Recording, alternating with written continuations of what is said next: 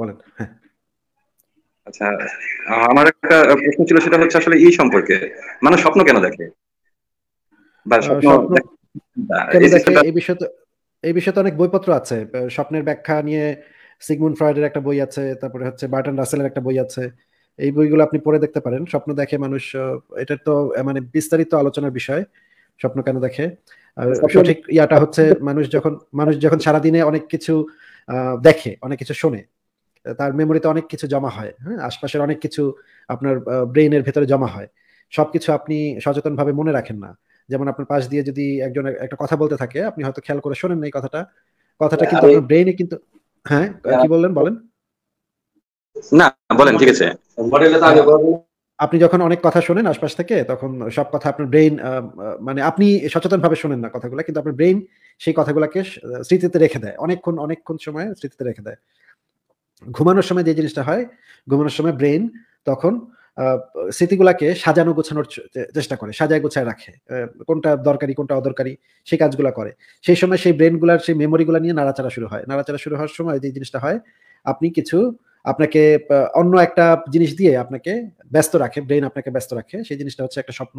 সেই স্বপ্নটা নির্ভর করে আপনি সারাদিনে যা দেখেছেন বা আপনার স্মৃতিতে যা যা আছে, স্মৃতিতে যা যা উঠে এসেছে, সেগুলো একটা আরেকটার সাথে যুক্ত হয়ে আপনার এই এই স্বপ্নগুলো তৈরি করে। এইটার অনেক ধরনের ব্যাখ্যা আছে। আপনি এই বইগুলো ডাউনলোড করে পড়তে পারেন। আপনি বার্টন রাসেলের একটা বই আছে সিগুন ফ্রয়েডের একটা বই আছে। এই বইগুলো ডাউনলোড করে পড়তে পারেন। আমি তো এত বিস্তারিত ব্যাখ্যা আসলে করতে পারব না। যদি এই বিষয়ে আমি রিসেন্টলি পড়তাম বইগুলো তাহলে আমি হয়তো আপনাকে ডিটেলসে বলতে পারতাম। কিন্তু আমি অনেক আগে পড়েছি অনেক বছর আগে পড়েছি বইগুলো। এখন আর আমার এত মনেও নেই বইগুলোতে কি ছিল। আচ্ছা, অপরিচিত কিছু লোকজন কিংবা কিছু নিকট ভবিষ্যতে যে ঘটনাগুলো ঘটতেছে তার কিছু ধারণাও পাওয়া যায় স্বপ্ন থেকে। এগুলো আসলে কীভাবে ব্যাখ্যা করবেন আপনি?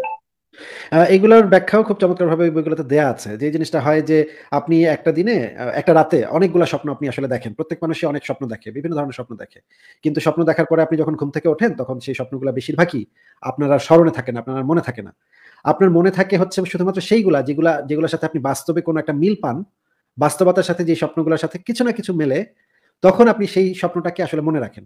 এবং আপনার কাছে মনে হয় যে স্বপ্নটা সত্যি হয়ে গেছে।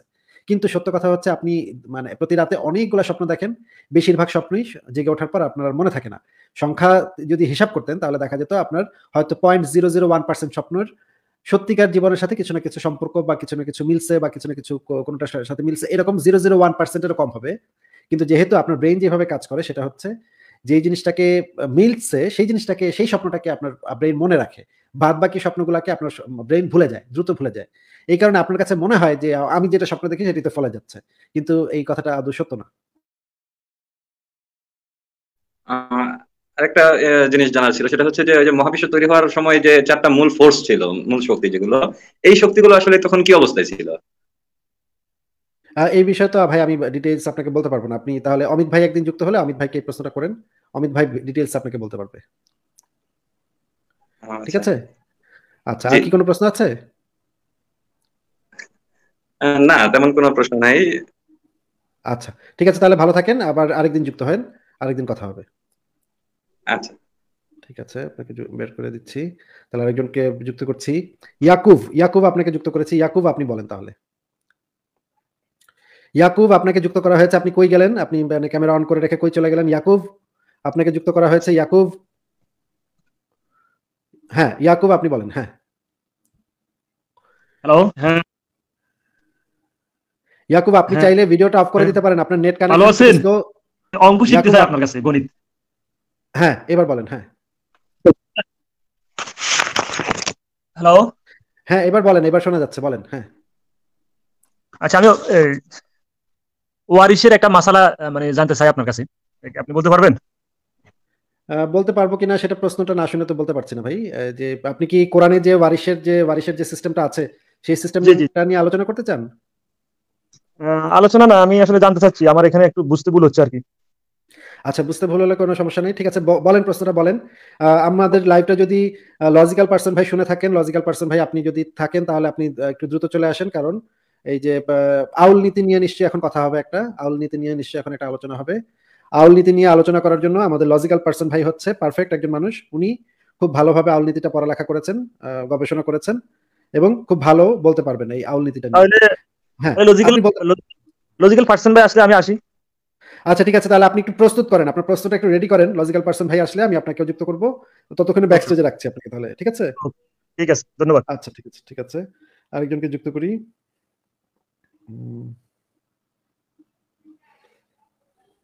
অনেকেই ব্যাকস্টেজে আছেন আমি আস্তে আস্তে যুক্ত করছি।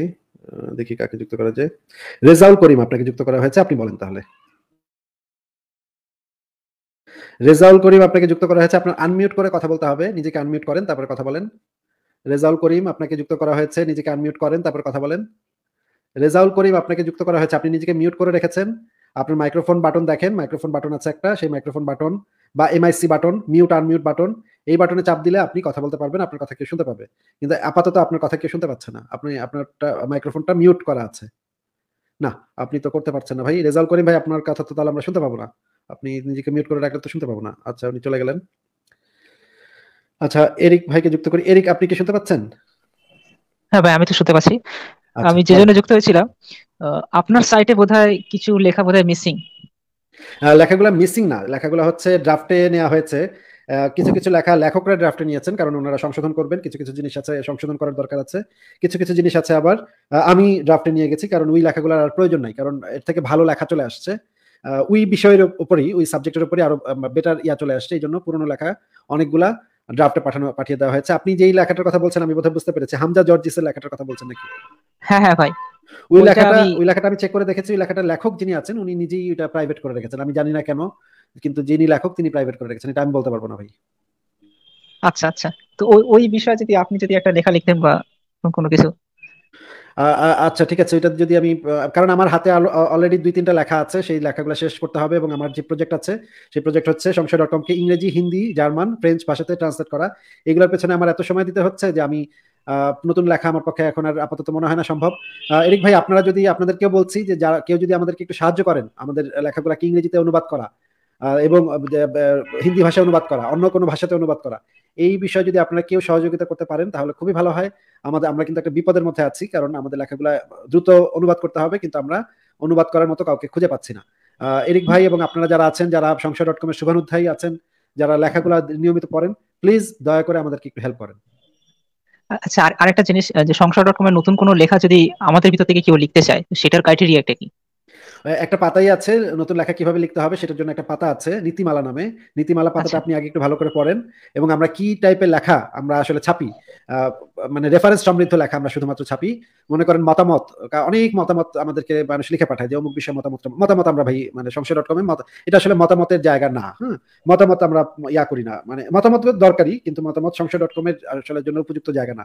মতামত আপনার অন্য জায়গায় কবিতা টবিতা এগুলো আপনার অন্য জায়গায় লিখতে পারেন কিন্তু সংশয় ডট কমে শুধু রেফারেন্স ভিত্তিক একটা মানে রিসার্চ পেপার যেভাবে লেখে, আপনি দেখবেন দেখবেন আন্তর্জাতিকভাবে রিসার্চ পেপার যে জিনিস, যেভাবে লেখা হয়, ঠিক সেই ইয়াটা ফলো করে স্টাইলটা ফলো করে আপনার লেখাগুলো লিখে পাঠাতে হবে।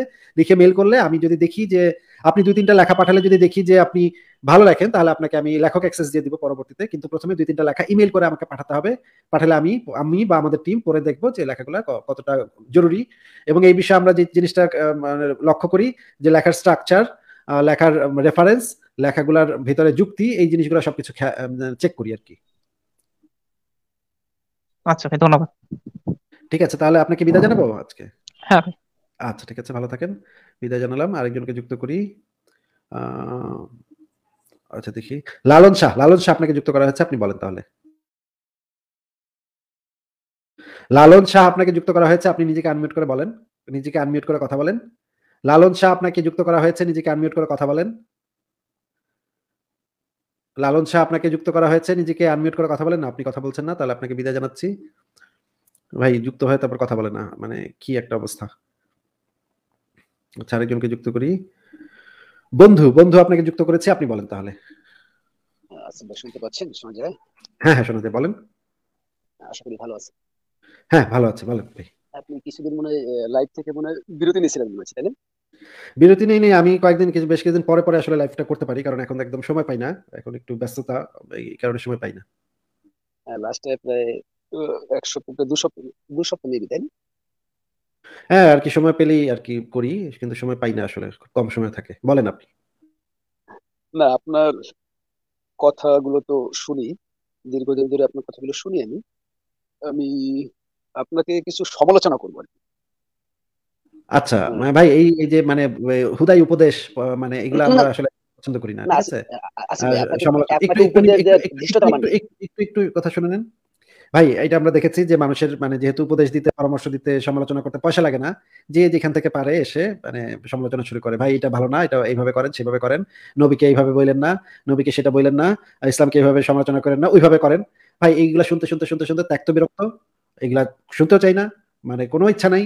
ভাই, যদি আপনার, যদি বেটার কোনো পদ্ধতিতে আপনি যদি লাইভ করে দেখান, তাহলে আপনি নিজে একটা লাইভ পরিচালনা করেন। সেই পরিচালনা করে সেইখানে আপনি লাইভ করে মানুষকে দেখা দেন। আমার আসিফ মহিউদ্দিনকে দেখা দেন যে কীভাবে লাইভ করতে হয়। ঠিক আছে? এই টাইপের সমালোচনা ভাই মানে পছন্দ না। আপনাকে আমি বললে হয়তো আপনি ক্লিয়ার হবেন। আমি আপনাকে আপনাকে কোন হিসেবে সমালোচনা করব, আপনি কাকে কি বলছেন, সেটা নিয়ে আমার কথা না। আপনি যেহেতু একজন মুক্ত চিন্তক মানুষ, আপনার কথাবার্তা, প্রতিটা কথাই থাকে যুক্তি। আপনি যুক্তির বাইরে কথা বলেন না। এটা হলো সবচেয়ে মানে দুর্দান্ত লাগে আর কি। কিন্তু আপনার যদি কাউকে সম্বন্ধে আপনি যদি কাউকে কিছু বলতে চান সেখানে যদি আপনি কোনো ভুল তথ্য দেন সেক্ষেত্রে আপনাকে কি নির্মোহভাবে আপনাকে তো নগ্নভাবে ভালোবাসি। নগ্নভাবে বলতে আমি কিন্তু আপনাকে আপনার যে যুক্তি তথ্য, আপনার ব্যক্তি আসিফকে ভালোবাসি না, তার যে কথা, প্রতিটা কথার মধ্যে তার এভিডেন্স যুক্তি, সেগুলো সে কিন্তু নিয়ে কথা বলে। আমি কিন্তু সেটাকে কিন্তু রেসপেক্ট করি এবং সেই মানুষটাকে মানে সেই তার যে দার্শনিক চিন্তা অথবা তার যে যুক্তি বুদ্ধি, এটাকে কিন্তু আমি রেসপেক্ট করি।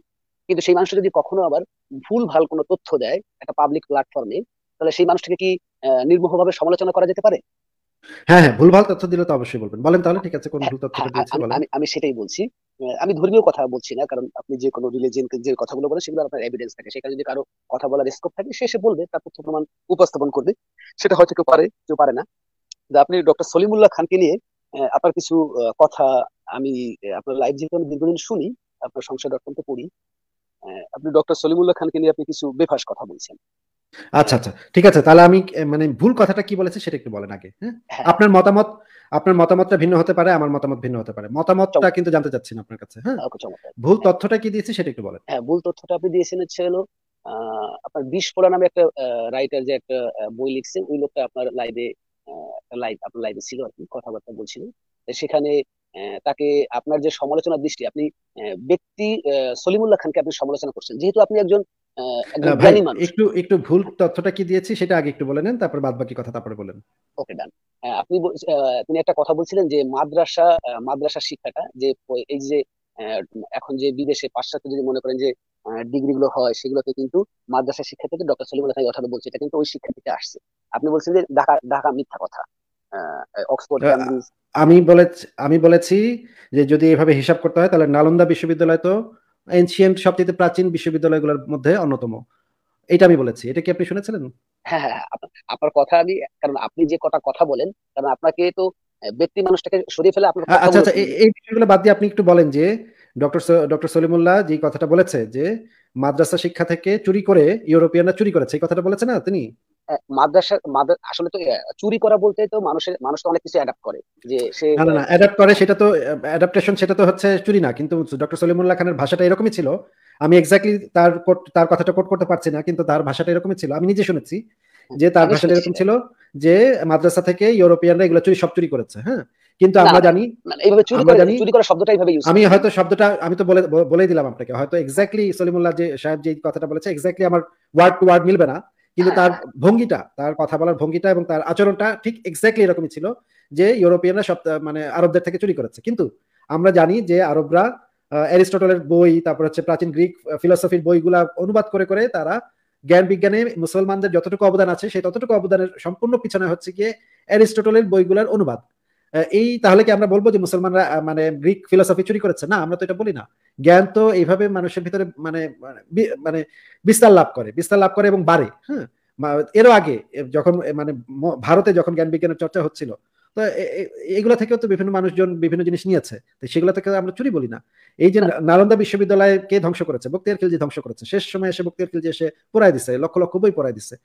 এই জিনিসগুলা সলিমুল্লাহ খানরা এই ধরনের কথা কখনো বলে না উল্টাপাল্টা কথা বলে মিথ্যা কথা বলে। প্লিজ প্লিজ আমি আপনাকে এখানে একটু ইন্টারাপ্ট করি। আমি আপনার কথার আমি একটা কথা বলব না আমি শুধু শুনব আপনার কথা শুনতেই ভালো লাগে। কারণ আমি আমার আমার যেটা প্রশ্ন থাকবে যে আপনি যে বলছেন উল্টাপাল্টা আপনি তার যতগুলো যতগুলো আপনি পডকাস্ট দেখবেন অথবা আপনি সে জায়গায় লাইভে যে কথাগুলো বলে অথবা আপনি আপনি দেখুন সোশ্যাল মিডিয়াতে উনি তো একেবারে মানে আম জনতার সাথে তো সোশ্যাল মিডিয়াতে কথা বলে না। আপনি দেখবেন যে অনেক কবি সাহিত্যিক ইভেন হচ্ছে ইন্ডিয়ার সাথেও কিন্তু ওখানে যারা মনে করেন যে লাইভ অনুষ্ঠানগুলো করে সেখানে কিন্তু সমস্ত প্রফেসররা ডক্টর সব মনে করেন হাই লেভেলের কিন্তু মানে কি বলব? ভাই এই যে হাই লেভেলের লো লেভেলের এগুলা ভাই খুবই মানে ফালতু কথা। এই ফালতু কথাগুলো আমার শুনতে খুবই অসহ্য লাগে। হাই লেভেল আবার কি ভাই? হাই লেভেল আবার কি ভাই? মানে সলিমুল্লাহ খুবই হাই লেভেল সলিমুল্লাহ সলিমুল্লাহ সাহেব হচ্ছে গিয়ে একজন মানে যে মুসলমানদের যেমন একজন জাকির নায়ক আছে সলিমুল্লাহ খান হচ্ছেন ওনাদের আরেকটা গ্রুপের জাকির নায়ক। উনি যে জিনিসটা পারেন, সেই জিনিসটা হচ্ছে ওনার শান সন তারিখ, বইয়ের পৃষ্ঠা, এগুলো খুব মনে থাকে ভালো। এটা অবশ্যই ভালো গুণ, একজন মানুষের ভালো গুণ, যে ওনার বইপত্রের কোন বইতে কি পড়ছে, কোন বইয়ের কত নম্বর পৃষ্ঠাতে কি আছে, কার জন্ম কত সালে, এগুলা উনি খুব ভালো। এটা হচ্ছে পুরোনো দিনের যে কোনো মানুষের কাছ থেকে আপনি, আমার বাপের বাপের এরকম স্বভাব ছিল হ্যাঁ? আমার বাপ যেই বই একবার পড়তো, সেই বইয়ের কোন পাতায় কি আছে, সেটা বলে দিতে পারতো, গড় করে বলতে পারতো, অমুক ব্যক্তি জন্ম এত সালে, তমুক ব্যক্তি অত সালে ইউনিভার্সিটিতে গেছে তন্য তত সালে পাশ করছে, এইভাবে গড় করে সন তারিখ সব বলে দিতে পারতো আমার বাপে। তার মানে তো এটা না এটা জানাটা এটা হচ্ছে ইনফরমেশন এই জিনিসগুলা জানাটা হচ্ছে ইনফরমেশন জানা। এগুলা হচ্ছে সলিমুল্লাহ খান হচ্ছে একজন ইনফরমেটিভ মানুষ কিন্তু উনি কোনো জ্ঞানী মানুষ না। মানে উনি হচ্ছেন জাকির নায়কের মতো একজন মানে মুখস্থ বলতে পারে উনি। জাকির নায়ক এটা পারে জাকির নায়ক কোন কিতাবে কত নম্বর পৃষ্ঠাতে কি লেখা আছে এগুলো ভালো বলতে পারে। কিন্তু উনি মোটেও কোনো জ্ঞানী মানুষ না। আপনি যে হাই লেভেল হাই লেভেল বারবার বলতেছেন। ভাই উনি একজন হ্যাঁ উনি একজন বিশ্ববিদ্যালয়ের শিক্ষক এটা ঠিক। অবশ্যই ওনাকে আমরা সম্মান করব। একটু মানে মিস্টেক করতেছেন ভাইজান। আমি একবারও তাকে হাই লেভেল বলি না আমি বললাম যে যে লোকগুলোর সাথে কথা বলে সেই লোকগুলোকে আমি কিন্তু মানে নোট করছি। আমি কিন্তু সেই লোকটাকে হাইলাইট মানে করি নাই যে ভাই আমি তো আমি তো নিজে তার কথা যে উনি বলেছেন মাদ্রাসা শিক্ষার ব্যবস্থা চুরি করে ইউরোপের বড় বড় বিশ্ববিদ্যালয়গুলো গড়ে উঠছে। এই টাইপের কথা উনি অজস্রবার বলেছেন। অজস্র ফালতু কথাবার্তা বলতেছেন যে ইউরোপিয়ান ইউরোপদের বিরুদ্ধে তার ইউরোপের বিরুদ্ধে তার খুব ইয়া হ্যাঁ? কিন্তু আরব সাম্রাজ্যবাদের বিরুদ্ধে তার কোনো কথা নাই। আরব মানে আরব যে মানে বদমাইশগুলা আরব যে জঙ্গিগুলা এগুলোর বিরুদ্ধে তার কোনো কথা নেই। তার সব দিক খেয়াল করে সবাইকে খুশি করে বাংলাদেশে যেহেতু থাকতে হবে উনি বুঝছেন যে কোন পক্ষরে তেল মারলে খুশি খুশি রাখলে মানে ওইখানে মানে ইয়া পাওয়া যাবে। এই জিনিসটা বুঝে উনি জায়গা মতো তেল মারেন হ্যাঁ? জায়গা মতো তেল দিয়ে উনি যেমন ধরেন বাংলাদেশের সবচাইতে গুরুত্বপূর্ণ দার্শনিকদের গুরুত্বপূর্ণ বুদ্ধিজীবী হচ্ছে, আমি যেটা মনে করি, ডক্টর আহমদ শরীফ হচ্ছে বাংলাদেশের সবচেয়ে গুরুত্বপূর্ণ বুদ্ধিজীবী। ডক্টর আহমদ শরীফ হচ্ছে গিয়ে বাংলাদেশে দাঁড়ায় শেখ মুজিবের আমলে শেখ মুজিবের সমালোচনা করতো এবং তিনি দীর্ঘদিন আওয়ামী লীগের সমালোচনা করে গেছেন। কিন্তু এই যে, এই টাইপের যে মানে ডক্টর সলিমুল্লাহর মতো যারা আছে বাংলাদেশে, এরা তো বাংলাদেশের বুদ্ধিজীবীদের যে ইয়াটাই নষ্ট করে দিচ্ছে মানে একটা সময় বুদ্ধিজীবী বলতে মানুষ বুঝতো, ডক্টর আহমদ শরীফ, তারপরে তারপরে হচ্ছে গিয়ে শামসুর রহমান, শকত ওসমান, হুমায়ুন আজাদ, এদের কথা বুঝতো। এখন বোঝে সলিমুল্লাহ খান। মানে কি একটা অবস্থা? বাংলাদেশের যে অবস্থা? মানে সলিমুল্লাহ খানের দেখলে বোঝা যায় যে বাংলাদেশের এখন বুদ্ধিজীবী তার আসলে কি অবস্থা? মানে এত থার্ড ক্লাস অবস্থা, এই টাইপের কথাবার্তা মানুষ কীভাবে বলে? যে মাদ্রাসা থেকে মানে নিয়ে ইউরোপিয়ানরা বিশ্ববিদ্যালয় গড়ে তুলছে, এগুলো কীভাবে বলে একজন মানুষ?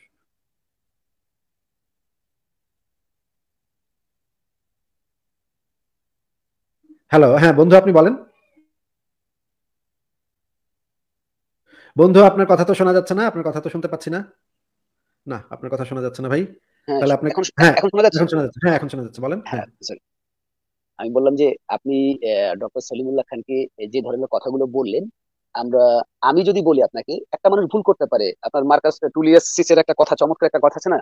যে man can make mistake but only an idiot persist in his error একটা কথা আছে চমৎকার একটা কথা যে যে কোনো মানুষ ভুল করতে পারে কিন্তু শুধুমাত্র বোকাই তার ভুলগুলোকে ধরে রাখে। এখন সে তার যে মৌলিক লেখাগুলো আপনি কি তার একটা মৌলিক কোনো কোনো লেখা পড়ছেন আপনি? কাইন্ডলি একটু আপনাকে একটু রিকোয়েস্ট করি আপনাকে শুনতে চাই। আপনি কি তার একটা লেখা পড়ছেন? আমি তার অনেক বছর আগে তার কিছু বই পড়েছিলাম এই মুহূর্তে তো যেমন মনে একটা বলেন তো আপনি কি কি বই পড়ছেন? ভাই এই মুহূর্তে তো ভুলে গেছি আমি। আহ, নাম আমার মনে করতে হবে তার লেখা আমার মনে করতে হবে মনে করে বলতে হবে। হ্যাঁ। ইনফ্যাক্ট ইনফ্যাক্ট তার লেখা আমি খুব একটা গুরুত্ব দিয়েও আসলে পড়েছি পড়ি নাই। কারণ আমি আমি পড়তে শুরু করি ইয়া হয়েছে যে না তার সম্পর্কে আমার খুব একটা উচ্চ ধারণা কখনোই ছিল না এখনও নাই। সেটা সেটা ম্যান টু ম্যান ভেরি করতে পারে। আপনাকে আপনি কিন্তু অনেক ইয়াং জেনারেশন বলেন অথবা যারা একটু এখন চল্লিশ পঞ্চাশ বছরের এজের লোক কিন্তু আপনার কথাগুলো শোনে কিন্তু। কারণ আপনি কিন্তু অবশ্যই বুদ্ধিজীবী তো প্রতিটা মানুষই মানে যার যার বুদ্ধিবৃত্তি সেই বুদ্ধিজীবী মানুষ, আমি মনে করি। কিন্তু আমাদের যেটা ট্যাগ লাগিয়ে দেওয়া হয় সমাজে যে এ বুদ্ধিজীবী, ও বুদ্ধিজীবী, আমি এই তর্কে যাচ্ছি না। কিন্তু যারা বুদ্ধিজীবী, তাদের দায়িত্ব কিন্তু সত্য কথা বলা এবং মিথ্যাকে প্রকাশ করা। নোয়াম চমস্কির একটা দুর্দান্ত একটা কথা আছে না? যে বুদ্ধিজীবীর দায়িত্ব হলো সত্য কথা বলা এবং মিথ্যাকে প্রকাশ করা। আপনি কিন্তু সেই কাতারের মধ্যে কিন্তু অনেকেই কিন্তু আপনাকে মনে করে। আপনাকে অনেকেই কিন্তু আপনার যে ফিলোসফি আইডিওলজি অনেকে কিন্তু ফলো করে আপনাকে। সেক্ষেত্রে আপনারও কিন্তু সত্য কথা বলতে হবে মিথ্যাকে কিন্তু প্রকাশ করতে হবে। আপনি যদি ঢালাও ভাবে কথা বলে ফেলেন তাহলে জিনিসটা কিন্তু শকিং এটা অনেক কষ্টের ব্যাপার কিন্তু। তার আপনি যদি একটা বই না পড়েন অথবা আপনি শুনছেন তার আমার বইয়ের নাম আমার যেটা মনে আছে আদম বোম্মা সম্ভবত একটা বইয়ের নাম। হ্যাঁ আদম আপনি উহারা বাতাসে আপনার উনি যে পেন্টি সার্কোস্কি আপনার একটা গ্রিনল্যান্ডের মানে লেখ- মানে লেখিকার উনি যে অনুবাদটা করছেন উহারা বাতাসে যদি আপনি কবিতার বইটা পড়েন আমি নিশ্চিত আপনি বলবেন যে না তার কবিতার বই আমি পড়িনি কখনো। তার একটা বই পড়ছি আমি আদম বোমা আর আহমদ সাফাকে নিয়ে তার একটা বই পড়ছিলাম সেই বইটার নাম আহমদ। আহমদ আহ, আহ, সঞ্জীবনী। হ্যাঁ সঞ্জীবনী সঞ্জীবনী হ্যাঁ সঞ্জীবনী পড়ছিলাম। এরপর ফ্রয়েড কে নিয়ে একটা বই পড়ছিলাম সেই নাম সাদ্দাম হোসেন একটা বই আছে আদম বোমা তো স্বাধীনতা ব্যবসায়। তারপরে ফ্রয়েডের ভূমিকা টাইপের নামটা বোধহয় ফ্রয়েডের ভূমিকা বা এই টাইপের ভূমিকা বা ফ্রয়েড এই টাইপের কিছু একটা নাম ছিল। আপনি এটা পড়ছিলাম। হ্যাঁ, স্বাধীনতা আরেকটা পড়ছিলাম বাংলাদেশের গণতন্ত্রের সমস্যা বলি এই টাইপের নাম ছিল। না না না এটা তো প্রবন্ধ টাইপের কিন্তু এটা মানে ওরকম বড় বই না। আপনি যদি মানে বড় ভালো বই পড়তে চান ওনার হচ্ছে আহমেদ আহ, সফা সঞ্জীবনী তারপর হচ্ছে আহমদ সাফাকে নিয়ে তার তার আমি যেটা দেখছি যে আহমদ সাফাকে নিয়ে তার হ্যাঁ। সারা জীবনের মানে আপনাকে আপনাকে আপনার প্রতি আমার আরেকটা ক্ষোভ আছে এটা এক আমার ছিল এক ছিল আহমদ সাফা এক হচ্ছে আহমদ সাফার তিন চালা এক হ্যাঁ, হচ্ছে এক গিয়ে এক যে হচ্ছে যে ফরহাদ মজহার এক হচ্ছে হ্যাঁ। এক জাউরা হচ্ছে ফরহাদ মজহার আরেকটা হচ্ছে যে সলিমুল্লাহ খান আরেকটা হচ্ছে যে ব্রাত্য রাইসু। এই তিন চেলা নিয়ে আহমদ সাফা ঘুরতো। আহমদ সাফার আমার সাফার সম্পর্কে আমার কোনো উচ্চ ধারণা নাই। আমার সাফার সাহিত্য ভালো অবশ্যই এটা স্বীকার করি। সে একজন ভালো সাহিত্যিক। কিন্তু বুদ্ধিজীবী হিসেবে তাকে আমি গণ্য করি না। বাংলাদেশের কোনো বুদ্ধিজীবী হিসেবে তাকে আমি মনে করি না। এই আমার সাফার এই তিন চালা তিন চালা মিলে বাংলাদেশের বারোটা বাজেছে বাংলাদেশের না, তার চোদ্দটা বাজেছে এই তিন চালা। না না আপনি এইভাবে আমরা আমরা এইভাবে একজন সমাজে একটা চমৎকার কথা আছে না যে সমাজে যদি মানে গুণীর কদর যদি কেউ না করে আর যদি কোনো অন্যায় যদি প্রতিবাদ না করে তাহলে বুঝতে হবে সমাজে কিন্তু অবক্ষয় চলতেছে। এই কথাটা কিন্তু আহমেদ সফারই কথা কিন্তু। এখন আপনি কিন্তু যদি ঢালাও আম যেমন আম জনতার মতো যদি কথাগুলো বলে যান আপনাকে একজনের ব্যক্তি মানুষটাকে আপনি আক্রমণ আপনি কিন্তু সবসময় আপনার লাইভে বলেন আপনি ব্যক্তিকে কখন আক্রমণ করা দরকার তার লেখা আমার আহমদ সাফা আহমদ সাফা যে আহমদ সাফা যে যে বিএনপির খালেদা জিয়ার সাথে তার যে কি আছিল বিএনপি কে যে ইয়া যেভাবে ইয়াভাবে সমর্থন দিত বিএনপি থেকে যে টাকা টাকা পেত। আহমদ সাফার। আহমদ সাফার আত্মজীবনীতেই সে এই জিনিসগুলো লিখছে। একদিন সে খালেদা জিয়াকে ফোন দিছে। না খালেদা জিয়া তাকে নিজে রান্না করে খাওয়ানোর নিজে রান্না করে খাওয়ানোর কথা বলছে এগুলো অসংখ্য জিনিস আমি পড়ছি। সাফার বই শোনেন, থেকে আমি পড়ছি? আপনি যেটা পড়ছেন আপনি যেটা পড়ছেন আপনি আমাকে আপনি যদি আপনার কাছে এভিডেন্স চাই আপনি কিন্তু আমাকে এভিডেন্সটা দিতে পারবেন না। দিতে পারবেন না না অব- অবশ্যই আমি দিতে পারব। আমি তো না পড়ে এগুলো বলতেছি না। কিন্তু এই মুহূর্তে দিতে পারব না কিন্তু অবশ্যই আমি দিতে পারব। আমাকে তো তাহলে সময় দিতে হবে কোন জায়গা থেকে কোন জায়গা থেকে। আরেকটা আহমদ সাফা ছিলেন এই যে একজন সুবিধাবাদী লোক যে যে যখন তাকে পয়সা পাতি দিছে তার পয়সা পাতির অভাব যখন হতো এই ধরনের আপনি এই ধরনের কথা আপনি কোথায় পয়সা পাতি যখন তার যখন পয়সা পাতির অভাব পড়তো সে মানে পাখি নিয়ে কান্দে পাখি নিয়ে ঘুরতো রাস্তায় রাস্তায় ঘুরতো। এটা সে মনে করতো বিরাট একটা বুদ্ধিজীবিতা সে করতেছে। হ্যাঁ দেশ দেশকে সে উল্টাই দিচ্ছে পাখি নিয়ে ঘুরে ঘুরে সে কখনোই সে কখনোই এই ধরনের আমার সাফার কয়েকটা ভালো কাজ আছে। একটা হচ্ছে গিয়ে এস এম সুলতানকে সে মানে ফ্রান্স পর্যন্ত পাঠিয়েছিল। এটা ভালো কাজ ওকে আমি খুশি। হুমায়ুন আহমেদকে সে নিয়ে আসছে হুমায়ুন আহমেদকে আইনা সে মানে মানে সাহিত্যিক হিসেবে সে প্রতিষ্ঠিত করছে খুবই ভালো কাজ কোনো সমস্যা নেই। কিন্তু পরবর্তীতে যখন বিভিন্ন দল ক্ষমতায় আসছে বিএনপি তারপরে এরশাদ তারপরে এই সমস্ত দল যখন ক্ষমতায় আসছে ওই যে সামরিক শাসকরা যখন ক্ষমতায় আসছে সামরিক শাসকদের থেকে সে বিভিন্ন ধরনের সুবিধা দিয়ে নিচ্ছে আহমদ সাফার কথা আহমদ সাফা সম্পর্কে তো অনেক ইয়ে আছে। আপনি এগুলো এগুলো কি জানেন? এগুলো হচ্ছে এগুলো হচ্ছে বাংলাদেশের রাজনৈতিক যারা মনে করেন সুবিধাবাদী যারা বুদ্ধিজীবী এদের তাদের কিন্তু এটা কিন্তু তাদের চিন্তা চেতনায় তারা কিন্তু এই জিনিসটাকে ফলো করে কথা বলছে। এই পুরোটাই কিন্তু মিথ্যা কথা। আপনি আহমেদ সফর যতগুলো উপন্যাস আপনি যদি অলাদ চক্র পড়েন আপনি যদি আহমদ উল্টা সাফার অনেক উপন্যাস আমি পড়েছি আহমদ সাফার হ্যাঁ, অনেক উপন্যাস আমি আমি আপনাকে আপনি- আপনি পুষ্প পুষ্প বৃক্ষ বিহঙ্গ হ্যাঁ আমি তো বলছি আমি তো ভাই বলছি যে আহমদ সাফার সাহিত্য সাহিত্যিক হিসেবে আহমদ সাফার গুরুত্ব আছে কিন্তু হ্যাঁ, মানুষ হিসেবে বুদ্ধিজীবী হিসেবে। এবং আরও আরও বিষয় হচ্ছে আহমদ সাফার আহমদ সাফার লেখা নিয়ে অনেক সমস্যা আছে। সে মানে প্রচুর পরিমাণে বানান ভুল করতো এবং তার মানে সেন্টেন্স স্ট্রাকচার ঠিক থাকে না। সে আলিঝালি লেখে অনেক অনেক কিছু আছে তার আলিঝালি লেখা।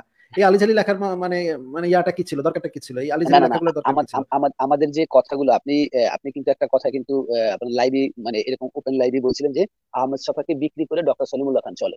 এখন এই যে কথাগুলো আপনি বলছেন না এই কথাগুলো আমার মনে হয় যে সাধারণ লোকে বলুক কিন্তু আপনার মতো একজন লোক কিন্তু পাবলিক প্ল্যাটফর্মে এই ধরনের কথা বলতে পারেন। আপনি অনেক কিছু তাহলে আপনি হয়তো জানেন না বিষয়টা? নাহলে আপনি কারও কারও থেকে শোনা কথা আপনি অত বলছেন। আহমেদ সফর মৃত্যুর সময় তার জন্য কিন্তু মানে টাকা কিন্তু ই করে চাঁদা তুলে কিন্তু তার জন্য কবরের জায়গা করা লাগে। আপনার সে জীবনে যে কম্প্রোমাইজটা করছে এবং সে জীবনে যে লেখার জন্য, মানুষের জন্য একজন শ্রেষ্ঠ লেখক, একটা মহৎ লেখকের মধ্যে আকাশ পাতাল পার্থক্য। বাংলাদেশে যদি বলা হয় মহৎ লেখক, সে কিন্তু আহমেদ সবাই ছিল। এইগুলা ভাই এগুলা খুবই ইয়া কথা ভাই। এগুলা মানে আপনারা আপনারা এখন আহমদ সাফাকে বড় করার জন্য মানে আপনার একটা গোষ্ঠী আছে বাংলাদেশে একটা গোষ্ঠী আছে যে আহমদ সাফা আহমদ সাফার। আহমদ সাফা পীর সাহেবের মাজারের মুরিদ হয়ে গেছে তারা।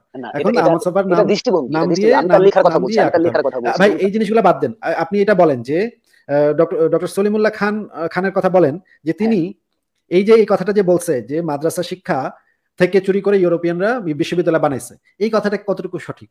ওকে আপনি সে যে লাইভটা যে লাইভে এই কথাগুলো বলছে আপনি সেই পুরো লাইভটাকে আপনি দেখছিলেন? কাইন্ডলি কি বলবেন? সেই লাইভটাকে আমি পুরোটা দেখিনি কিন্তু অনেকখানি অংশ আমি দেখছি। এই অংশটুকু আপনার- ছিল সেটা সেই অংশটুকু ওকে আমি আপনার কাছে একটা রিকোয়েস্ট করব। একবারে আসিফ ভাই আপনাকে কিন্তু আমি প্রচণ্ড রেসপেক্ট করি। আপনাকে না আবার বলে আমি আপনার আপনার চিন্তা চেতনাকে রেসপেক্ট করি। ব্যক্তি মানুষটা আমার কাছে কোনো মানে কোনো মূল্য নেই কারণ মারা গেলে সে পচে যাবে। তার কোনো বেল নাই। বেঁচে থাকলে সে বদলাবে। সো আপনার কথাগুলোকে আপনি যে কথাগুলো প্ল্যাটফর্মে বলেন যুক্তি দিয়ে সেটাকে আমি প্রচণ্ড রেসপেক্ট করি।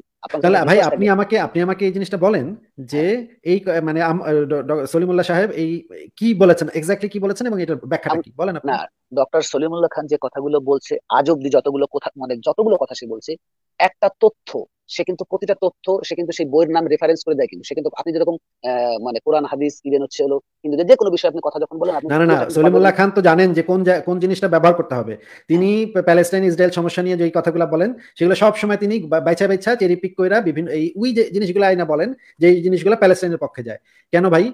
মানে ইসরায়েল কি ভাইসা আসছে তো- আমি নাকি? তো জাকির উনি আপনি কি জাহাঙ্গীরনগর ইউনিভার্সিটি বোধিচিত্ত নামে যে একটা ই হয় আপনার এই যে মিশেল ফুকো ফানো দেরিদা এদেরকে নিয়ে যে বিভিন্ন ধরনের মনে করেন যে একটা সেমিনার হয় সমস্ত দার্শনিকদের নিয়ে। আপনি কি এইটার সম্বন্ধে জানেন? বোধিচিত্ত হ্যাঁ আমি শুনেছি হ্যাঁ শুনেছি হ্যাঁ, হ্যাঁ। সেখানে ওনার একটা জায়গায় মানে বলছে যে এই যে জাকির নায়ক এ তো পুরোটাই কি যেন জঙ্গিবাদকে উস্কে দেয় কারণ তার যে ধর্ম যেভাবে সে মানে করে প্রচার করে পুরোটা জঙ্গিবাদকে উস্কে দেয়। সেটা চমৎকার আপনি না না এই কথাগুলো সলিমুল্লাহ সাহেব কি এই কথাগুলো মানে লাইভ টিভিতে এসে কখনো বলেছেন?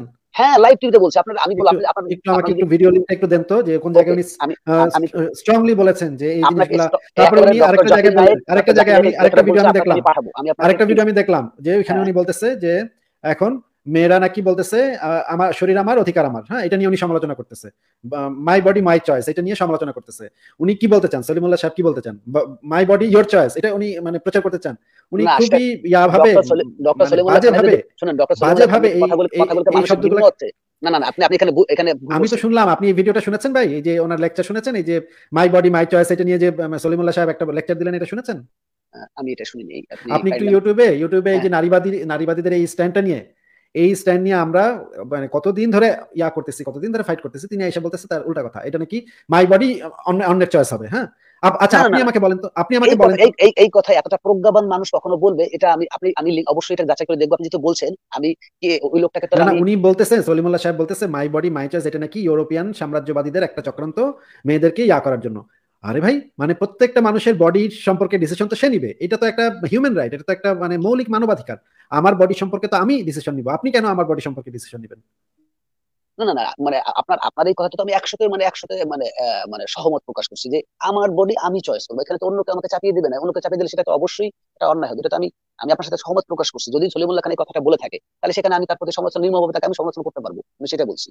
হ্যাঁ তাহলে আপনি একটু আপনি একটু ইউটিউবে সার্চ করে দেখেন এই বিষয়ে সলিমুল্লাহ খানের। এই লেকচার আমি কয়েক কিছুদিন এক মাস দেড় মাস আগেই আমি শুনছি এই লেকচার এই যে মাই বডি মাই চয়েস এটাকে তিনি সমালোচনা করতেছেন। এটা নাকি পরিবার আপ- পরিবার প্রথাটাকে নাকি ইয়া করে দিচ্ছে আমাদের পরিবার প্রথাকে দুর্বল করে দিচ্ছে আমাদের সমাজ ভেঙে যাচ্ছে সমাজ ভেঙে যাবে। এটা যদি শক্তিশালী হয় এই ধরনের স্লোগান যদি শক্তিশালী হয় তাহলে নাকি আমাদের সমাজে নানা ধরনের সমস্যা হবে। এই কথাগুলো উনি বলতেছেন।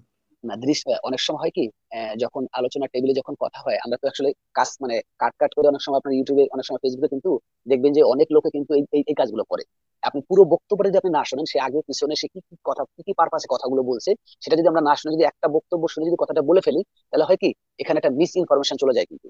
এই কিন্তু ভাই কিন্তু ভাই এ- এ- তাহলে তো এটা ইসের মতো হয়ে গেল যে যে কোরআনের আয়াতকে নিয়ে যখন আমরা বলি তখন বলে আগের আয়াত পরের আয়াত অমুক আয়াত তমুক আয়াত এই ডাইনের আয়াত বায়ের আয়াত এগুলো আনেন না কেন এটা তাফসির করতে হবে। এগুলো তো ভাই সেরকম হয়ে গেল। আমরা তো সলিমুল্লাহ খানের তো আমি তো অনেকগুলো ইয়া কথাবার্তা শুনেছি তার যে ভালো কথা নাই তা কিন্তু আমি বলছি না তার কিছু ভালো কথা অবশ্যই আছে। তিনি পণ্ডিত মানুষও পণ্ডিত মানুষ এই বিষয়ে আমি অস্বীকার করি না।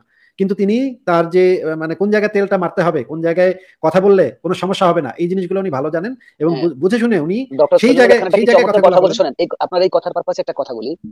যেহেতু উনি একজন একটা কলেজে যিনি অধ্যাপনা করেন তার কিন্তু সমাজে থাকতে হয় তার কিন্তু দেশে থাকতে হয়। তিনি চমৎকার একটা কথা বলেন অবশ্যই অবশ্যই আমি ভাই এটা আমি ভাই বুঝি। ভাই ভাই. একটু শোনেন না একটু শোনেন না। এটা তো আমি বুঝি ভাই এটা তো আমি বুঝি যে তার বাংলাদেশের সমাজে থাকতে হবে। ওয়েল এই বিষয়ে বেশি কথাবার্তা বলা যাবে না। কিন্তু হ্যাঁ। উনি যেটা করেন উল্টা দিকে মানে সেকুলারদের সেকুলারদের বিভিন্ন আন্দোলন ফেমিনিস্টদের বিভিন্ন আন্দোলন এগুলাকে প্রশ্নবিদ্ধ করতে শুরু করে দেন। না না আপনি যদি এটা যদি বলেন উনি যদি- উনি যদি আপনি এটা এটাকে ধরে নিচ্ছি, মানে ধর্মান্ধদের। বিরুদ্ধে বললে ওনার ওনার ওনার ভয় লাগে হ্যাঁ? ধরে নিচ্ছি ধর্মান্ধদের বিরুদ্ধে বললে ওনার ভয় লাগে মাইরা আইসা খুব মাইরা যাবে। হইতেই পারে এটা। এটা হওয়াটা খুবই স্বাভাবিক বিষয়। তাইলে এই বিষয়টি নিয়ে চুপ থাকেন আপনি। আপনার এই বিষয় নিয়ে কথা বলার দরকার কি? কো- এই বিষয় যায় না। আপনি অন্য বিষয়ে আপনার ফুল পাখি লতা পাতা এগুলো নিয়ে কথা বলেন। হ্যাঁ? কবিতা নিয়ে এই যে মানে বদলে শাল শাল বদলে আর কবিতা নিয়ে আপনি পক করেন।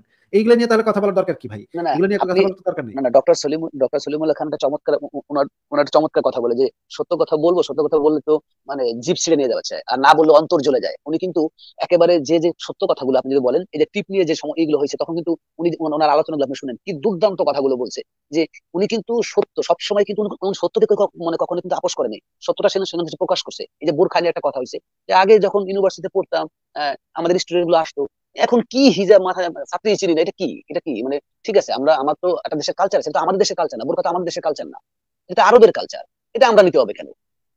এই কথাগুলো হ্যাঁ, কিন্তু- একেবারে স্পষ্ট ভাই কিন্তু বন্ধু ভাই আমি তার যতগুলো ভিডিও শুনছি বেশিরভাগই আমি শুনছি তিনি সারাক্ষণ ইউরোপকে নিয়ে গালিগালাজ ইউরোপ খারাপ ইউরোপ সাম্রাজ্যবাদী সব হচ্ছে ব্রিটিশদের দোষ এই সাম্প্রদায়িকতার উত্থান নাকি ব্রিটিশরা করছে এই সমস্যা ব্রিটেন এগুলা এগুলা তিনি ঘুরে ফিরে তার কথাবার্তা ঘুরে ফিরে আমেরিকা ব্রিটেন এরাই সমস্ত সবকিছু করে আর কারোর কোনো দোষ নাই ওই যে তালেবানদের কোনো দোষ নাই আফগানিস্তানের কোনো দোষ নাই সৌদির কোনো দোষ নাই ইসলামের কোনো দোষ নাই আর কোথাও তিনি কোনো সমস্যা পান না তালেবান ইসলাম এগুলো শোনেন মানে উনি যে প্রজ্ঞাবান মানুষ উনি কিন্তু আপনার এরকম ঢালাও ভাবে কিন্তু এরকম একটা কথাও কিন্তু উনি ঢালাও ভাবে উনি উনি ঢালাও ভাবে ইউরোপকে দোষারোপ করেন। ঢালাও ভাবে উনি ইউরোপকে দোষারোপ করেন। সারা সমস্ত কিছুর জন্য ইউরোপ দোষী আপনি যদি মুক্তিযুদ্ধের উনিশশো একাত্তর সালের কাহিনী বলতে চান তখন তো আপনাকে সাতচল্লিশ সালে যেতেই হবে। আপনি সাতচল্লিশ সালে লাগলে আপনি একাত্তর সালের কাহিনী কি করে বলবেন আপনি?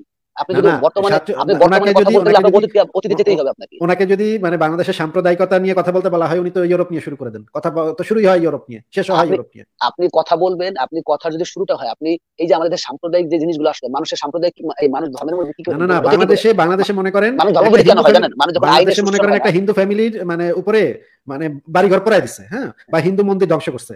এনে কি ইউরোপ কি করছে ইংল্যান্ড কি করছে আর ব্রিটিশরা কি করছে ইস্ট ইন্ডিয়া কোম্পানি বা কি করছে ভাই?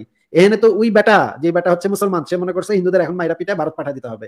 সেইটা করছে। এই বিষয়ে কথা না বলে উনি শুরু করেন যে মানে ইউরোপে কি করছে কত সালে কি করছে এগুলো দিয়ে বরবর বরবর শুরু করে। ওনার তো ওনাকে যে প্রশ্ন করা হয় উনি তো সেই এক্স্যাক্টলি সেই উত্তর দিতে পারে না। উনি কোথা থেকে কোন বইতে কি কোথায় কোথায় চলে উনি আপনি কথা বলতে বলতে কোন লাইনে চলে যান? কোথায় কোন বইতে কত সালে আপনি মোটা দাগে? আসিফ ভাই আপনি তো মোটা দাগে সবগুলো দেখতেছেন আপনি কিন্তু একেবারে মানুষ যা খালি চোখে দেখে সেটা কিন্তু দেখা না খালি চোখে অন্ত চোখ দিয়ে দেখতে হয়। আপনি শুধু খালি চোখে দেখলে হবে না তো। এই যে শুধু চোখ দিয়ে দেখতেছেন আমি কি কথাগুলো বলছে? উনি, উনার যে চমৎকার চমৎকার কথাগুলো আপনি যে কোনো প্রতিবাদের বিষয়ে, আপনি এই যে বাংলাদেশের ভাষা নিয়ে এসে যে ইংলিশের, সে কিন্তু ইংলিশ শেখার বিপক্ষে না এবং সেই বাংলা ভাষাটাকে কিন্তু বলে যে, সব ভাষায় যদি আমি শিক্ষায় যদি আমি মানে শিক্ষা দিতে না পারি, তাহলে আমার দেশ উন্নত হবে কি করে? সে যে ঢাকা ইউনিভার্সিটির মানে ঢাকা ইউনিভার্সিটির শিক্ষকদেরকে একেবারে গণ ধুলাই দিল আর কি, যে মানে উপাচার্য দুজন উপাচার্যের সামনে, যে একশো বছর ইউনিভার্সিটি আমাদের বাংলাদেশে ঢাকা ইউনিভার্সিটি বলে প্রাচ্যের অক্সফোর্ড, এই কথাটা কে বলছে? আর ফালতু কথা। সেখানে একশো বছরে একশোটা বই বের করতে পারে না, একশোটা বইয়ের অনুবাদ করতে পারে না। তো ওরা কি পড়া ওরা কি দশ হাজার টিচার বলে।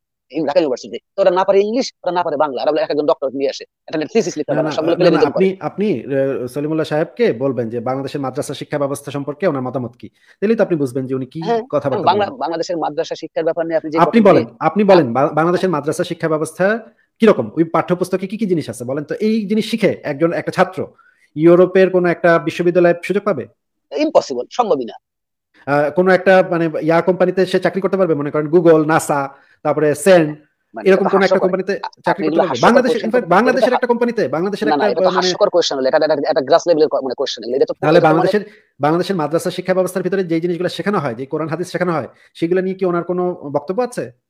শুনেন এই এই এই এতটা এতটা মনে করেন যে মানে লোয়ার ক্লাসের বক্তব্য ওনার ওখানে দেওয়া দরকার নাই কারণ ওখানে দেওয়ার না লোয়ার ক্লাসে কেন? এটা একটা ইম্পর্টেন্ট বিষয়। বাংলাদেশে মাদ্রাসাতে লক্ষ লক্ষ ছাত্রছাত্রী পড়ালেখা করে এটা একটা ইম্পর্টেন্ট বিষয়। হ্যাঁ, এটা লোয়ার ক্লাসের কথা কেন হবে ভাই? মানে ও মাদ্রাসা শিক্ষা নিয়ে মাদ্রাসা শিক্ষার সমস্যা পাঠ্যপুস্তকে যে সমস্যা সেগুলো নিয়ে কথা বলা লোয়ার ক্লাসের আলোচনা উনি অনেক আপার ক্লাস নাকি? উনি অনেক ব্রাহ্মণ উনি একজন ব্রাহ্মণ উনি উনি এই সমস্ত এই সমস্ত ছোটখাটো বিষয় নিয়ে উনি কথা বলেন না নাকি? আপনি প্রশ্ন করুন তাকে যদি আপনার তাকে যদি আপনি মেল করে প্রশ্ন করুন সে- সে আপনাকে রেসপন্স করতেও পারে আমি জানি না আপনি রেসপন্স করতেও পারে আপনি আপনি যদি ওই কথাটা বলেন যে সে মাদ্রাসা শিক্ষা কি বলছে? মাদ্রাসা শিক্ষা তার যে কথা তার যে বক্তব্য সে তো কখনোই বলে নাই। সে- যে উনি কথা এই কথাগুলো তো মাদ্রাসা শিক্ষাকে গ্লোরিফাই করতেছে ভাই। মাদ্রাসাকে সে যে কখনোই গ্লোরিফাই করে আমাদের ঢাকা ইউনিভার্সিটিতে শিক্ষা থেকে অবস্থা। আরবদের মাদ্রাসা শিক্ষা থেকে নাকি ইউরোপিয়ানরা এই যে টুপি পরা মাথায় ইয়া পরা এগুলো এগুলো শিখছে সব। তার মানে হচ্ছে মাদ্রাসা শিক্ষাকে তিনি এতই এতটাই গ্লোরিফাই করতেছে তা এই মাদ্রাসা শিক্ষাটা বলতেছেন কেন? আপনি এই এখানে ভুল করছেন। আপনার ভুলটা তো এখানেই। মাদ্রাসা শিক্ষার কথা সে কখনোই বলে নাই। মাদ্রাসা বলতে কি বোঝায়? মাদ্রাসা শিক্ষা নিয়ে তো তার ওই যে ওই যে হাদিসের কথা তা মাদ্রাসা বলতে কি আগে তো শিক্ষা প্রতিষ্ঠান সমস্ত এগুলো মাদ্রাসা ছিল না এটা কি ছিল? তিনি এই যে দেওবন্দ মাদ্রাসা থেকে শুরু করে ইউরোপ মানে ভারতে যে মাদ্রাসাগুলো সেগুলোর কথা এই আলোচনাটাতে বলে নাই ভাই আমি তো ওনার কথাকে এখন আপনাকে পয়েন্ট টু পয়েন্ট মানে ইয়া করে বলতে পারব না কিন্তু ওনার কথাটা তো আমরা সবাই শুনছি। আমরা তো পরিষ্কার ভাবে বুঝছি যে আমি তো আমি তো অন্তত আমি তো আমি তো পরিষ্কার ভাবে বুঝছি যে উনি প্রকারান্তরে মাদ্রাসা শিক্ষাকে গ্লোরিফাই করতেছেন না না না এটা ইম্পসিবল এটা এটা এই কথাটা পুরোটাই মানে এটা পুরোটাই একটা ই কথা মিথ্যা কথা যে সে মাদ্রাসাকে এবং এবং ইউরোপিয়ানরা যে চক্রান্ত করতেছে ইউরোপিয়ানরা খালি নাকি মানে এদের মানে মাদ্রাসার যে মানে সুন্দর সুন্দর মাদ্রাসার যে কোরআনের পাখিগুলো আছে এদের বিরুদ্ধে নাকি ষড়যন্ত্র করে সবাই হ্যাঁ? এই এই যে একটা একটা যে মানে ধারণা আমাদের দেশে প্রচলিত আছে ধর্মান্ধ মানুষের মধ্যে যে ইউরোপিয়ানরা আমাদের মানে ধর্ম নষ্ট করতে চায় এই জন্য তারা আমাদের মাদ্রাসা শিক্ষা থেকে বের করে এই সমস্ত কাফেরদের মানে বিজ্ঞান প্রযুক্তি এগুলো শিখাতে চায়। আমরা এগুলো শিখব না হ্যাঁ? এই জিনিসটা ব্রিটিশ আমলেও ছিল। ব্রিটিশ আমলে ইংরেজি শিক্ষার বিরুদ্ধে মানে মুসলমান, বাংলাদেশের মুসলমান এবং ভারতের মুসলমানরা ইংরেজি শিখবে না তারা হ্যাঁ? কিছুতেই তারা ইংরেজি শিখবে না, কারণ এগুলা কাফেরদের কথাবার্তা হ্যাঁ? এগুলা কাফেরদের জ্ঞান। এই জিনিসটা এখন পর্যন্ত কন্টিনিউ আছে এবং এখনও বাংলাদেশের অসংখ্য মুসলমান মনে করে যে বিজ্ঞান টিজ্ঞানের এগুলোর দরকার নেই। আমরা কোরআন হাদিস পড়ব, আমরা কোরআন মুখস্থ করব, হাফেজ হব এবং উনি, ডক্টর সলিমুল্লাহ বুঝতে পারছে যে এদেরকে এদের বিরুদ্ধে তো কথা বলা যাবে না কথা বললে তো কল্লা থাকবে না কল্লা তো কেটে নিয়ে যাবে। সুতরাং এদেরকে আমি মানে এমন গ্লোরিফাই করব গ্লোরিফাই করলে এরা এরাও খুশি মানে সলিমুল্লাহ খানও খুশি। এই জিনিসটা সলিমুল্লাহ খান সাহেব বুঝতে পারছেন। শোনেন চমৎকার একটা কথা মনে পড়ল আপনার জর্জ কার্লিন একটা চমৎকার কথা বলছে যে একটি বৃহৎ গোষ্ঠীতে স্টুপিড লোকদের শক্তিকে কখনোই অবমূল্যায়ন করা ঠিক না। আমাদের সমাজটা কিন্তু এতটা স্টুপিড লোক আছে এদের শক্তিকে কিন্তু আমরা ছোট করতে পারি না। এরাই কিন্তু এই ধরনের কিন্তু হিউমারগুলো ছড়ায় কিন্তু এই হিউমারগুলো ছড়ায় কিন্তু। এই যে রিউমারগুলো ছড়াচ্ছে এগুলো কিন্তু এরাই ছড়ায় স্টুপিড লোক গুলোই ছড়ায়। কারণ এরা এদের শক্তিটা কিন্তু এত ছোট করে দেখার কিছুই নেই। আপনি যেভাবে ভাবছেন মানে এতটা সহজ ভাবে কিন্তু মানে এত সরলীকরণ ভাবে আপনি ঢালাও ভাবে কিন্তু তাকে যেভাবে আপনি কি করছেন কথাগুলো বলেন এটা কিন্তু এতটা না। কিন্তু এইভাবে বলা যায় না মনে হয়। একজন প্রজ্ঞাবান একজন জ্ঞানী মানুষকে এভাবে কথা বলাটা ঠিক না। তার লেখাকে আপনি কথা বলেন তার লেখা আপনি পড়েন নাই কয়টা পড়ছেন? আগে পড়ে দেখেন সে কি লিখছে? এখন তার আপনি শুনছেন। সলিমুল্লাহ খানের তো অনেক বক্তব্য আমি শুনছি অনেক মানে প্রবন্ধ আমি পড়ছি।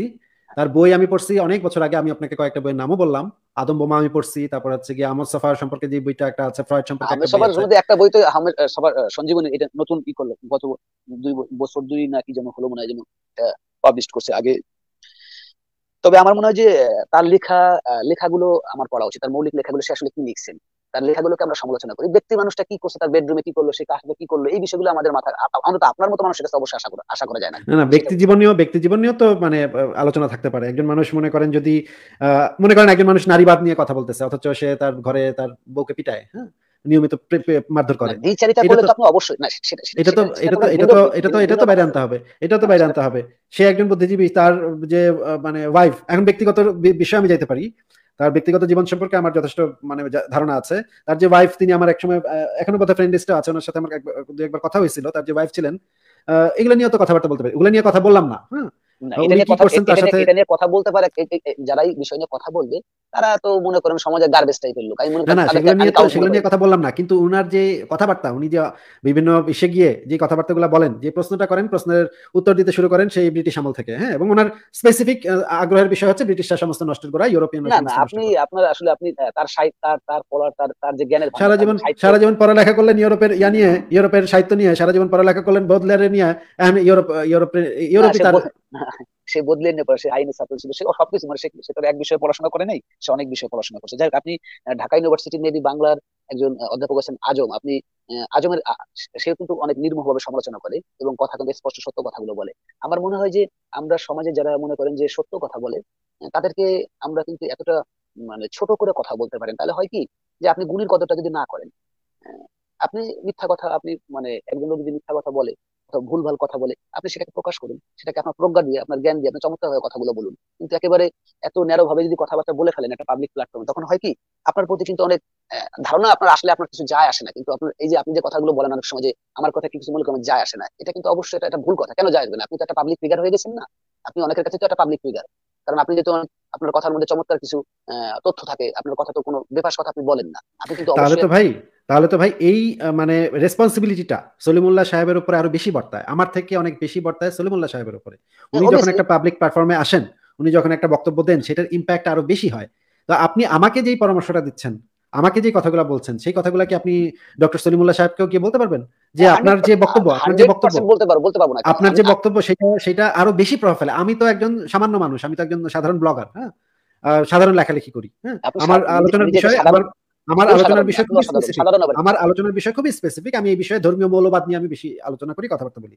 কিন্তু ডক্টর সলিমুল্লাহ উনি একজন গুরুত্বপূর্ণ বুদ্ধিজীবী বাংলাদেশের হ্যাঁ? এটা কেউ মানুক আর না মানুক এটা তো মানতে হবে যে তিনি একজন গুরুত্বপূর্ণ বাংলাদেশে এখন যারা জ্ঞানের কাছে বাংলাদেশে তার জ্ঞানের কাছে যদি অনেস্টলি বলি পৃথিবীর এমন কোন সাহিত্য অথবা এমন কোন দিক নাই যেখানে সে তার পড়ার তার পড়া শেষ সেটা আমি জানি হ্যাঁ সেটা আমি হ্যাঁ, জানি ওনার যথেষ্ট পড়ালেখা ওনার পড়ালেখা যথেষ্ট পরিমাণে আছে যে আমি অস্বীকার করি না। সেটা ভাই আমি তো অস্বীকার করি নাই যে উনি পড়ালেখা করেন না এটা তো আমি বলি নাই। আপনি এটা আমাকে কেন বোঝাচ্ছেন? আমি তো এটা স্বীকারই করছি প্রথম থেকেই স্বীকার করছি উনি যথেষ্ট পণ্ডিত মানুষ। ওনার পাণ্ডিত্য নিয়ে আমার কোনো মানে মানে কোশ্চেন নাই। উনি যথেষ্ট পড়ালেখা করছেন যথেষ্ট জানেন উনি এই বিষয়ে কোনো সন্দেহ নাই। কিন্তু বিষয় হচ্ছে ওনার কথাবার্তাগুলো তো আরও বেশি মানে প্রভাব ফেলে আমাদের সমাজে। তাহলে উনি এমন কথাগুলো কেন বলবেন যে এই কথাগুলা মাদ্রাসা শিক্ষাকে, মাদ্রাসা শিক্ষার মতো একটা বস্তা পচা একটা শিক্ষা ব্যবস্থাকে, যেখানে বিশ্বাস ভিত্তিক শিক্ষা ব্যবস্থা, যেখানে আমাদের বিশ্বাস স্থাপন করে তারপরে সেখানে আমাদের সমস্ত কিছুর উপরে একটা কর্তৃত্ব থাকবে যে, এই যে বিশ্বাস, এটা হচ্ছে একটা অথরিটি যে তোমার এটা মানতে হবে, তোমার এটা বিশ্বাস করতে হবে, তোমার মনে কোনো প্রশ্ন আসা যাবে না। তোমার এই যে তোমাকে যে পাঠ্যপুস্তকে যে জিনিসগুলো পড়ানো হচ্ছে, সেগুলো নিয়ে প্রশ্ন আসা যাবে না, সেগুলো মেনে নিতে হবে। এই জিনিসটা তো শিক্ষার বিরুদ্ধে। এই জিনিসটা টোটালি শিক্ষা জিনিসটাই হচ্ছে প্রশ্ন করার ইয়া তৈরি করা, বাচ্চাদের মধ্যে প্রশ্নের মানসিকতা তৈরি করা এবং জিজ্ঞাসু মন তৈরি করা। মাদ্রাসা শিক্ষা ব্যবস্থা গোড়াতে যে প্রশ্নের বিরুদ্ধে গোড়াতেই হচ্ছে মাদ্রাসা শিক্ষা ব্যবস্থা হচ্ছে গোড়াতেই হচ্ছে বিশ্বাস করতে বাধ্য করে। সন্দেহ করা যাবে না প্রশ্ন করা যাবে না উল্টাপাল্টা করা যাবে না যেইভাবে আছে সেভাবে মানতে হবে। এই জিনিসটা তো গোড়া থেকেই বিশ্বাস ভিত্তিক শিক্ষা ব্যবস্থা তো একদম গোড়াতেই হচ্ছে গিয়ে শিক্ষার বিরুদ্ধে জ্ঞানের বিরুদ্ধে। তাহলে এই রকমের একটা শিক্ষা ব্যবস্থাকে তিনি কীভাবে গ্লোরিফাই করেন? না এই শিক্ষা ব্যবস্থাকে সে গ্লোরিফাই করেনি। আপনি দেখেন কি চমৎকার একটা কথা। এখন আপনি হিসাব করেন আহ, বদলের যে কবিতা যে ভাষায় লিখবে অথবা যে আপার থিঙ্কিং দিয়ে লিখবে আমাদের বাংলাদেশের কিন্তু মহাদেব সাহা বলেন এই হক মিলন বলেন এবং অনেক যারা কবি আছেন মনে করেন। তারা তো সেই চিন্তা ভাবনা লিখবে না, তাই না? সেম তো হবে না। এখন এরিস্টটল, সক্রেটিস, প্লেটো, তারা যে- দর্শন নিয়ে, যেভাবে চিন্তা নিয়ে, দার্শনিক চিন্তা নিয়ে কথা বলছেন, বাংলাদেশের একজন ওই ফরাদ মাদারের কথা বলেন, যারা বাংলাদেশের ওই ওই টাইপের মানে যারা দর্শনের চিন্তা ভাবনা করে, তাদের চিন্তা তো সেরকম হওয়ার কথা না। আকাশ পাতাল কিছু পার্থক্য তো থাকবেই। এখন ডক্টর সলিমুল্লাহ খানের কথাগুলো, সে কিন্তু একেবারে স্বাভাবিক ওই জলের উপরে মানে ভাষা ভাষা বলে যে কথাগুলো, সেগুলো কিন্তু সে কখনো ভাষা ভাষা কখনোই কথা বলে না। কি চমৎকারটা সে কথা বলছে যে, মানুষ, এই যে সাধারণ মানুষ, কেন ধর্মের মধ্যে ঝুঁকছে এখন? এই যে সাম্প্রদায়িক বাড়ছে, কি কারণে? মানুষ যখন আইনের সুশাসন প্রতিষ্ঠা হয় না, তখন মানুষ কার কাছে বিচার দেবে? এখন যাদের বুদ্ধি জ্ঞান নাই, যাদের জ্ঞানের পরিধি নাই, তখন তারা কোথায় যাবে? তারা ওই তখন কিন্তু ওই কেউ আল্লাহ, ভগবান, এর কাছেই তারা যায়। তারা কিন্তু আইনের সুশাসন যখন প্রতিষ্ঠা সমাজে না হয়, তখন কিন্তু বাংলাদেশের ম্যাক্সিমাম লোক কিন্তু তাদের ভিতরে শিক্ষাই নাই। কি শিক্ষা আছে? বাংলাদেশে কোনো, বাংলাদেশে তো উচ্চ শিক্ষাই নাই। শিক্ষা তো পরের কথা। কোনো শিক্ষাই নাই বাংলাদেশে। কি শিক্ষা আছে? আচ্ছা ঠিক আছে বন্ধু ভাই আপনার মানে ইয়ার আমি শুনলাম আপনার মতামত আমি শুনলাম আপনার সমালোচনা আমি শুনলাম। ঠিক আছে আমিও মানে এই জিনিসটা খেয়াল রাখব আপনার পরামর্শটা আমি খেয়াল রাখব যে কথাগুলো বললেন। ঠিক আছে বন্ধু ভাই আপনি কি আর কিছু হ্যাঁ। বলবেন আমাদেরকে? হ্যাঁ অবশ্যই আপনি আপনার কথাগুলো কি বলব আপনার প্রতিটা কথায় আমি কিন্তু আপনাকে অনেক দিন ধরে কিন্তু আপনাকে আমার আলোচনা শুনি কারণ আপনি যুক্তি দিয়ে কথা বলেন যুক্তি দিয়ে কথা বলে সেই যুক্তিটা মেনে নিতে তো সমস্যা নাই। যদি আমি ভুল হয় ঠিক আছে আমি সারেন্ডার করে দিচ্ছি। না আসিফ ভাই আপনি রাইট এইটাই বলার কিন্তু সৎসাহসটা আমার আছে আমি বলতে পারি। তা না আপনি যেহেতু অনেকগুলো মানুষকে কিন্তু আপনাকে কিন্তু ফলো করে। আর অনেক, আপনার কিন্তু সমাজের প্রতি, আপনার দায়বদ্ধতা কিন্তু আপনার নিজেরও থাকা উচিত। যেহেতু আপনি কিন্তু একটা পাবলিক ফিগার হয়ে গেছেন। আপনার যদি আপনি যদি একেবারে আমজনতা লোকের মতো যদি এসে যদি ভুলভাল কথা বলেন তাহলে কিন্তু যারা একেবারে নতুন কোনো একটা লোক যখন শুনতে হবে আপনার কথাগুলো শুনবে। হ্যাঁ, কিন্তু ভুলভাল ভুলভালটা কোথায় বললাম সেটা আমি এখনও ক্লিয়ার হতে পারলাম না বন্ধু ভাই। ঠিক আছে বন্ধু ভাই হ্যাঁ। বন্ধু ভাই বন্ধু ভাই সাবলটান আপনাকে একটা প্রশ্ন করবেন বোধহয় ওনার প্রশ্নটা একটু শুনি তারপর আপনি একটু থাকেন এক সেকেন্ড সাবলটান ভাই আপনি বলেন তাহলে। থ্যাংক ইউ আসিফ ভাই যুক্ত করার জন্য। আহ, বন্ধু ভাই আপনি লাইভ শুনে আপনার কথা শুনে যেটা বুঝতে পারলাম যে আপনি পরামর্শ দিচ্ছেন যে আহমেদ সোফার লেখা পড়তে। এখন সমস্যা হচ্ছে আপনি আহমেদ সুফাকে সোফাকে পরামর্শ দেন সরি সরি সরি ভাই আপনি আমার মনে হয় আমাকে মনে ভুল বুঝছেন। আমি পরামর্শ দেই তাহলে কি দিবেন আপনি কি বলেন নাই যে আহমেদ সোফার বই পড়া উচিত? হ্যাঁ আহমেদ সুফার বই পড়া উচিত না আপনিই পড়েন। উচিত শব্দটা না উচিত শব্দটার মাধ্যমেই তো এটা তো একটা মানে পরামর্শ। আপনি পরামর্শ দিচ্ছেন আপনি পরামর্শ দিচ্ছেন যে আহমদ সোফার লেখা পড়তে। এখন সমস্যা হচ্ছে যে আপনি আহমেদ সোফাকে যেভাবে করে উপস্থাপনা করছেন, আমার যেটা মনে হয়েছে যে আপনি একটু তাকে গ্লোরিফাই করে উপস্থাপনা করেছেন। এখন আমি যেটা মনে করি আপনার উপস্থাপনার কারণেই আমি আসলে তার লেখাগুলো পড়তে একটু মানে দ্বিধাবোধ ফিল করছি। বিকজ আমি যেটা মনে করি যে মানুষের ধারণাকে সমালোচনা করাটা মানে মুক্ত চিন্তার সব থেকে গুরুত্বপূর্ণ বৈশিষ্ট্য। পৃথিবীতে কোনো মানুষ পারফেক্ট না এবং তাই পৃথিবীর সকল মানুষ হচ্ছে সমালোচনার প্রাপ্য। নিশ্চয়ই আহমেদ সোফা ওই সেম ক্যাটাগরির মধ্যে পড়ে। বন্ধু ভাই আপনি কি আহমেদ সোফার লেখা নিয়ে তিনটা বা এমনকি একটা সমালোচনা কি করতে পারবেন? দেন অ্যাটলিস্ট আমি আহমেদ সোফাকে একটা মানে রিয়েল পার্সন হিসেবে আমার একটা ইমপ্রেশন আসবে। অ্যান্ড দেন আমি তার বই পড়তে অ্যাকচুয়ালি ইন্টারেস্টেড হব। মানে তার সমালোচনা করব তাই? তার লেখা নিয়ে হ্যাঁ। তার একটা লেখার মধ্যে সে নারীকে অনেক মানে একটা কথাটার মনে নেই তবে সে নারীকে সে অবমূল্যায়ন করছে। ওইখানে আমি প্রচণ্ড মানে রেদকালিতে আমি সেটাকে নোট করে রেখে বলছি যে এত বড় একটা স্টুপিড কথা সে কি করে বলল? এখন সে কথাটা বলছে কি কারণে? আমি কারণ খুঁজতে গিয়ে আমি খুঁজে পেলাম। তাকে কিন্তু আমি প্রচণ্ড তাকে ওই ওই মুহূর্তে তাকে আমি ছোট করছি যে না তুমি ওই কথা সে বলতে পারে না। কি কথা বলছিল সে? নারীকে ছোট করছিল যে নারী হচ্ছে কথাটা আমার মনে নেই এখন। আমি আহ, আমি পরে আপনাকে আপনার মেলে আমি আপনাকে পাঠিয়ে দেবো। আপনার আপনি তাহলে এমন একটা জিনিস নিয়ে সমালোচনা করেন যেটা আপনার মনে আছে? তার সাহিত্য তার আহ, তার যে লেখাগুলো লিখছে সেই লেখাগুলো যেগুলো পড়ছি আমার এখানে সমালোচনা করার মতন ওইভাবে আমি খুঁজে পাইনি। যে অনেস্টলি বলে মানে আপনি গ্লোরিফাই করার মতন তো অনেক কিছুই খুঁজে পেলেন। আপনি ইনফ্যাক্ট আসিফ ভাইকে এসে মানে আপনার লাইভে আসার পয়েন্টই ছিল আসিফ ভাইকে সমালোচনা করার। বাট যার বই আপনি উপস্থাপনা করতেছেন পরামর্শ দিতেছেন পড়তে সেই লেখকের কোনো সমালোচনা আপনি করতে পারতেছেন না। এখানে এখানে এবার সাবঅর্ডিনেট ভাই এক সেকেন্ড এক সেকেন্ড এক সেকেন্ড একটা কথা এক বলি, সেকেন্ড। একটা 30 সেকেন্ড কথা আচ্ছা প্লিজ আচ্ছা বলেন আচ্ছা বলেন। ভাইকে ওই ভাইকেই বলছি সাধারণত ভাইকে বলছি যে আসলে সমালোচনা কিন্তু সেখানে দিয়েই করা উচিত অথবা আমি আমি যে সেন্সে পড়ছি এটা ওই মানুষটাকে তার কথাগুলো তার কথাগুলো আমার বেশ ভালো লাগছে। যাকে আমি ভালোই বাসতে পারি, তার যদি কোথাও গিয়ে মনে হয় যে মানুষটাকে যদি আমি সমালোচনা করতে না পারি, তাহলে আমি তার ভালোবাসাটা মনে সঠিক হচ্ছে না, তার কথাগুলো। সে সে দার্শনিক যে- যুক্তি নিয়ে কথাগুলো বলে, এই প্ল্যাটফর্মে সে যে কথাগুলো বলে, সে দুর্দান্ত কথাগুলো বলে। তাহলে এই মানুষটাকে তো আমি ভিতর থেকে ভালোবাসি। ভালো যখন বাসি তখন মানে আপনি সমালোচনা করতে পারছেন না। তাই তো? আচ্ছা সাবাল্টন ভাই আমি কিন্তু নিজে একজন বিরাট হুমায়ুন আজাদ ভক্ত এটা নিশ্চয়ই আপনি জানেন সাবাল্টন ভাই। আপনি আমাকে জিজ্ঞেস করেন তো যে হুমায়ুন আজাদের যে একটা সমালোচনা করতে বলেন তো আমাকে। আসিফ ভাই হুমায়ুন আহমেদের এক দুইটা সমালোচনা করেন তো দেখি। হুমায়ুন আজাদের একটা খুবই জঘন্য একটা মানে গল্প আছে সেই গল্পটা হচ্ছে গল্পটার নামটা আমার মনে নাই কিন্তু গল্পটা ছিল এরকম গল্পটা আমি আপনাকে বলছি। গল্পটা হুমায়ুন আজাদ মানে ফ্রান্সে গেছেন ফ্রান্সে একটা মেয়ে খুবই সুন্দরী একটা মেয়ে সেই মেয়েটার সাথে হুমায়ুন আজাদ প্রেম প্রেম প্রেমে পড়ছে আর কি সেই মেয়েটার। এরপরে দেখা গেল সেই মেয়েটা হুমায়ুন আজাদকে ছেড়ে একটা পাকিস্তানি মানে লোকের সাথে মানে সঙ্গম করতেছে, এবং একসাথে থাকতেছে। এইটা দেখে হুমায়ুন আজাদ খুব খেপে গেল এবং খেপে খেপে ভাবলো যে পাকিস্তানিটার সাথে আমার আমাকে রেখে পাকিস্তানিটার সাথে এসে গেল। পাকিস্তানিটা তো তাকে ঠিকভাবে শৈল্পিক ভাবে আদর করতে পারবে না যৌনকর্ম করতে পারবে না হ্যাঁ? এইগুলা উনি বলতেছে, বিস্তারিত ব্যাখ্যা করতেছে কীভাবে মানে পাকিস্তানিটা কত মানে বদমাইশ। এই যে মানে ওনার ভিতরে যে হুমায়ুন আজাদের, হুমায়ুন আজাদ আমার প্রচণ্ড রকমের প্রিয় একজন লেখক। উনি ওনাকে, ওনার লেখা আমি মনে করি বাংলাদেশে একমাত্র আন্তর্জাতিক মানের লেখক হচ্ছে ডক্টর হুমায়ুন আজাদ। কিন্তু আমি এই গল্পটা স্পেসিফিকলি এই গল্পটা আমি মনে করি যে উনি অত্যন্ত নোংরা একটা গল্প লিখেছেন। উনি মুক্তিযুদ্ধের চেতনায় এতটাই মানে ইয়া হয়ে গেছেন যে উনি পাকিস্তানিদের প্রতি জাতি বিদ্বেষী হয়ে পড়ছেন। জাতি বিদ্বেষী হয়ে তিনি এমন এক, এমন কিছু কিছু কথাবার্তা বলছেন যে পাকিস্তানি মাত্রই হচ্ছে শিল্প বুঝবে না, পাকিস্তানি মাত্রই হচ্ছে গিয়ে সাহিত্য বুঝবে না, পাকিস্তানি মাত্রই মানে খালি লাগাবে মানে মেয়েদেরকে ইয়া ভাব- নিবে। এই জিনিসটা হুমায়ুন আজাদ খুবই জঘন্য কথা লিখছে। এটা তো আমি পড়ার সাথে সাথে বুঝছি এবং ডক্টর হুমায়ুন আজাদের সামনে দাঁড়ায় সামনে দাঁড়ায় আমি এই কথাটা বলছি। এই কথাটা বলার সাহস আমার ডক্টর হুমায়ুন আজাদের সামনে দাঁড়ায় বলার হয়েছে। যে ডক্টর হুমায়ুন আজাদের সামনে দাঁড়ায় আমি বলছি যে, স্যার, আপনার এই জিনিসটা মানে জাতি বিদ্বেষী হয়ে গেছে। এটা সাম্প্র, এটা আপনার এইভাবে লেখাটা উচিত হয়নি। এটা সামনে দাঁড়ায় বলার সাহস আমার আছে, ছিল, করছি। করে আসছি এবং আমার ভাই ধরে আমার একটা কথা মনে পড়ছে, আরেকটা একটা বধু ভাই আসিফ ভাই ধরে নেন যে আপনার এই সুযোগটাই হইল না যে আপনি হুমায়ুন আজাদের সামনে এই জিনিসটা বলতে পারলেন। বাট আপনি তো তাও তার যেই বক্তব্যটা তার যেই ধারণাটা এইটাকে তো তাও আপনি মানে সমালোচনা তাও তো করতে পারতেন তাই না? হ্যাঁ আমি সমালোচনাটা তো এখনও করি যে এই- এই জিনিসটা তো বাজে ছিল। এবং এই সমালোচনাটা মানে করতে পারার সাহসটাও আমি ডক্টর হুমায়ুন আজাদের কাছ থেকেই পাইছি যে ডক্টর হুমায়ুন আজাদের যে প্রবচন করছে সেগুলোর ভিতরে সেটার ভিতরে একটা প্রবচন ছিল আজ থেকে পঞ্চাশ বছর পর তারা আমাকে দেবতা বানাবে তারা আমার মাজার বানায়, আমার মাজারে সিন্নি দিবে। এই টাইপের একটা কথা এক্স্যাক্টলি ইয়াটা মনে নেই, কিন্তু কথাটা ছিল এরকম যে ডক্টর হুমায়ুন আজাদ এই আশঙ্কা করতেছে, আগামী পঞ্চাশ বছর পর হুমায়ুন আজাদকে দেবতা হিসেবে মানে উপস্থাপন করে আমরা ডক্টর হুমায়ুন আজাদের সমালোচকদের গলা কাটা শুরু কাটা শুরু করব কিনা। এরকমের একটা আশঙ্কা হুমায়ুন আজাদ করে গেছে। বুঝতে পারছেন সাবলটন ভাই? বন্ধু ভাই দেখছেন আসিফ ভাই কিন্তু তার একটা মানে প্রিয় লেখক হুমায়ুন আজাদ তাকে কিন্তু ঠিক তার বক্তব্যকে কিন্তু ঠিকই সমালোচনা করতে পারতেছে বিকজ আসিফ ভাই কিন্তু ক্রিটিক্যালি থিঙ্ক করতে পারতেছে এন্ড তার লেখাগুলো কিন্তু ক্রিটিক্যালি আসিফ ভাই নিচ্ছে। আপনি কি আপনার সমালোচনার একটাও মানে জিনিস উল্লেখ করতে পারতেছেন না? এটা অ্যাকচুয়ালি ওয়ারি সাবলটন ভাই আপনার একটা জিনিস মানে যদি এইভাবে এইভাবে কথা বলি তাহলে আসলে এইভাবে সমালোচনা করা যাবে না। তার ছোট একটা কথা আমার মনে পড়ছে দাঁড়ান কেন কেন করা যাবে না? তার বক্তব্য কি সব পারফেক্ট মানে শুধুমাত্র তো একটা পারফেক্ট মানুষ যে পারফেক্ট বক্তব্য দিতেছে শুধুমাত্র তখনই তো সমালোচনা করা যাইতেছে হ্যাঁ, নইলে কেন আপনি- সমালোচনা করতে একটু হ্যাঁ এটা এখানে সমস্যাটা হচ্ছে শিক্ষাটার ভিতরে যে সলিমুল্লাহ আহমদ সাফা এরা কি শেখাচ্ছে? তাদের যে ভক্ত মুরিদ অনুসারী আছে তাদেরকে কি শেখাচ্ছে? এবং আহমদ সাফা তো একজন মানে রীতিমতো পিসাহেবি ছিলেন। ওনার পিছনে পিছনে কিছু মুরিদ ঘুরতো সবসময় হ্যাঁ? উনি সোরারদি উদ্যানে পাখি নিয়ে কান্দে পাখি নিয়ে ঘুরতেন। ওনার পিছনে পিছনে কতগুলো ভক্ত মানে হাত কসলাইতে কসলাইতে ঘুরতো। এগুলো তো ভাই মানে সবাই জানে এগুলো কেউ জানে না তা তো না। না কে জানে কে জানে সেটা পরে বিষয়ে সাবলটন ভাই এখানে একটা এক্সাম্পল দিচ্ছিলাম আর কি। আসলে মহৎ শিল্পকর্ম আর সে হলো শ্রেষ্ঠ শিল্পকর্মের মধ্যে পার্থক্যটা কি? কাইন্ডলি আমাকে একটু বলবেন ভাইজান? আপনি এই দুইটা শব্দ দিয়ে কি বুঝাইতেছেন? এটা আপনিই যোগাযোগ করেন সবাইকে? বিদ্যাসাগরের লেখা তো পড়ছেন আপনারা কম বেশি সবাই পড়ছেন আপনারা। বিদ্যাসাগর ব্যক্তি মানুষটা কীরকম ছিল আর বঙ্কিমচন্দ্র তার সাহিত্য এবং সেই মানুষটা কীরকম ছিল?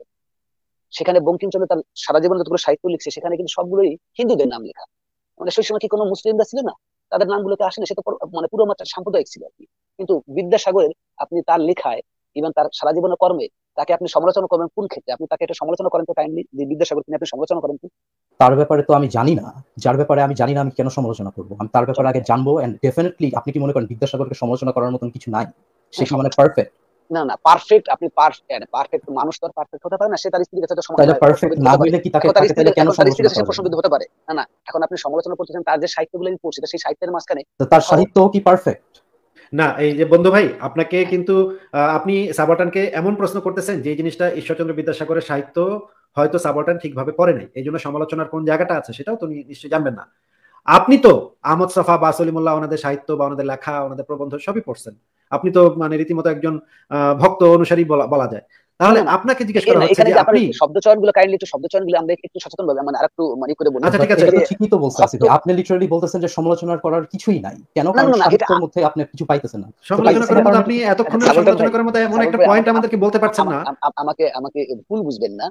আমি হয়তো সেই সমালোচনার দৃষ্টি আপনি যেভাবে কথাগুলো বলছেন আমি যেভাবে তাকে যে সাহিত্যগুলো পড়ছি সেখানে আমার কাছে সমালোচনার দৃষ্টি আমি এখনও পাইনি। আপনাকে মানে সমালোচনা সমালোচনা মানে পাইতে হইলে একটা যোগ্যতা তো থাকতে হবে। একজন পাঠকের সেই যোগ্যতাটা থাকতে হবে যে এই ক্রিটিক্যাল অ্যানালাইসিসের যোগ্যতাটা থাকতে হবে তাই না? বন্ধু ভাই আপনি কি মনে করেন? একটা জিনিসের সমালোচনা যখন আপনি করতে তখনই সক্ষম আপনার ভাই মাদ্রাসার ছাত্ররা কিন্তু মাদ্রাসার ছাত্ররা কিন্তু সমালোচনা করতে পারবে না। মাদ্রাসার একটা ছাত্রকে এনে জিজ্ঞেস করেন যে তুমি এটা সমালোচনা করো দেখি কোরআন হাদিসের একটা সমালোচনা এরা পারবে না ভাই। এদের পক্ষে সম্ভব না। কারণ ওদের ব্রেইনটাই এমন ভাবে সেট আপ করা যে ওরা ক্রিটিক্যাল অ্যানালাইসিস করে না।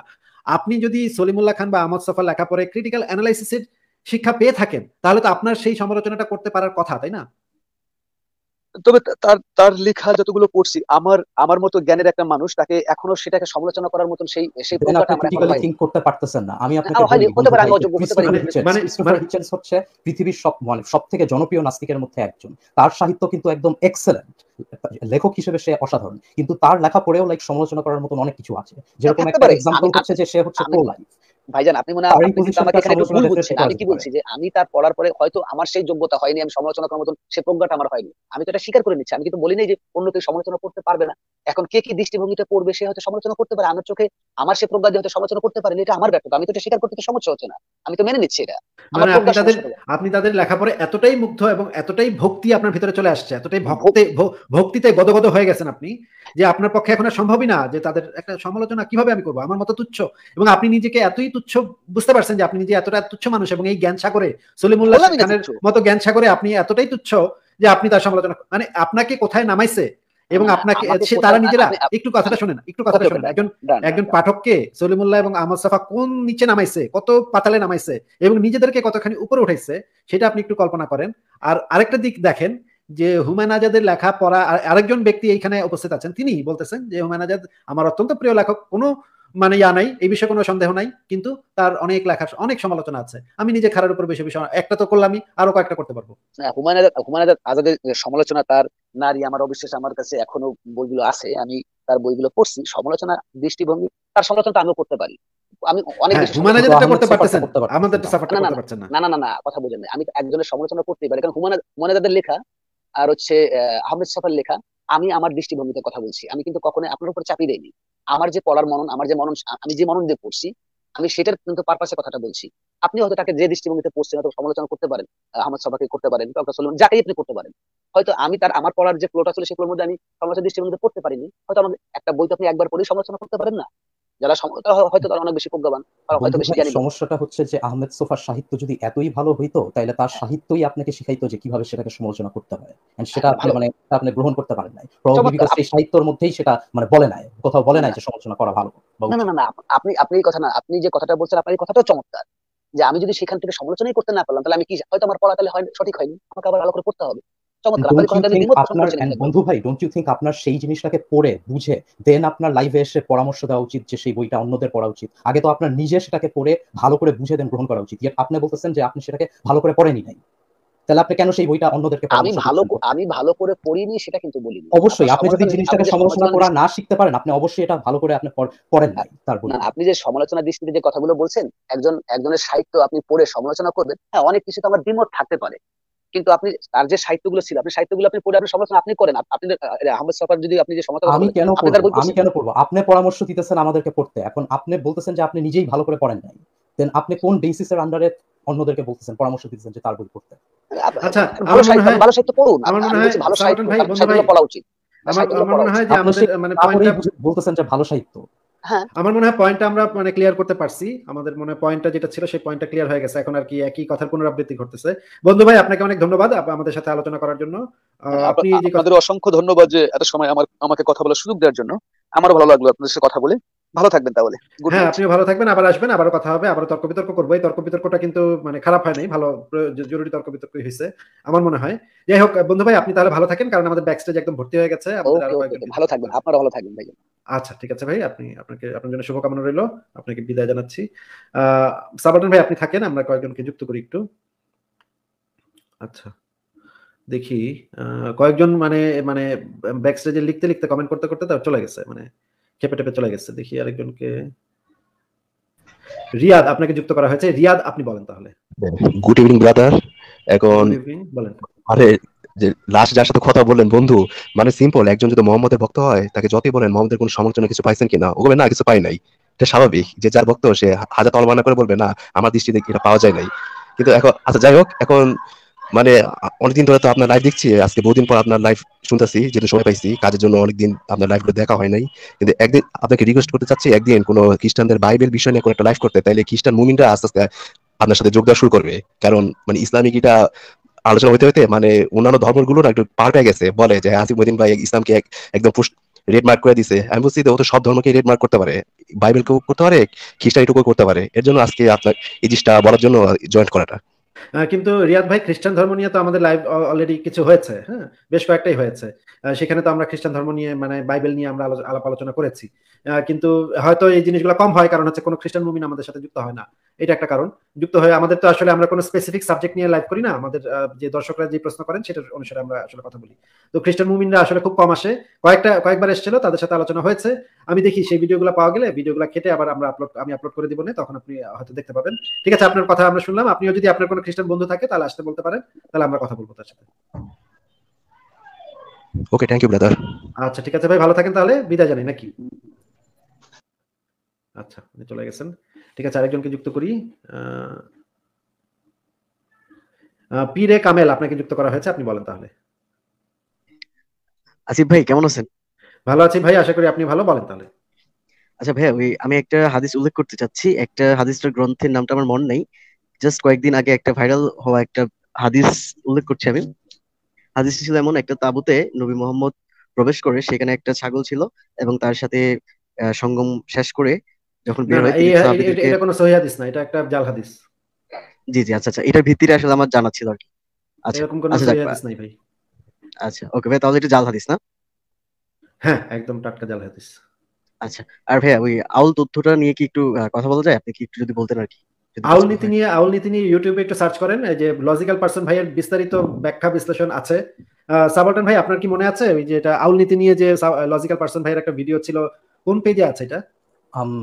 এটা কোন পেজে আছে আমি শিওর না বাট আমি জানি উনি খুব ভালো একটা প্রেজেন্টেশন দিয়েছিল লজিক্যাল পার্সন আচ্ছা তাহলে কারও কাছে যদি সেই লিঙ্কটা থাকে ইউটিউবের ভিডিও লিঙ্কটা থাকে আপনারা একটু কষ্ট করে দিয়ে দেন তাহলে পীরে কামেল ভাই আপনি সেই ভিডিওটা একটু আগে দেখে নেন তারপরে পরে সেটা নিয়ে আলোচনা করতে আসেন একদিন বা আলোচনা মানে ফার্দার আলোচনা করব কারণ লজিক্যাল পার্সন ভাইয়ের ওই আলোচনাটা এতই ভালো ছিল এর বাইরে আর আর কিছু বলার থাকে না আসলে হ্যাঁ? তাহলে ওইটাই আপনি একটু ভাই দেখে ঠিক আছে। ওকে ভাইয়া ঠিক আছে আপনার জন্য শুভকামনা। ওকে তাহলে আজকের ঠিক মতো আছে। এখানে বিদায় নিই। ঠিক আছে ভাই আপনি ভালো থাকবেন। আপনার জন্য শুভকামনা রইল। আরেকজনকে যুক্ত করি। আসিফ আসিফ আপনাকে যুক্ত করা হয়েছে আপনি বলেন। হ্যালো শুনতে পাচ্ছেন? হ্যাঁ হ্যাঁ শুনতে পাচ্ছি বলেন। আচ্ছা আমি অ্যাকচুয়ালি একসময় পাঁচ ওয়াক্ত নামাজ পড়তাম তো এখন আসলে আমি এভাবে পড়ি না। আহ, আমি আসলে মানে একদম যে অ্যাথিস সেটাও না। আমার ধারণা হচ্ছে যে এই যে ধর্মগুলো আসছে এই ধর্মগুলোর আসলে আমাদের ভালোর জন্যই আসছে। শুধু ইসলাম ধর্ম নয় বৌদ্ধ খ্রিস্টান বা হিন্দু ধর্ম। এই ধর্মগুলো আসার পিছনে অনেকগুলো কারণ আছে। হ্যালো? ধর্মগুলো কোথার থেকে আসছে? আপনি যে বলতেছেন ধর্মগুলো আসছে লাইক কোথার থেকে হ্যাঁ, আসছে একটু ব্যাখ্যা আচ্ছা আমি একটু বলি। আসিফ। ভাই আপনি কি আপনি কি মানে ধর্মগুলা কেন আসছে? এই বিষয়ে আপনার মতামত জানাতে আসছেন নাকি? এই বিষয়টা যৌক্তিকভাবে একটু কথাটা শুনে নেন প্রশ্নটা শুনে নেন। আমি প্রশ্নটা করছি যে আপনি কি বিষয়টা সম্পর্কে আপনার কি মতামত সেটা জানাতে আসছেন নাকি আপনার মতামতটাকে যুক্তি দিয়ে প্রতিষ্ঠা করতে আসছেন? যদি মতামত একটু শুনে নেন, একটু শুনে নেন। যদি মতা, শুধু সেফ মতামত জানাতে এসে থাকেন, তাহলে ভাই অনেকেরাই অনেক মতামত থাকতে পারে, সেগুলো নিয়ে আমাদের কোনো হেডেক নেই।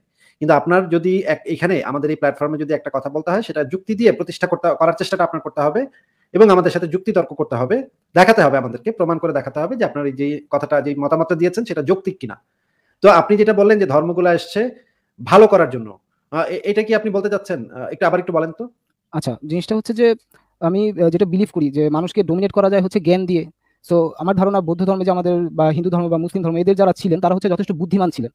তারা আমাদের পাঁচজন মানুষের পাঁচ রকমের মতামত হয় ঠিক আছে? তো আমি এখন আমার মতামতটাই তো আমি আর পাঁচজন মানুষের উপর চাপাই দিতে পারি না।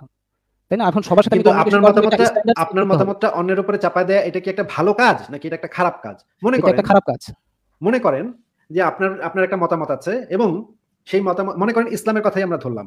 যে মানুষ একজন মানুষ ভাবতে পারে যে মূর্তি পূজা করে সে সুখ পায় সে আনন্দ পায় সে মূর্তি পূজা করুক। কিন্তু ইসলাম বলে মূর্তি পূজা করলে তাকে মেরে ফেলতে হবে। হুম? সেটা হচ্ছে শিরক এটা শির্ক শির্ক হচ্ছে সর্বোচ্চ অপরাধ। এমনকি একজন মানুষ মনে করেন যে ইসলাম মুসলিম পরিবারে জন্মাইছে সে ইসলাম পালন ইসলাম তার ভালো লাগে না হ্যাঁ? তার কাছে মনে হয় যে আল্লাহ টাল্লাহ বলে কিছু নাই। ইসলাম তাকে বলতেছে সেই লোকটাকে মেরে ফেলতে হবে সেই লোকটাকে কতল করতে হবে ঠিক আছে? এর কল্লা উড়াই দিতে হবে। এখন এই জিনিসগুলা কি আপনার কাছে কোনোভাবেই ভালোর জন্য আসছে? এই সিস্টেমটা ভালোর জন্য আসছে বলে মনে হয়? নাকি এই সিস্টেমটা খারাপের জন্য আসছে মনে হয়? আচ্ছা এখন কথা হচ্ছে যে এরকম কিছু কিছু বিষয়ের জন্য কিন্তু আমি আসলে এখন আর নামাজ পড়ি না। মানে আমি কিন্তু প্রথমে বলছি আমি আসলে নিজেও আসলে সৃষ্টিকর্তার অস্তিত্ব নিয়ে কনফিউজড কিন্তু আমার কাছে মনে হয়েছে যে তারা যেসব বিষয়গুলো আপনার যেভাবে এক- একটা ঢালাওভাবে বলতেছেন যে আমাদের ধর্মগুলো খারাপ আমাদেরকে বিপরীত পথে পরিচালিত করছে আসলে তা না। তাদের তাদের থেকে অনেক ভালো জিনিস আছে যেটা আমাদেরকে নিতে হবে। আপনি হ্যাঁ, যেমন। একটা যেমন একটা উদাহরণ দেন তো যে।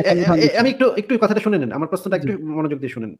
এমন একটা জিনিস আপনি বলবেন যেটা আমরা ধর্ম থেকে পাই কিন্তু আমাদের যুক্তি বুদ্ধি ব্যবহার করে সেই জিনিসটা আমরা কখনোই বের করতে পারতাম না। কিন্তু শুধুমাত্র ধর্ম আমাদেরকে সেই জিনিসটা দিচ্ছে এই জন্য আমরা সেই জিনিসটা পেয়েছি।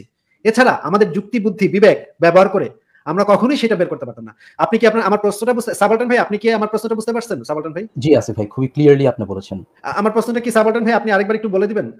আসিফ ভাই আসিফ ভাইয়ের যে প্রশ্নটা সেটা হচ্ছে যে আপনি এমন একটা জিনিস একটা ভালো জিনিসের উদাহরণ দেন যেটা শুধুমাত্র আমরা ধর্মতে পাই এবং অন্য কোনো জায়গায় আমরা পাই না। বিকজ আপনি কিন্তু খুবই স্পেসিফিক্যালি বলেছেন যে আমাদের ভালো জিনিস ধর্ম থেকে নিতে হবে। তার মানে এই ভালো জিনিসটা শুধুমাত্র ধর্মের মধ্যে। দেন একটা জিনিসের এক্সাম্পল দেন যেটা ভালো জিনিসের যেটা শুধুমাত্র ধর্মের মধ্যে এক্সিস্ট করে যেটা আমাদের ধর্ম থেকে আমাদের নিতে হবে। অন্য কোনো আচ্ছা, জায়গায় এক্সক্লুসিভলি আমরা শুধুমাত্র ধর্ম থেকে পাই আর কোনো জায়গা থেকে আমরা এই জিনিসটা পেতেই পারতাম না। আর কোনো জায়গায় আমাদের জ্ঞান বুদ্ধি বিবেক বিবেচনা ব্যবহার করে মানবিক বোধ কোনো কিছু ব্যবহার করে আমরা এটা জানতে পারতাম না। শুধুমাত্র আমাদের ধর্মটাই একটা মাত্র সোর্স যেখান থেকে আমরা জিনিসটা পেয়েছি। এরকম একটা ভালো কাজ আপনি আমাদেরকে একটু বলেন আচ্ছা আমি তাহলে দুইটা উদাহরণ দিই হ্যাঁ? আমাকে জাস্ট একটু সময় দেন আমি বলি যদি মনে হয় যে এটা মানে অবাস্তব হয়ে গেছে বা আমার জিনিসটা ভুল হচ্ছে তাহলে আপনি আমাকে বলে দিন মাঝখানে আমাকে থামাই দিন অবশ্যই অবশ্যই হ্যাঁ বলেন বলেন হ্যাঁ। ওকে ফাইন প্রথমত হচ্ছে যে আপনার ইসলামে নারীদেরকে বোরকা পড়তে বলা হয়েছে তাই না? তো আমি অনেক ইসলামের বিষয়ে অনেক কিছু আমি মানি না বা মনে হয় না এটা সঠিক কিন্তু আমার কাছে মনে হয়েছে যে বোরকা পড়াটা উচিত। আসিফ শুধুমাত্র- একটা নারী পড়তে না চায় দেন তার তারও কি পড়া উচিত? ধরেন একটা আপনি বলতেছেন তার সবার পড়া উচিত দেন একটা নারী বলল আমি পড়তে চাইতেছি না আমার বোরকা পড়তে ভালো লাগে না। তারও কি বাধ্য হয়ে সেই পোশাকটা পড়া উচিত যেটা আপনি বলতেছেন ভালো? এবং একই সাথে একই সাথে যদি এরকম একটা সিস্টেম থাকতো যে পুরুষদের হচ্ছে গিয়ে বিচিতে একটা দশ ইঞ্চি ইট বাইন্দা ঘুরতে হবে। মনে করেন একটা ধর্ম আহ, এরকম একটা নিয়ম করল যে পুরুষদের বিচিতে একটা দশ ইঞ্চি ইটা আচ্ছা, বাইন্দা ঘুরতে হবে। কথা বলতে দেন মাঝখানে আপনি হ্যাঁ বলবেন বলবেন বলবেন একটু শুনে নেন শুনে নেন আগে। মনে করেন পুরুষদের জন্য একটা ধর্ম, একটা সিস্টেম করল, দশ ইঞ্চি ইটা বিচিতে বাইন্দা করতে হবে। এটার কিন্তু সাবাটন ভাই, এটার কিন্তু অনেক ভালো দিক আছে, দেখেন। যেই পুরুষরা ধর্ষক হ্যাঁ যে পুরুষরা রাস্তাঘাটে ধর্ষণ করে মেয়েদের, ওদের বিচিতে যদি দশ ইঞ্চি একটা ইটা বান্ধা থাকে, অনেক সেই সেই টাইপের ধর্ষক মানে মানে বদমাইশগুলা কিন্তু দশ ইঞ্চি ইটা নিয়ে ধর্ষণ করার মতো ইয়া পাবে না হ্যাঁ? মনের ভেতরে যে আগ্রহ দায় বিচিতে দশ ইঞ্চি ইটা জ্বলতেছে, কেমনে সে দর্শন করবে হ্যাঁ? দেখেন, অনেক কিন্তু দর্শনের সংখ্যা কিন্তু অনেক কমে যেত। আমি কিন্তু সাবাটন ভাই এই জিনিসটার একটা ভালো দিক আপনাকে দেখাইলাম যে, সব পুরুষের বিচিতে যদি দশ ইঞ্চি, একজন যদি ইচ্ছা নাও করে, একজন মনে করে আমার ইচ্ছা নাই, আমি দশ ইঞ্চি ইটা বাইন্দা ঘুরবো না আমার বিচিতে, কিন্তু তারপরেও আমার বিচিতে ইটা বাইন্দা ঘুরতে হবে, রাস্তায় হাঁটতে হবে এতে যে ভালো দিকটা আমি দেখাইলাম সাবাটন ভাই কিছু ধর্ষণ কিন্তু কমে যাবে। নাকি সাবাটন ভাইকে আমি কি ভুল বলতেছি? না ঠিকই তো বলছেন। কিছু ধর্ষণ তো অবশ্যই কমবে। আচ্ছা এখন আপনি এবং এবং এই কিছু ধর্ষণ কিছু ধর্ষণ কমানোর জন্য আমরা সব পুরুষের সব পুরুষের বিচিতে দশ ইঞ্চি ইটা বাইন্দা আমরা ঘোরানোর ব্যবস্থা করব। এইটা একটা উদাহরণ। আর একটা উদাহরণ হচ্ছে মেয়ে মেয়েদের বোরখা পড়তে হবে। বোরখা পড়লে কি হবে? বোরখা পড়লে উনি বোরখা পড়ার ফজিলত উনি আমাদেরকে ব্যাখ্যা করবেন নিশ্চয়ই আসিফ ভাই আমাদেরকে ব্যাখ্যা করবেন। কিন্তু ওই এই উদাহরণ দুটা পাশাপাশি রেখে আমরা বিবেচনা করব। ঠিক আছে সাবলটন ভাই? দেখুন আমাকে আসলে and একটু হ্যাঁ, কথা এবার বলতে আপনি দিতে হবে। বলেন। আপনাদের যখন কথা বলছেন আমি এবার কথা এবার আসিফ ভাই আপনি আমাদেরকে বলেন যে এই যে মানে বোরখা পরে একটা একটা মেয়েকে বোরখা পরতে বাধ্য করতে হবে সেটা হচ্ছে ইসলামিক হ্যাঁ। বিধান হচ্ছে বাধ্য করতে হবে এটা কেন ভালো? আচ্ছা ওকে ফাইন প্রথমত হচ্ছে যে আমরা যদি চিন্তা করি আমরা ন্যাচারালি কিন্তু পুরুষরাই হচ্ছে শক্তিশালী হ্যাঁ? এবং আমাদের সমাজটাই হচ্ছে পুরুষতান্ত্রিক সমাজ। পুরুষরা শক্তিশালী ওয়েট ওয়েট ওয়েট পুরুষরা শক্তিশালী এটা আপনি কে বলছেন? আপনার কিসের ভিত্তিতে আপনি পাইছেন? আমরা ফিজিক্যালি যথেষ্ট স্ট্রং ফিজিক্যালি যদি আপনি চিন্তা করেন আমরা শক্তির যথেষ্ট স্ট্রং শক্তির শক্তির দুইটা মানে ভাগ আছে। দুইটা একটু কথা শুনে নেন নিজেকে একটু মিউট করে রাখেন। মনে করেন একটা রেসলিং হচ্ছে বা একটা বক্সিং হচ্ছে সেখানে দুই ধরনের শক্তিমত্তা আছে। একটা শক্তি হচ্ছে ঘুষি মারতে পারা আর একটা হচ্ছে ঘুষি খায়া সে ব্যথাটা সহ্য করতে পারাটা। হুম? আমরা জানি যে ঘুষি মারতে পারার থেকে ঘুষি খায়া দাঁড়ায় থাকা সিধা হয়ে দাঁড়ায় থাকা এটা বেশি শক্তিমত্তার লক্ষণ। এটা সারা পৃথিবীর সমস্ত মানুষ জানে। সাবটন ভাই আপনি কি এটা জানেন যে ঘুষি মারতে পার যত জোরে মারতে পারেন তার থেকে বেশি ইম্পর্টেন্ট হচ্ছে ঘুষি খায়া ওই পরিমাণ ঘুষি খায়া সোজা হয় দাঁড়ায় থাকতে পারাটা মানে হজম করাটা। ব্যথা হজম করাটা এটা যে আরও বেশি ইম্পর্টেন্ট এটা তো সারা পৃথিবীতে স্বীকৃত তাই না হ্যাঁ অবশ্যই। লাইক ফিজিক্যাল আপনি যেটা বললেন যে দুইটা অ্যাসপেক্ট আছে যে একটা হচ্ছে আপনি মানে এক্সার্ট করতেছেন আর একটা হচ্ছে গ্রহণ করাটা। সো গ্রহণ করাটাও হচ্ছে মানে এক্সট্রিমলি ইম্পর্টেন্ট গ্রহণ করাটা মারার থেকে ইম্পর্টেন্ট কেন? কারণ হচ্ছে আমরা সবাই এই জিনিসটা জানি এই জিনিসটাতে আমরা সবাই এগ্রি করি যে ঘুষি মারতে পারার থেকে ঘুষি খায়া সিধা হয়ে খাড়া থাকাটা এটা হচ্ছে আরও ইম্পর্টেন্ট কারণ যে কোনো একটা শক্তিমত্তার ফাইটে আমাদের এই জিনিসটা বেশি জরুরি বেশি কাজে লাগবে। ঘুষি খায়া আমাদের সিধা দাঁড়া থাকাটা। তাহলে মানব ইতিহাসে নারীরা বাচ্চা জন্ম দেওয়ার মতো একটা ভয়ঙ্কর পেইনফুল কাজ করে। যে পেইন পেইনটা যদি আপনি এটা যদি এটা যদি আমি সাইন্টিফিক কোনো ইয়া দিতে পারব না পেইনটা যে কি পরিমাণ সেটার একটা সাইন্টিফিক আমি মেজারমেন্ট আপনাদেরকে বলতে পারব না। কিন্তু এই বিষয়টা আমি নিশ্চিতভাবে বলতে পারি যে, এই রকমের এক্সট্রিম লেভেলের ব্যথা, হাড্ডি, একটা পুরুষের হাড্ডি ভাঙলে বা পুরুষের নুনু দিয়ে যদি বাচ্চাটা বাইরিত তার থেকেও এইটা হয়তো বেশি ব্যথা হয়। আমি জানি না আচ্ছা, না এখন বলতে পারবেন না এখন বলতে পারবেন না। আমার কথা শেষ হওয়ার আগে সময় দিয়েছি আমাকে না আপনি আপনি আমাদেরকে সময় দিচ্ছেন না। আমরা আপনাকে আমরা আপনাকে আমি আপনাকে সময় দিচ্ছি ভাই। আপনি মনে করবেন না যে আপনি আমাকে সময় দিচ্ছেন। আপনি আমার লাইভে যুক্ত হয়েছেন। আপনি আমার কথা আগে শুনে নেন ঠিক আছে? আপনি বলছেন আমি কিন্তু শুনছি। হ্যাঁ আগে শুনে নেন পুরোটা শুনে নেন পুরোটা শুনে নেন পুরোটা শুনে নেন। আপনি একটা কথা বলেছেন পুরুষরা বেশি শক্তিশালী। এটা নিয়ে অনেকক্ষণ এটা নিয়ে না এটা এই কথাটার উপরে আমার অনেকগুলো কথা আছে সেগুলো আগে শুনতে হবে তো। সাবাটন ভাই, মেয়েরা হচ্ছে এই পেইনটা সহ্য করে যুগ যুগান্তর ধরে, হাজার হাজার বছর ধরে বাচ্চা জন্ম দেওয়ার মতো ব্যথাটা সহ্য করে আসতেছে।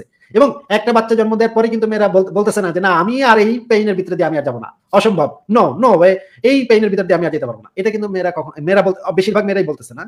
মেয়েরা কিন্তু তারপরে বাচ্চা জন্ম দিয়ে যাচ্ছে। এই যে আপনি, আসিফ সাহেব, আপনি যে যে মায়ের পেটের থেকে বেরিয়েছেন, এই পেট থেকে বাইর হওয়ার সময় আপনার মা যে পরিমাণে কষ্ট সহ্য করছে সেই কষ্টের কাছে আপনার হাড্ডিগুলা গুড়া গুড়া করলে আমার মনে হয় না সেটার সাথে কম্পেয়ার কম্পেয়ার আপনি করতে পারতেন। কারণ এটা একটা ও আচ্ছা সিজারিয়ান বেবি ঠিক আছে। ঠিক আছে আপনার জন্য সেটা মানে ভিন্ন জিনিস কিন্তু আপনার মা যদি আরও বাচ্চা জন্ম দিয়ে থাকে বা অন্য কোনো মায়ের পেইন যদি আপনি নিজে নিজের চোখে দেখে থাকেন আমার বাচ্চাটা হয়েছে আমার বউ আমার সাথে ছিল আমি হাসপাতালে ছিলাম আমার বউয়ের হাত ধরা ছিলাম আমি জানি যে একটা মেয়ের কি পরিমাণে কষ্ট হয় যখন এই যে ইয়া ফাইটা যখন এর বাচ্চাটা বাইর হয় তখন যে কি পরিমাণ কষ্ট হয় সেটা আমি জানি। এই কষ্টটা যুগ যুগান্তর ধরে মেয়েরা সহ্য করতেছে। এরপরে যদি শুনতে হয় যে মেয়েরা শক্তিশালী কম এই রকমের মানে মানে একটা উদ্ভট কথা শোনার পরে আমার মাথায় কেন আকাশ ভেঙে পড়তেছে না? সাবাটার ভাই আমি তো বুঝতেছি না যে এই পরিমাণ কষ্ট যদি একটা পুরুষকে এই রকমের ছেঁচা কুত্তা ছেঁচা ছেঁচা হয় এই ব্যথাটা দেওয়া হয় তাহলে ওই ব্যথায় দাঁড়া থাকতে পারবে কিনা? আমার মনে হয় না ওই ব্যথা দাঁড়া থাকতে পারবে। এই ব্যথাটা মেয়েরা যুগ যুগান্তর ধরে সহ্য করতেছে। এই কষ্ট সহ্য করার ক্ষমতা যার যেই যাদের আছে তাদেরকে যদি আমরা বলি তারা শক্তিমত্তায় কম তাহলে তো এটা একটা মানে গাধার মতো কথা হবে। এটা হচ্ছে এক নম্বর কথা। অবশ্যই মেয়েরা পুরুষের থেকে বেশি শক্তিশালী। আমি বলতে চাচ্ছি অবশ্যই মেয়েরা পুরুষের থেকে বেশি শক্তিশালী, কারণ মেয়েদের, শারীরিকভাবেই মেয়েদের এই কষ্ট সহ্য করতে পারার ক্ষমতাটা পুরুষের থেকে অনেক গুণ বেশি থাকে। দুই নম্বর পয়েন্ট এটা ছিল এক নম্বর পয়েন্ট গেল। দুই নম্বর পয়েন্ট হচ্ছে, শক্তি দিয়ে কি অধিকার নির্ণয় হয়? শক্তি দিয়ে কোনো অবস্থাতেই অধিকারের সাথে শক্তির কোনো সম্পর্কই নেই। তাহলে আমরা যদি, শক্তি দিয়ে যদি অধিকার নির্ণয় হয়, তাহলে আমাদের বলতে হবে, ইসরায়েলের তো শক্তি বেশি ভাই হ্যাঁ? তাহলে প্যালেস্টাইনের প্যালেস্টাইনের গুলারে মানে দমিত থাকতে হবে। প্যালেস্টাইনি গুলারে যা বলবে, ইসরায়েলিরা যা বলবে, তাই মানতে হবে। তাহলে তো আমার একই সাথে বলতে হবে, আমেরিকা হচ্ছে পৃথিবীর সবচেয়ে শক্তিশালী সেনাবাহিনী। ওরা যেটা করবে সেটা করবি। তোরা মুসলমানরা, তোরা তোদেরকে যদি ন্যাংটা হয় নাচতে বলে, তোরা ন্যাংটা হয় নাচবি। কারণ হচ্ছে শক্তিশালী, আমেরিকা শক্তিশালী। শক্তি কারও শক্তিমত্তা যদি অধিকার নির্ণয়ের মাপকাঠি হয়, কারও শক্তি যদি অধিকার নির্ণয়ের মাপকাঠি হয় তাহলে তো পৃথিবীতে জোর যার মুলুক তার হবে। এই যে মিয়ানমার যে রোহিঙ্গাদের কচিকটা করতেছে এই যে চীনে যে উইখুর মুসলিম মুসলিমদের উপরে অত্যাচার হচ্ছে এই যে কাশ্মীরে যে ভারত ভারতীয় সেনাবাহিনী কাশ্মীরে যে মুসলমানদেরকে কচুকাটা করতেছে মুসলমানদেরকে যে ছেঁচতে- ছেঁচতেছে তাহলে তো সেগুলোও একই সাথে জাস্টিফাইড হয়ে যায়। কারণ শক্তি বেশি শক্তি আমাদের শক্তি বেশি আমরা করব আমরা যেটা করব ওরা তোরা সেটা করবি তোদের শক্তি কম তোরা সেটা শুনবি তোরা সেটা মেনে চলবি। এইভাবে যদি আমরা সমাজ গঠন করি আমরা কি সমাজটা এইভাবে গঠন করি? আহ, সমাজ আমরা এইভাবে গঠন করি না তাহলে তো এরকম সমাজ হতো যে যার গায়ে শক্তি বেশি সে হচ্ছে প্রেসিডেন্ট হবে সে হচ্ছে প্রধানমন্ত্রী হবে আর সে কিছু আইন বানাবে? যাদের শক্তি কম, সবাই সেই কথাটা মেনে চলতে হবে। এইভাবে তো আমরা কোনো সভ্য সমাজ গঠন করি না। আমাদের আইন কানুন, বিচার ব্যবস্থা, সেগুলো তৈরি হয় যুক্তি, তথ্য প্রমাণের উপর ভিত্তি করে। যৌক্তিকভাবে আমরা সিদ্ধান্ত নেই। আমরা তো কার গায়ে শক্তি বেশি? এটা তার এই জন্য গায়ে শক্তি বেশি থাকলে সে হচ্ছে গিয়ে লিডার হবে, সে হচ্ছে গিয়ে হুকুম দিবে। আর গায়ে শক্তি কম, সেটা তো হচ্ছে গিয়ে জঙ্গলের শাসন হবে। এটা তো মানুষের শাসন না, এটা তো মানুষের ব্যবস্থা না। সাপোর্টার ভাই, আমার এই দুইটা পয়েন্ট যে এক নম্বর হচ্ছে মেয়েরা কিছুতেই শক্তিতে কম এটা আমরা কিছুতেই বলতে পারি না। দুই নম্বর পয়েন্ট হচ্ছে শক্তি বেশি তো কি শক্তি বেশি যদি হয়েও থাকে তাতেও তো এটার সাথে অধিকারের কোনো সম্পর্ক নাই। রুলস সেট করার তো কোনো সম্পর্ক নাই। সাপোর্টার ভাই আপনি কি আমার পয়েন্ট দুটো বুঝতে পেরেছেন? হ্যাঁ দুইটা পয়েন্ট খুবই ক্লিয়ারলি বুঝতে পেরেছি আসিফ ভাই। আসিফ সাহেব আপনি কি আমার পয়েন্ট দুটো বুঝতে পেরেছেন? জি জি বুঝতে পারছি। আমার পয়েন্ট দুটো বোঝাতে কোনো জায়গায় কি কোনো সমস্যা আছে? না না না। আমার পয়েন্টে কি আপনার কোনো জায়গায় কোনো বিরোধিতা আছে? অ্যাকচুয়ালি আপনি যেটা চিন্তা করছেন সেটা হচ্ছে গ্লোবালি চিন্তা করছেন। আমি বলতেছি যে আমাদের এটা হচ্ছে কমিউনিটি বেস যদি আমি সমাজে আমি একটা সমাজে বসবাস করতে চাই সাপোজ আমি সেই সমাজে হচ্ছে যার- শক্তিটা বেশি সে কিন্তু আসলে ডোমিনেট করার ট্রাই করে। সাপোজ আমি ছোটবেলা থেকে একটু দুর্বল ছিলাম, যখন আমি বাইরে খেলতে যেতাম, তখন আমি খেলতে মানে তাদের সাথে মারামারি লাগবে এটা হচ্ছে ন্যাচারালি তাদের সাথে মারামারি লাগবে। কিন্তু আমি কিন্তু তাদের সাথে পারতাম না। একটা সময় যে আমার আমার মা কি করল? যে, না, তুই তো পারবি না মারামারি করে তুই বাসায় থাক, তুই বাইরে যাবি না। এভাবে কিন্তু একটা সময় বুঝতে পারলাম যে আমার কমিউনিটিতে বাঁচতে হলে আমাকে সুকৌশলী হইতে হবে। যদি আমার দুর্বলতা থাকে আমার শারীরিক দুর্বলতা থাকে তাহলে আমাকে কি করতে হবে? আমাকে সুকৌশলী হইতে হবে। ঠিক আছে? এখন আপনি বক্সিং করতে গেলেন আপনার শরীরে শক্তি নেই আপনি চিন্তা সাহেব, মানে অন্যরা আপনাকে মাইট আমি দিবে এই ভয়ে আপনি বাসার থেকে বাইরে হইতে পারবেন না। মানে আমি তো boxing করব না। অন্যরা আপনাকে মাইট দিবে। আর আসিফ আপনার সাহেব, বাসার মধ্যেই থাকবেন আসিফ সাহেব আমরা তো না না আমরা তো কোনটা সমাজে ঘটতেছে সেটা নিয়ে কথা বলতেছি না। আমরা বলতেছি কোনটা ঘটা উচিত কোনটা ঘটাটা নৈতিক। সেটা নিয়ে কিন্তু আমরা কথা বলতেছি আসিফ হ্যাঁ, আপনি আপনি বোধহয় আপনি আপনি বোধহয় বুঝতে পারছেন না। মনে করেন যে আমি রাস্তায় বের হইলাম তিনটা গুন্ডা মিলে আমার পিটাই দিল হ্যাঁ? এরপর আমি আর ওই রাস্তায় যাব না। কিন্তু এইটা নিয়ে তো আমরা কথা বলছি না। আমরা কথা বলছি যে কোনটা হওয়া উচিত ছিল। ও আমরা একটা আদর্শ সমাজ, নৈতিক সমাজ, যৌক্তিক সমাজ কীভাবে গঠন করব, কি যুক্তির উপর ভিত্তি করে, সেটা নিয়ে আমরা কথা বলছি। আপনি এটা অবশ্যই বলতে পারেন যে, ভাই আমাকে এলাকায় ক্রিকেট খেলতে গেলে যার শক্তি বেশি, সেই তো ব্যাটিং করে। আমার তো ব্যাটিং করতে দেয় না, ভাই। এটা সত্য কথা কথা সত্য। কথা আপনার সাথে আমি দ্বিমত করছি না যে হ্যাঁ আপনার এলাকায় ক্রিকেট খেলতে গেলে যা যেই পোলাটার শক্তি বেশি, এই গিয়ে ব্যাটিং করব, আপনার দিয়ে বোলিং করাবো বা ফিল্ডিং করাবো এটা তো ভাই সত্য কথা। এটা তো আমরা অস্বীকার করার কিছু নাই। কিন্তু আমরা আলোচনাটা করছি আমরা যে আদর্শ সমাজ গঠন করব বা যৌক্তিক সমাজ গঠন করব সেই সমাজে তো কার গায়ে শক্তি বেশি? সেই ব্যাটিং করব এটা তো আমরা করতে দিতে পারব না। আমরা তো আইন কানুন বিচার ব্যবস্থা সমাজ কাঠামো এই রুলের উপরে ভিত্তি করে গড়ে তুলবো না। যে যার শক্তি বেশি এই ব্যাটিং করব বাদ বাকি সবার ফিল্ডিং করার লাগবো। এইটার উপর ভিত্তি করে তো আমরা সমাজ গঠন করব না। আমরা সমাজ গঠন করব কোনো সমাজ কি গঠন হয়েছে? আমাকে একটা এক্সাম্পল দিতে পারবেন যে সমাজ গঠন- হয়েছে? হ্যাঁ এইটার ভিত্তিতে আমরা সারা পৃথিবীর মানুষ সমাজ গঠন করার চেষ্টা করতেছি। আমরা যদিও এই রকমের সমাজ গঠন করতে পারতেছি না এবং কিন্তু কথাটা ভাই শুনেন তো ভাই কথাটা তো শুনেন কথাটা তো শুনেন। মানে আমরা পারব না এই জন্য ওইটা কি রাইট হয়ে যাবে নাকি? এটা তো যার জোর যার মুলুক তার সেটা কি রাইট হয়ে যায় নাকি তাতে? সেটা তো মানে নৈতিক হয়ে যায় না তাতে। আমাদের নেচারটাই তো এরকম আমাদের হিউম্যান নেচারটাই এরকম। দেখছেন দেখছেন মানে আচ্ছা আপনি আপনি কি বলতেছেন বুঝতেছেন না আপনি। আপনার আপনার মনে হচ্ছে যে কথার পিঠে কথা বলতে পারলেই খুব মানে ইয়া করতে পারছি। আপনি আগে কথাটা বোঝেন আপনি আগে কথাটা বোঝেন কথাটা বোঝেন যে আমরা নানা ধরনের রুল সেট করতেছি সমাজে যেমন ধরেন একটা হচ্ছে জেনেভা কনভেনশন, একটা হচ্ছে আন্তর্জাতিক মানবাধিকার সনদ। এই জিনিসগুলো আমরা সেট করছি, খুব বেশি দিন হয়নি সেট করছি, কিন্তু আমরা এই জিনিসগুলো বিভিন্ন দেশে ইমপ্লিমেন্ট করার চেষ্টা করতেছি। এই যে ইসরায়েল যখন প্যালেস্টাইনের উপর আক্রমণ করতেছে বা ভারত যখন কাশ্মীরের উপর আক্রমণ করতেছে বা চীনে যখন উইঘুর মুসলিমদের উপর আক্রমণ হচ্ছে, তখন সারা পৃথিবীর যারা মানবিক মানুষ আছে, যারা হচ্ছে গিয়ে চিন্তাশীল মানুষ আছে হ্যাঁ? তারা বলতেছে যে এটা অন্যায় হচ্ছে, এই কাজটা বন্ধ করতে হবে। জাতিসংঘের উপরে চাপ সৃষ্টি করার চেষ্টা করা হচ্ছে, যে জাতিসংঘ তোমরা গিয়ে সেখানে বলো যে এই, ওরা যেটা করতেছে সেটা অন্যায় করতেছে, এটা করা যাবে না। এখন আপনি যদি বলেন, ভাই, জাতিসংঘ তো কিছু করতে পারে না, তাহলে ঠিকই আছে, তাহলে ভাই, কাশ্মীরের উপরে, কাশ্মীরে ভারতীয় সেনাবাহিনী চেষ্টাছে এটা ঠিকই আছে ভাই। এইটা তো তাতে ঠিক হয়ে যায় না। হ্যাঁ আমাদের সীমাবদ্ধতা আছে, আমরা ভারতীয় সরকারকে আমরা মানে একমত করাইতে পারি নাই যে কাশ্মীরের উপরে তোমরা এইভাবে আক্রমণ করতে পারবা না।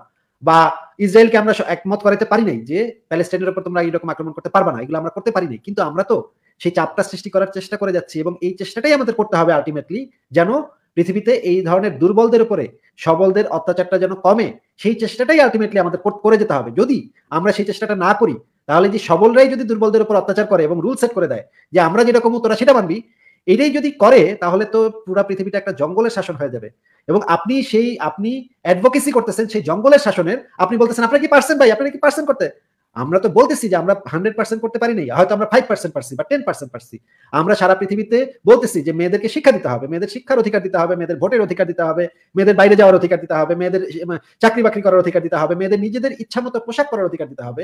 তা এই জিনিসগুলো যদি আমরা করতে পারতাম করতে পারতেছি না, আমরা, আমাদের সীমাবদ্ধতা আছে, আমরা সব জায়গায় করতে পারতেছি না, কিছু কিছু জায়গায় করতে পারতেছি, এবং আমরা চেষ্টা করে যাচ্ছি সেটাকে আরও কীভাবে, আরও আমরা বেটার করতে পারি, আরও ভালোভাবে করতে পারি। মেয়েরা যেন নিজেদের সিদ্ধান্ত নিজেরা নিতে পারে, মেয়েরা যেন অন্তত স্কুলে যেতে পারে। পারতেছি না ভাই মানে আফগানিস্তানে কি হচ্ছে, মেয়েদের, মেয়েরা স্কুলে যাচ্ছে, সেই স্কুলে তালেবানরা এসে বোমা মেরা যাচ্ছে ওই তো মেয়ে মায়া গো, তোকে আবার পড়ালেখা করার কি দরকার? তোরা বাসায় হাড়ি ঠেলবি, বাচ্চা পাতা করবি আর রান্না বান্না করবি, তোকে এত পড়ালেখার কি দরকার? এই কথা তালেবানরা বলতেছে, আমরা তালেবানদের সাথে পারতেছি না, সত্য কথা। কিন্তু তার মানে তো এটা না, যে তালেবানরা রাইট আমরা রং তা তো না। আমরাই রাইট আমাদের কাজটাই একটা নৈতিক কাজ। আমাদের কাজটাই হচ্ছে গিয়ে রাইট কাজ। ওদের কাছে হচ্ছে একটা রং কাজ। আমরা, আমাদের সামর্থ্য নাই সব পৃথিবীতে সমস্ত খারাপ জিনিস বন্ধ করে দেওয়ার, কিন্তু আমাদের সেই চেষ্টাটাই তো চালা যেতে হবে। সাবর্টন ভাই, আমার পয়েন্ট কি মানে কি বোঝা যাচ্ছে না নাকি? আমার পয়েন্ট খুবই ইয়া লাগতেছে, বলেন তো। না, আপনি তো খুবই ক্লিয়ারলি বলতেছেন, আসিফ ভাই। আসিফ সাহেব আপনি বলেন তো আমার পয়েন্ট কি আপনি বুঝতে পারতেছেন না নাকি?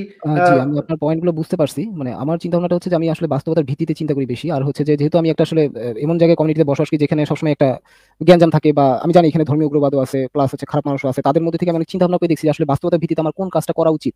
ঠিক আছে? তো আমার মানে বাস্তবতার ভিত্তিতে বাস্তবতার ভিত্তিতে আমি বুঝলাম না তো। মনে করেন আপনি যদি এখন আফগানিস্তানে থাকতেন তাহলে বাস্তবতার ভিত্তিতে আপনি বলতেন মেয়েদের আর পড়ালেখা করার দরকার নেই। এটা বলতেন। আমি তো এখানে কৌশলী হতে হবে আমি তো এখানে পারব না। তো আসিফ আমাকে হবে। আসিফ- ভাই একটা মানুষ কি বাস্তবতার সাপেক্ষে কি সিদ্ধান্ত নিবে সেটা তো তাদের তারা সিদ্ধান্ত নিবে তাদের জন্য আপনি নিবেন আপনার জন্য। ইরানে আপনি চিন্তা করে দেখেন যে যেসব নারীরা তাদের হিজাব খুলে রাস্তার মধ্যে পুরাইছে তারা কি এই বিপদের ব্যাপারে জানতো না? তারা তারা কি কৌশলিতা দেখায় নাই? তারা তো সবকিছু বিবেচনা করে নিজেদের জন্য তারা একটা সিদ্ধান্ত নিচ্ছে এটা তাদের স্বাধীনতা। এখন আপনি বলতেছেন যে তাদের স্বাধীনতা আপনি নির্ধারণ করবেন। আচ্ছা। সেটা কিসের ভিত্তিতে? যে অন্যদের স্বাধীনতা আপনি নির্ধারণ করার কে? মানে মানে এই যে একটা একটা একটা মেয়ের একটা মেয়ের তো এই অধিকার একটা যে শুধু মেয়ের না যে কোনো মানুষের এই অধিকারটা থাকা উচিত যে সে কি পোশাক পরবে আরেকজন তাকে নিয়ন্ত্রণ করবে না। সে তার পছন্দ অনুসারে পোশাকটা করবে যতক্ষণ না অন্য আরেকজন মানুষের তাতে কোনো অধিকার লঙ্ঘন হচ্ছে। আপনার একটা মেয়ে কি পোশাক করতেছে তাতে তো আমি দেখতেছি না আপনার কোনো অধিকার লঙ্ঘন হচ্ছে। আমরা একটা যেই সমাজ চাই সেই সমাজে এই ব্যবস্থাটা চলবে।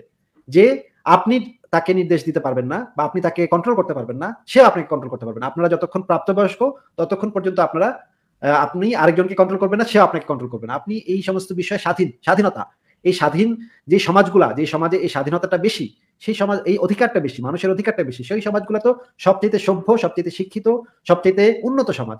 আপনি কি ইউরোপে কোনোদিন গেছেন ভাই? না, আমি যাইনি।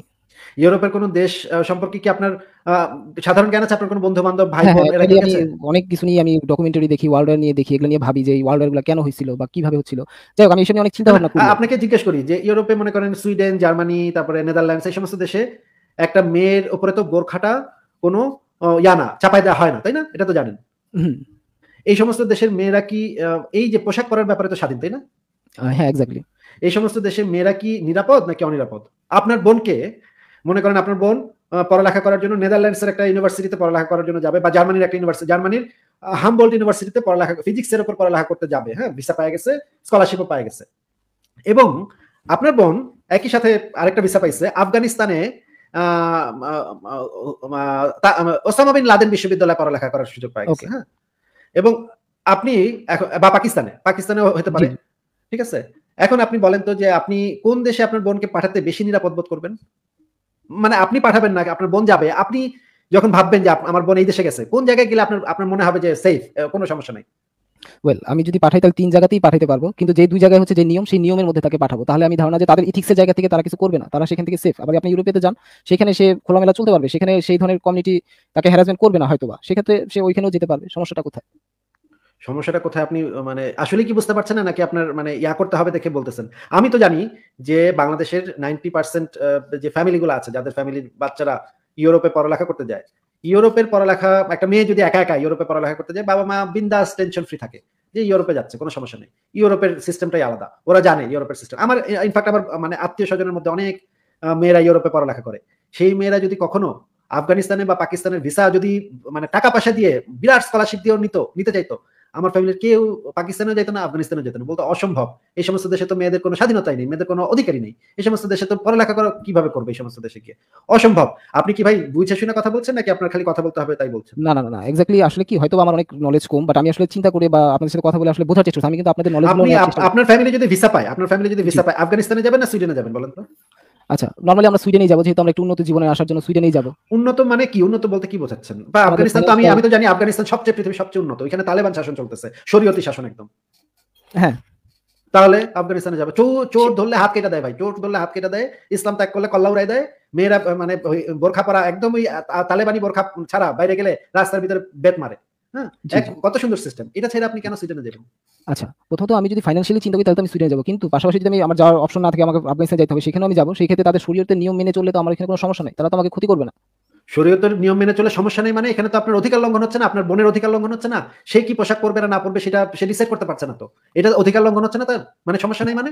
আচ্ছা আমি একটা ছোট কথা যদি আমার ভুল হয় আপনি ধরাই দিবেন সাপোজ না না না আপনার অধিকার যদি কোনো জায়গায় লঙ্ঘন হয় সেটা কি আপনার কোনো সমস্যা না? মানে আপনি এতে মানে কনসার্ন না নাকি? সাপোজ এখন দশজন মানুষের যদি আমার কারণে ক্ষতিগ্রস্ত হয় বা তাদের বিরক্তি বোধ হয় তাহলে সেক্ষেত্রে আমাকে তাদের ভাই দশজন। মানুষ ক্ষতিগ্রস্ত হবে কীভাবে? আপনার অধিকারটা যদি আপনার থাকে তাহলে দশজন মানুষ ক্ষতিগ্রস্ত হবে কীভাবে? এটা তো সম্ভব না। আপনার যদি অধিকার থাকে তাতে আর কেউ কখনো কোথাও কোনোভাবে ক্ষতিগ্রস্ত হতে পারে না। সাবর্টন ভাই এই জিনিসটা না আমি বুঝি না বুঝছেন? যে মানে বিরাট সংখ্যক মুসলমান মনে করে যে একজন মানুষের যদি অধিকার থাকে তাইলে অন্য মানুষটা ক্ষতিগ্রস্ত হবে। সাবর্টন ভাই আপনি বলেন তো যে একজন মানুষের যদি অধিকার প্রতিষ্ঠিত হয় তাতে অন্য মানুষ কীভাবে ক্ষতিগ্রস্ত হয়? আমি তো সেটাই বুঝতেছি না। তাও আবার এটা হচ্ছে মানে পোশাক পরার অধিকার। পোশাক একটা মানুষ পোশাক পরছে সেটা নিয়ে অন্য মানুষ কীভাবে ক্ষতিগ্রস্ত হয়? এটা তো কোনো সেন্স আচ্ছা আমা- আমি একটু বলি জাস্ট তাহলে তো তাহলে তাহলে তো ইউরোপের যে মানে আমি ইউরোপের মানে নাইট ক্লাবে ঘুরছি ঘুরি মাঝে মাঝে যাই। মনে করেন রাত তিনটার সময় আমি বাসা ফিরি মানে ডিস্কো টিস্কো করে বাসা ফিরি। যদি এখন করতে পারি না এখন বউ আছে এই জন্য করতে পারি না আগে করতাম। বউ বিয়ে করার আগে করতাম। আগে রাত তিন- তিনটার সময় বাসা আসতাম, আসার সময় দেখতাম যে ট্রেনে একটা মেয়ে হালকা জামা পড়ছে হ্যাঁ? প্রায় ওইটাতে বলতে পারেন যে কিছু পরেনি, এরকমই।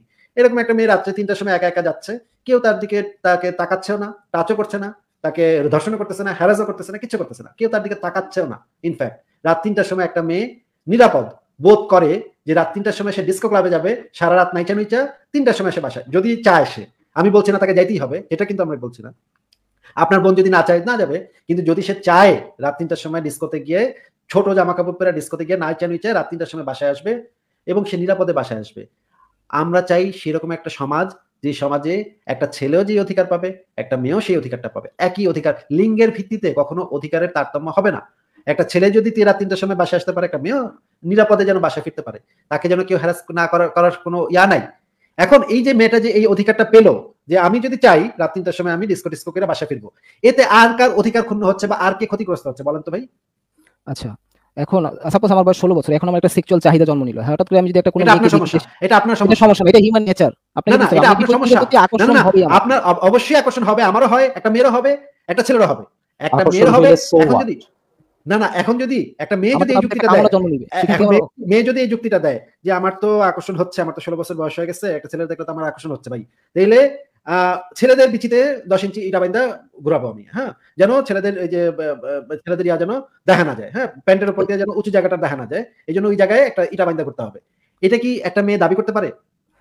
সেটাই তো পারতেছে না। পারবে না দেখেই তো তাদেরকে না, বোরখা পরে তাদেরকে কেন বোরখা আপনাকে আপনি কেন বোরখা পরে ঘুরতেছেন না তাহলে? আমাকে আমাকে আপনি- কে কমান্ডটা দিবে? আমাকে কে বলবে? আমি তো পুরুষতান্ত্রিক সমাজে বসবাস করি। আমাকে তো এই কমান্ডটা কেউ দিবে না। আমাকে আমার সাথে পারবে না তো? না না তাহলে তো সেও তো এই যুক্তিটা দিতে পারে। আপনি যে যুক্তিটা এখানে বসে দিচ্ছেন যে মেয়ে দেখলে ভাই আমার তো ভাই ঠিক থাকে না আমার তো ভাই মাথাটা এটা না, না, না, যে ডাক্তাররা বলতেছে স্বাভাবিক। এটা আচ্ছা ছেলেদের আকর্ষণ বোধের উদ্ভব ঘটলে সেটা দিয়ে কি যায় আসে? সেটা বুঝলাম। না, না, ভাই, এক সেকেন্ড, সাবলটন ভাই, এক সেকেন্ড, সাবলটন ভাই, এক সেকেন্ড। আমরা তো মানে কুত্তা না ভাদ্র মাসে কুত্তা না হ্যাঁ? মানে আপনি কে আসিফ আসিফ সাহেব আপনি কি নিজেকে কি মনে করেন সেটা তো আমি জানি না আসলে। কিন্তু আমি নিজেকে ভাদ্র মাসের পাগলা কুত্তা হ্যাঁ? মনে করি না। যে ভাদ্র মাসে আমার মানে মাথা এমনই নষ্ট হয়েছে যে মেয়ে দেখলে এখন আমার সব বেড়ে যাবে হ্যাঁ? প্যান্ট প্যান্ট আন্ডার প্যান্ট আমার নষ্ট হয়ে যাবে। এরকম আমি নিজেকে ভাবি না ভাই হ্যাঁ? আমি মনে করি আমারও যদি যৌন চাহিদা থাকে, একটা মেয়েরও যৌন চাহিদা থাকবে। আমার যদি একটা ছেলেকে দেখলে মেয়েকে দেখলে ভালো লাগে, একটা মেয়েরও একটা ছেলেকে দেখলে ভালো লাগতে পারে। ইনফ্যাক্ট অনেক অনেক ছেলেরও আছে যাদেরকে ছেলেকে দেখলে ভালো লাগতে পারে। অনেক মেয়ে আছে যাদের মেয়ে দেখলে, মেয়েদেরকে দেখলে ভালো লাগতে পারে। এই ভালো লাগাটা খুবই ন্যাচারাল বিষয়। এর ভিতরে কোনো সমস্যা নেই। যৌন আগ্রহ জায়গাটাও কোনো সমস্যার বিষয় না। সমস্যাটা হচ্ছে, আপনি তার বিনা অনুমতিতে তাকে স্পর্শ করতে পারবেন না। তার কোনো কনসেন্ট ছাড়া তাকে টাচ করতে পারবেন না। তাকে কোনো ধরনের কোনো যৌন মানে আচরণ তার সাথে করতে পারবেন না। এইটা হচ্ছে রুল আপনি এখন আমাকে বলেন যে আপনার যৌন আকর্ষণ যাচ্ছে তো আমরা কি করব ভাই? এটা দিয়ে আমাদের কি কি করতে হবে এখন? বা সেই মেয়েটারে কি যায় আসে? লাইক জাস্ট বিকজ আপনার জন্য আকর্ষণ আসছে সেই মেয়েটা কি করবে? সেই মেয়েটা কি এখন মানে দায় মানে দায় মানে আপনার আপনার সেই অর্গাজম করার জন্য এখন সে বসে আছে? মানে সে দায়বদ্ধ। এই সেই মেয়েটা হচ্ছে দায়বদ্ধ। আপনার আরে কত সোনামানিক আসিফ সাহেব ওনার খালি যৌন আকর্ষণ মেয়ে দেখলেই খালি মেয়ে দেখলেই খালি ভাই আপনার যৌন আকর্ষণ জাগে আপনার খালি মাথা ঠিক থাকে না। হ্যাঁ আপনার খালি আমি ভাদ্র একটু মাসে কুকুর হয়ে যেতে ভাদ্র মাসে কুকুরের মতো হয়। না। আমি আসলে আপনার সাথে চেষ্টা করতেছি আপনার সাথে sync করার। কিন্তু এই দায়বদ্ধতা তো ওই মেয়েটার না। ওই মেয়েটার কি যায়? আপনার কি হইল না না হইল ওই মেয়েটার কি ওই মেয়েটা কেন বোরখা? আমার তার কি আমার বিষয়টা বোঝা উচিত না? যেহেতু আমার এটা আপনি আপনি- কেন নিজেই বললেন? এটা তো একটা ন্যাচারাল জিনিস যেটা মানুষের মধ্যে হ্যাঁ। হয় এটা তো কোনো একটা বিগ ডিল না। And আপনি নিজেও বলছেন যে সে আপনার সে মানে দায়বদ্ধ না যে আপনার যে যৌন আকর্ষণ হচ্ছে সেটার জন্য সে রেসপন্সিবল না। সো এটা তো ন্যাচারাল জিনিস। তো আপনার যৌন আকর্ষণের তার নিজের সিদ্ধান্ত বা নিজের পোশাক পরিধানটা তার চেঞ্জ করতে হবে। মানে মানে নিজেই বলতেছেন মানে যে সে রেসপন্সিবল না। মানে হ্যাঁ, হ্যাঁ, ভাই হ্যাঁ। চিন্তা করে দেখেন উনি ভাবতেছে যে আমার ভাই খারায় যায় ভাই আমার তো ভাই ঠিক থাকে না ভাই হুশ থাকে না হ্যাঁ আমার মাথা ঠিক থাকে না ভাই মেয়ে দেখলে ভাই মাথা ঠিক থাকে না। এই জন্য পৃথিবীর এই জন্য পৃথিবীর সমস্ত মেয়েদেরকে ঢাইকা ঢুইকা মানে খুব সামলা সামলা ঘরের ভিতরে থাকতে হবে। কয়দিন পরে উনি বলবে যে ভাই মেয়েদের বোরখা দেখলে আবার খারায় যাবে কি করব ভাই? তখন মেয়েরা বলবে মেয়েরা তখন বলবে আচ্ছা ঠিক আছে এই আসিফ ভাই সাহেবের তো আমাদের বোরখা দেখলে ভাই খারায় যায় আমি কি করার আছে? আমরা বাসাতেই থাকি আমরা আচ্ছা, ঘরে থেকে বেরোবো না। ভাই আমি আমি আপনার কথা বলছি না আমি আপনার কথা বলছি না। ধরেন কোন একটা মুমিন এসে বলল কালকে হ্যাঁ আপনার যুক্তি ব্যবহার করি আরেক মুমিন এসে বলল ভাই আমার তো দেখলে যায় আমি কি করব ভাই? হ্যাঁ আমার তো ভাই মাথা ঠিক থাকে না আমার তো ভাদ্র মাসে কুত্তার মতো খালি ইয়া করতে সহবত করতে মন চায় আমি কি করব ভাই? তখন তাকে সে যদি বলে মেয়েদের তো এটা বোঝা উচিত না যে আমার যে খারাপ যাচ্ছে আমার যে মানে মাথাটা খারাপ হয়ে যাচ্ছে এটা কি মেয়েদের বোঝা উচিত না? তখন মেয়েরা কি আপনাদেরকে বুঝা তখন কি তারা ঘরে বসে থাকবে? না তারা তো অবশ্যই ঘরে বসে থাকবে না। মানে জিনিসটা হচ্ছে যে আমি যে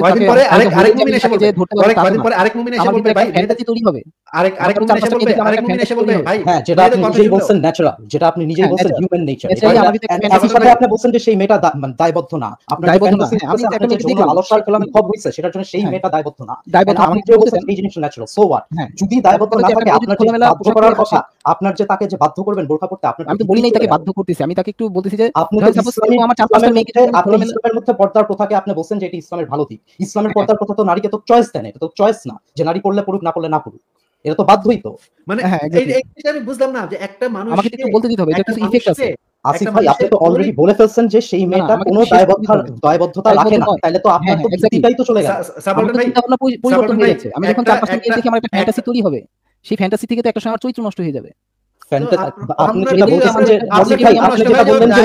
একটা মেয়ে নিয়ে একটা মেয়ে আপনার চরিত্রটা ভালো আছে নাকি খারাপ আছে? এটা দায়বদ্ধ হইল নারী মেয়েটা সে মেয়েটা। যে মেয়েটা আপনার কে চিনি না সেই মেয়েটা হচ্ছে দায়বদ্ধ। উনার চরিত্র নষ্ট হয়ে যাচ্ছে ভাই। মানে মেয়ে দেখে ওনার মাথা ঠিক থাকতেছে না। যৌন আকর্ষণ অনুভব করতেছেন। আপনার মানে ফ্যান্টাসিজ আপনি দেখতেছেন। নিজেই আপনি বলতেছেন যে এটা ন্যাচারাল জিনিস আবার একই সাথে বলতেছেন যে এটা মানে চরিত্র খারাপ করতেছে।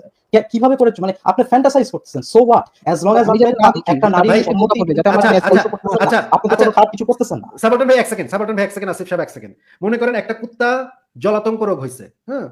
তার মেয়েদের মানুষকে দেখলে তার কামড় দিতে মন চায় হুম? মানুষকে দেখলে তার কামড় দিতে মন চায়। এখন আমাদের কি করা উচিত? সব মানুষের পায়ে লোহার একটা মানে জুতা। যে জুতা পরলে আর কামড়টা পায়ে লাগবে না। এটা করা উচিত। সমস্ত মানুষকে এটা করা উচিত। নাকি পাগলা কুত্তাটারে ইনজেকশন দেওয়া উচিত? কোনটা করা উচিত? এখন আপনি পাগলা কুত্তাকে ইনজেকশন দিবেন অথবা তার যেন জলাতঙ্ক না হয় সেই ব্যবস্থাটা আপনাকে করতে হবে। জলাতঙ্ক না হয় যখন তখন একটা মেয়েকে নিয়ে সে চিন্তা করে এবং বাজে চিন্তা করে এটা কি একটা মেয়ের জন্য অসম্মান নয়? এটা এটা এটা মানে মেয়ের জন্য অসম্মান মানে আপনি কি চিন্তা করতেছেন এটা আপনার আপনার ব্যাপার। সবাই মাস্টারবেট হ্যাঁ, করে সবাই হচ্ছে একটা নারীকে নিয়ে বাজে চিন্তা করে। এটা এটা একটা মেয়ে করতে পারে এটা একটা মেয়ে করতে পারে। আপনি কি লজ্জা এখন মানে, মানে, মানে আত্মহত্যা করেন নাকি? একটা মেয়ে আপনাকে নিয়ে কি ভাবলো না না ভাবলো এটা নিয়ে এটা একদম অসম্মান একটা মেয়েকে নিয়ে আপনি কি কীভাবে অসম্মান? বাজে চিন্তা কীভাবে অসম্মান? আপনি বলতেছেন আপনার মনের মধ্যে আপনি একটা জিনিস করতেছেন থট ক্রাইম বলতে কোনো জিনিস এক্সিস্ট করে না। আপনি বলতেছেন যে আপনার চিন্তা একটা অপরাধ এটা কেমন কথা ভাই? হ্যাঁ, মানে একটা একটা জিনিস চিন্তা এটা কীভাবে সম্ভব ভাই? মনে করেন এখন আমি মনে মনে আপনার আম্মুকে নিয়ে ভাবলাম হ্যাঁ? এটা আপনার আম্মুর এখন কি লজে মরে যাওয়া উচিত আত্মহত্যা করা উচিত? আপনি যদি ভাবতে না এই জন্য আমি বোরকা পরাবো। না না আমি যে কোনো ভাবে তো জানতেই পারব এটা বোরখার ভিতরে কি আছে সেটা তো আমি ভাই ভাই বাইর করলাম। বোরখা দিয়ে আপনি আটকাতে পারবেন আমার চিন্তাকে? বোরকার ভিতরে আমি ভাবলাম মনে মনে ভাবলাম যে এইটা এইরকম এরকম হবে এটা সেরকম সেরকম হবে। আমি ডিটেলসে গেলাম না যেহেতু আপনার আম্মু আচ্ছা, আচ্ছা। যেহেতু ডিটেলসে গেলাম না। কিন্তু আপনি বুঝানেন তাতে কি আপনি আপনার মায়ের কোনো অসম্মান তাতে হয়? এন্ড আপনার মা যদি চায় যে তার ব্যাপারে মানুষ ফ্যান্টাসাইজ করুক দেন ওয়াট অ্যাকচুয়ালি আমাদের এই যে বাংলাদেশে দেখেন অনেক পরিমাণে ধর্ষণ হয় হ্যাঁ? এই ধর্ষণ হওয়ার চিন্তা ভাবনা দর্শকদের বিকৃত হয়ে যায় বিকৃত চিন্তা ভাবনা কারণে কারণে ধর্ষণ হয় তাহলে তো এটা বিকৃত চিন্তা ভাবনা যে বিকৃত ভাবে চিন্তা করতেছে তার দোষ। হ্যাঁ। তার উপরে দায়ী দায়বদ্ধতা মানে এখানে তো তাইলে তো আপনি যে সলিউশনটা দিতেছেন যে নারীদেরকে বোরখা পরা এটা তো কোনো প্রযোজ্য হইতেছে না। কোন ইন্ডাস্ট্রি থেকে কোন দেখতেছে বা হিন্দি মেয়েরা কি রকম পর্নের মধ্যে কি শিখায় যে কীভাবে ধর্ষণ করতে হয়? যে নারীদেরকে অনুমতি ছাড়া চলে যায়। ফ্যান্টাসি থাকা কোনো খারাপ ব্যাপার না। যেই ফ্যান্টাসি থেকে আপনি সেই নারীর সম্মতি বিরুদ্ধে তাকে স্পর্শ করতেছেন তখন সেটা আপনার দোষ। সেটা তো ফ্যান্টাসির কিছু না। আপনার সেটা দোষ। সেটা তো সেই নারীরও তো দোষ না। আপনি কেন স্পর্শ করবেন তার সম্মতির বিরুদ্ধে থাকে আমি তো তাকে স্পর্শ করছি কিন্তু আমার তো চিন্তা ভাবনা তো চেঞ্জ হয়ে যাচ্ছে আমার তো চিন্তা ভাবনা নষ্ট হয়ে যাচ্ছে এটা আমার যৌনতার যৌনতার চিন্তা ভাবনা রাখা আর ধর্ষণের চিন্তা ভাবনা রাখা দুইটার মধ্যে আকাশ পাতালের পার্থক্য আছে। যৌনতার ধর্ষণ দুইটার মধ্যে পার্থক্য কি জানেন কি? Consent that's the fucking difference between sex and rape মানে আপনারা কি ভাই এই জিনিসটা বোঝেন না? এই জিনিসটা এত এত ডিটেইলসে আপনাদেরকে মানে লাইভে আমরা ডিটেইলসে এই জিনিসটা ব্যাখ্যা করলাম এত বছর ধরে ব্যাখ্যা করলাম যে একটা যে কোনো যৌন কাজের জন্য কনসেন্ট লাগে। আপনি যে কথাগুলো বলছেন, তাহলে তো ইউরোপে তো মানে প্রতি সেকেন্ডে কয়েক লাখ ধর্ষণ হইতো। মানে রাস্তাঘাটে দেখতাম আমি, বাসে উঠলেই দেখতাম যে পুরুষরা মিলা রেপ করতেছে। এই যে এত কম জামা সামারে, বিশেষ করে সামারে যেই অবস্থা হয়, এখানকার মেয়েরা হচ্ছে কি প্রায় নদীর তীরে একদম জামা কাপড় খুলে শুয়ে থাকে হ্যাঁ? মানে সানবাদ করে। তাহলে তো মানে ধর্ষণের যোগ্য হয়ে যেত। এখানে চব্বিশ ঘণ্টা কন্টিনিউস ধর্ষণ হইতো এখানে। কই? আমি তো এত বছর ধরে ইউরোপে আসি আমি তো এখানকার ছেলেপেলেদের তো এরকম দেখি না ভাই।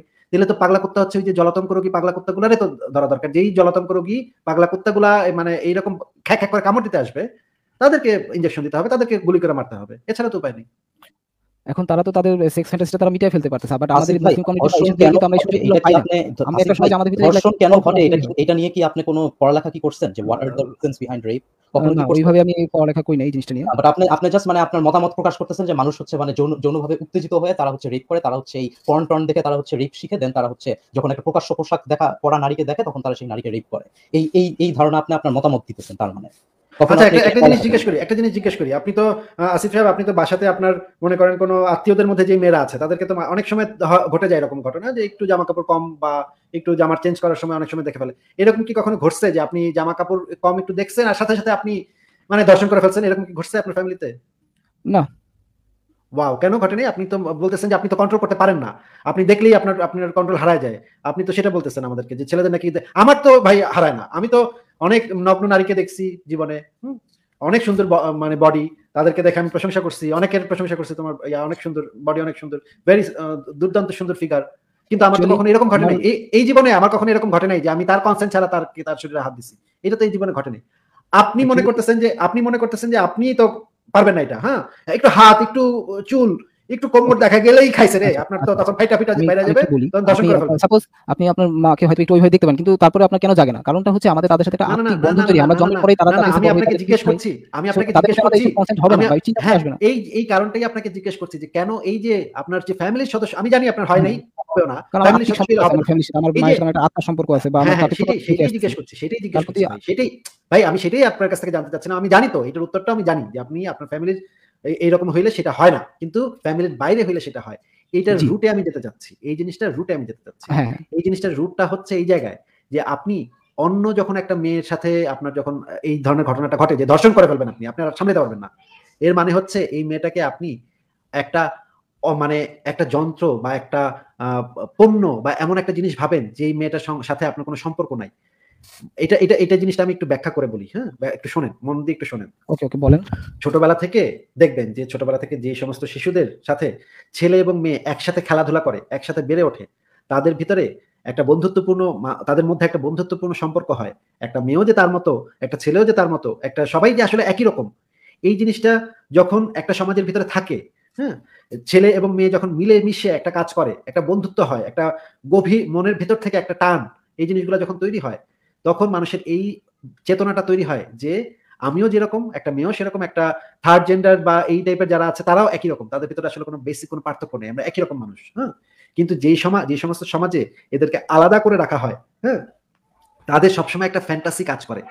দেখবেন আপনি, ছেলেদের স্কুল ছেলেদের মাদ্রাসা বয়েজ স্কুল ক্যাডেট কলেজ এই সমস্ত জায়গাতে দেখবেন তাদের চিন্তা ভাবনার মূল জিনিসটা থাকে মেয়েদের নিয়ে। এবং তারা এমন মানে মানে ইয়া করতে করতে এমন একটা পরিস্থিতিতে চলে যায়। আমি নিজের চোখে দেখাই জিনিসটা। আমি একদিন বাসে উঠছি, দেখি যে একটা মাদ্রাসা ছাত্র উঠছে। একটা মেয়ে পাশে বসছে। মেয়েটার শাড়িটা একটু একটু আঁচলটা একটু সরছে। আমি দেখলাম আমার পাশে পাশে মাদ্রাসার ছাত্রটা, মাদ্রাসার লোকটা ছাত্র না, সে মাদ্রাসা থেকে একটু বড়ই, এত ছোট না আসলে। তার প্যান্ট ভিজে গেছে এবং সাদা পাঞ্জাবি পাজামা তো, এটা বোঝা যাচ্ছে যে তার তার যে জায়গা মতো ভিজে গেছে, সেই জিনিসটা বোঝা যাচ্ছে দেখেই বোঝা যাচ্ছে। এবং গন্ধ আসতেছে, গন্ধ বেরিয়েছে আমি তো মানে ঘেন্নায় সাথে সাথে নেমে গেছি। এই যে এই ছেলেটা, আমি বুঝতে পারছি, এই ছেলেটা সারা জীবন তো কোনো মেয়ে দেখে নাই, কোনো মেয়ের সাথে পরিচয় হয়নি কোনো মেয়ের সাথে বন্ধুত্ব হয়নি হ্যাঁ? একটা মেয়ের কখনো হাত ধরে নেই, একটা মেয়ের সাথে কখনো খেলে নেই।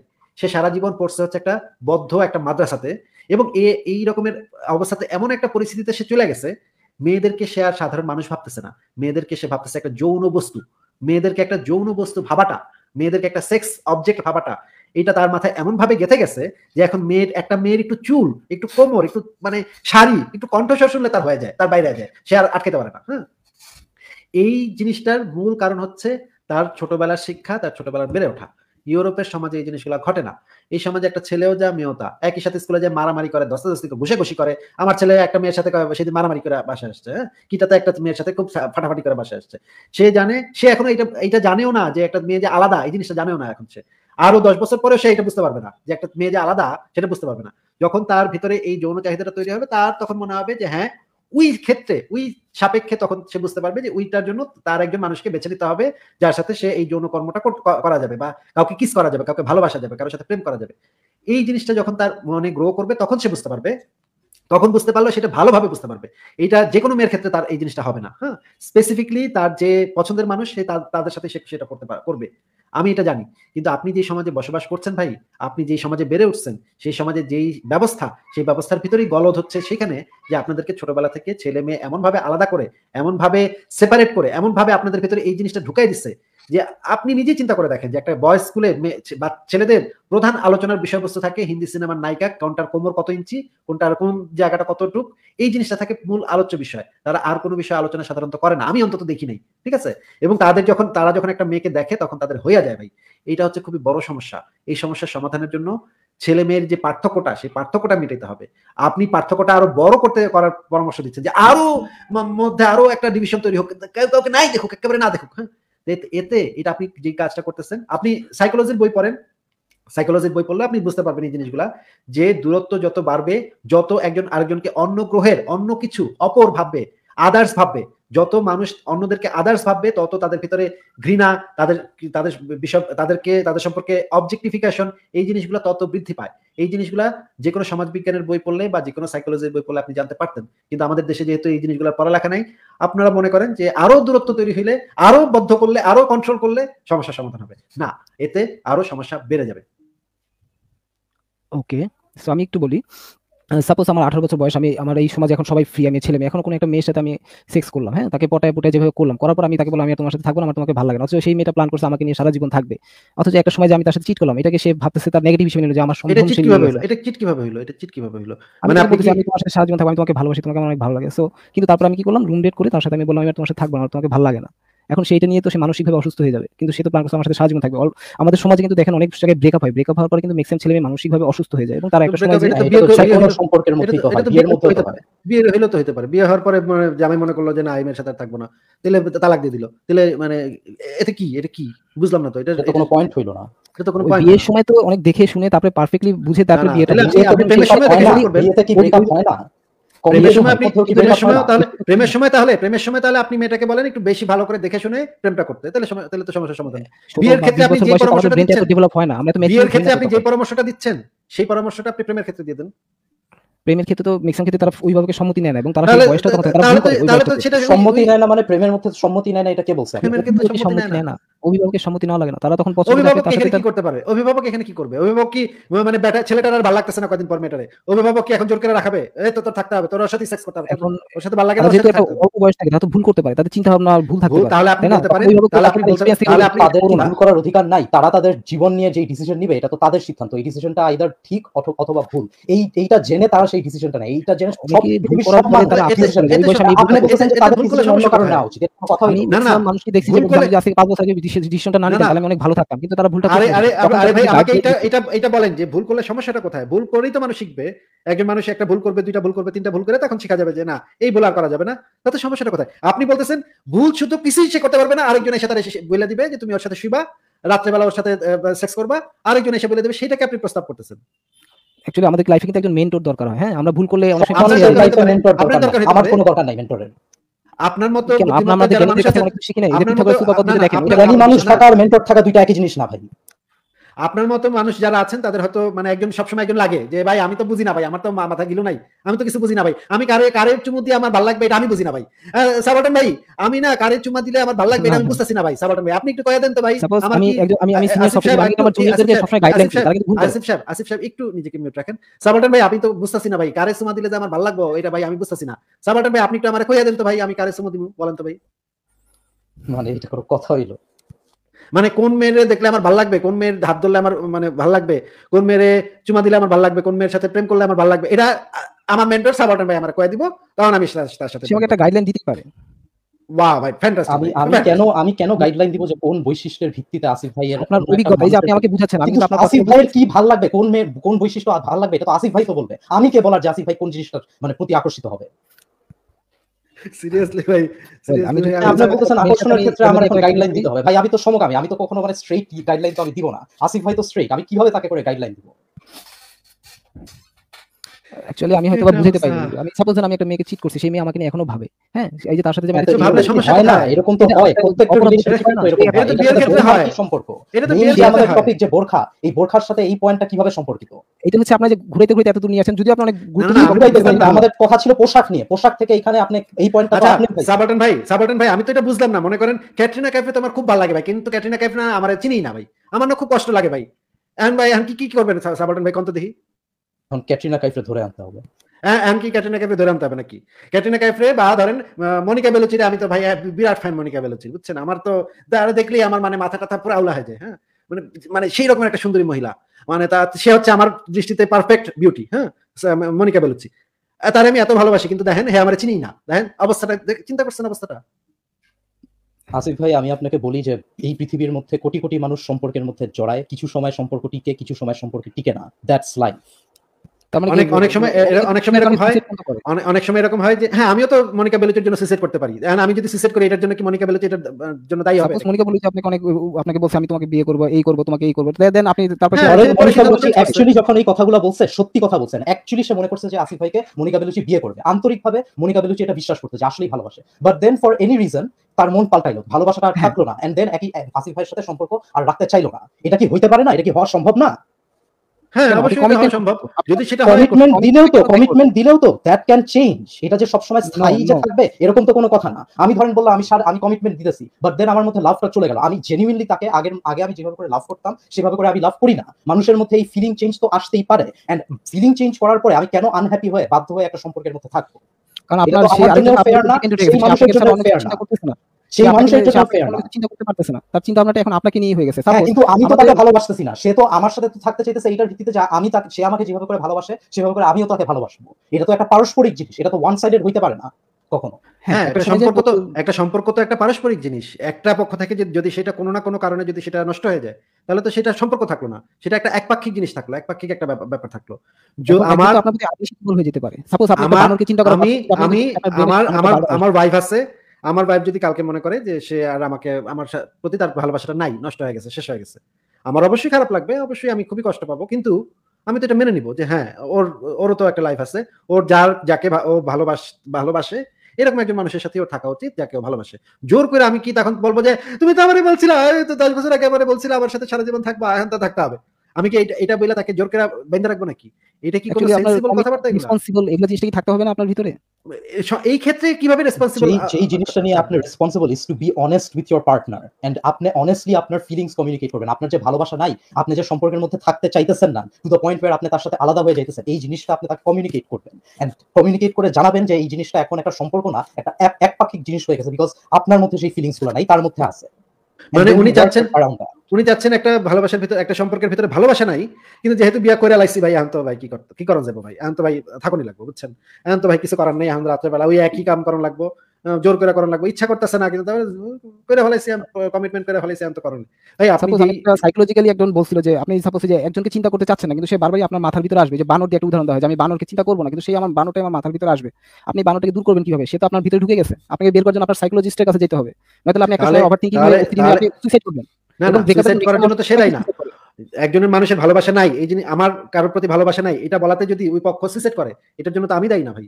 এটার জন্য তার যদি এই সমস্যা থাকে তাহলে সে একজন ভালো সাইকিয়াট্রিস্টের কাছে গিয়ে সেই জিনিসটা দেখাবে যে আমি আর তো আমার তো খালি খালি খালি ভাই সুইসাইড করতে ইচ্ছা করে। এটা বলে তাকে মেসেজ এবং আপনাকে সুইসাইড থেকে রক্ষা করার জন্য আসিফ ভাই? আপনাকে আপনাকে সুইসাইড আপনাকে সুইসাইড থেকে রক্ষা করার জন্য কোনো মানুষের এটা ঠেকা পড়ে নাই যে তারা হচ্ছে কোনো ভালোবাসা নাই এবং আপনার সাথে সম্পর্কে মানে চড়াবে আর কি। এরকম আমরা এটা- এটা একজন অন্যের ঠেকা ভাই। আপনাকে আপনাকে অন্যের বুঝতে ঠেকা। এখন একজন মানে এটা তো দিলে যে কেউ এই- এই এই ব্ল্যাকমেলটা করতে পারে। এই মনিকা বেলুচি তুমি আমার বিয়ে না করলে আমি কিন্তু সুইসাইড করব বুঝছ? তখন মনিকা বেলুচি তো তখন এসে তারে আমার বিয়ে করতেই হবে। দেখেন ভাই কি তামসা ধরেন চিন্তা আসিফ ভাই আমার একটা রোগ আছে এবং আমার একটা কিডনি লাগবে এবং দেখা গেছে যে আপনিই হচ্ছে পৃথিবীর একমাত্র কিডনির ম্যাচ আমি এখন আপনাকে অপহরণ করে আপনার কিডনিটা চুরি করে আমার মধ্যে আমি লাগাই দিলাম এখন। আপনার কোনো হ্যাঁ। অনুমতি সম্মতি কিছুই আমি নিলাম না। না। এইটা তো আর আপনি আমার সাথে কমিটমেন্ট করলেন না যে তোমার কিনে নিয়ে দিলাম তোমাকে আমি সাহায্য ভালো ভালোবাসবো তোমাকে আমি এত টাকা দিব। আপনি কমিট ওইটা ওই ক্ষেত্রে কিন্তু তাকে তার একটা প্রতিশোধ স্পৃহা কাজ করতে পারে। কিন্তু আপনি আমাকে ইমোশনালি আমার প্রতি একটা কমিটমেন্ট করলেন বাট আমি আপনার প্রতি কমিটমেন্ট করে ধরেন আসিফ ভাই অ্যাকচুয়ালি আমাকে কমিটমেন্ট যে আমাকে সে কিডনি দিবে। ধরেন আসিফ ভাই অ্যাকচুয়ালি আমাকে কমিটমেন্ট দিয়েছে যে সে আমাকে কিডনি দিবে আমার জীবন বাঁচাবে। বাট দেন পরবর্তীতে আসিফ ভাই জানতে পারল যে না যে- সার্জারির মধ্যে কিছু রিস্ক আছে সে হচ্ছে ওই রিস্কটা নিতে চাইছে না। সে তার মাইন্ড চেঞ্জ করল। বা রিস্ক নাই যেই কারণেই হোক সে তার মাইন্ড চেঞ্জ করল। আমার কি এই অধিকারটা আছে যে আসিফ ভাইয়ের সম্মতি বিরুদ্ধে তাকে অপহরণ করে তার কিডনিটা তার শরীর থেকে বের করে আমার শরীরে ঢুকানো? আসিফ ভাই ধরেন অ্যাকচুয়ালি কমিটমেন্ট। দিল আমাকে। দেন সে তার মন পাল্টাইলো। তার সম্মতির বিরুদ্ধে কি তাকে আমি আক্রমণ করে নিতে পারব? অবশ্যই আপনি বলতে পারেন আপনি আপনি আমাকে সাথে কমিটমেন্ট করছেন আমি কমিটমেন্ট এটা আপনি শুধু বলতে পারবেন ভাই, সে বলছে যে আমি আপনি আপনাকে খালি- অপহরণ আপনি করে নিতে আপনি করতে দিয়ে আপনি আপনাকে খালি- করতে পারব? আপনি খালি এটা বলতে পারবেন। আপনি তাকে এটা বলতে পারবেন মনে করাই দিতে পারবেন ভাই আপনি তো কমিটমেন্ট করছিলেন। ভাই প্লিজ ভাই আপনি তো কমিটমেন্ট করছিলেন। এইটুকু শুধু আপনি বলতে পারবেন। তার আশেপাশে দেখিনি তাকে আমি পেয়ে গেছি। এখন হঠাৎ করে যদি অপারেশন সময় বলে আমি দিতে পারব না তখন তো এটা আমার জন্য একটা কষ্টকর বিষয়। কষ্টকর বিষয় তো অবশ্যই কিন্তু এই অধিকার সে হচ্ছে বেহুশ হওয়ার আগ পর্যন্ত তার এই অধিকারটা আছে না বলার। যে সে না বলতে পারবে। সারা পৃথিবীর- সারা পৃথিবীর আইন এবং বিচার ব্যবস্থা এটার উপরে প্রতিষ্ঠিত ভাই। আপনি কোন পৃথিবীতে থাকেন এই জিনিসটা আমি জানি না। মনে করেন একজন মনে করেন একজন আহ, মানুষ বিয়ে করছে কমিট বিয়ের সময় কমিটমেন্ট করছে।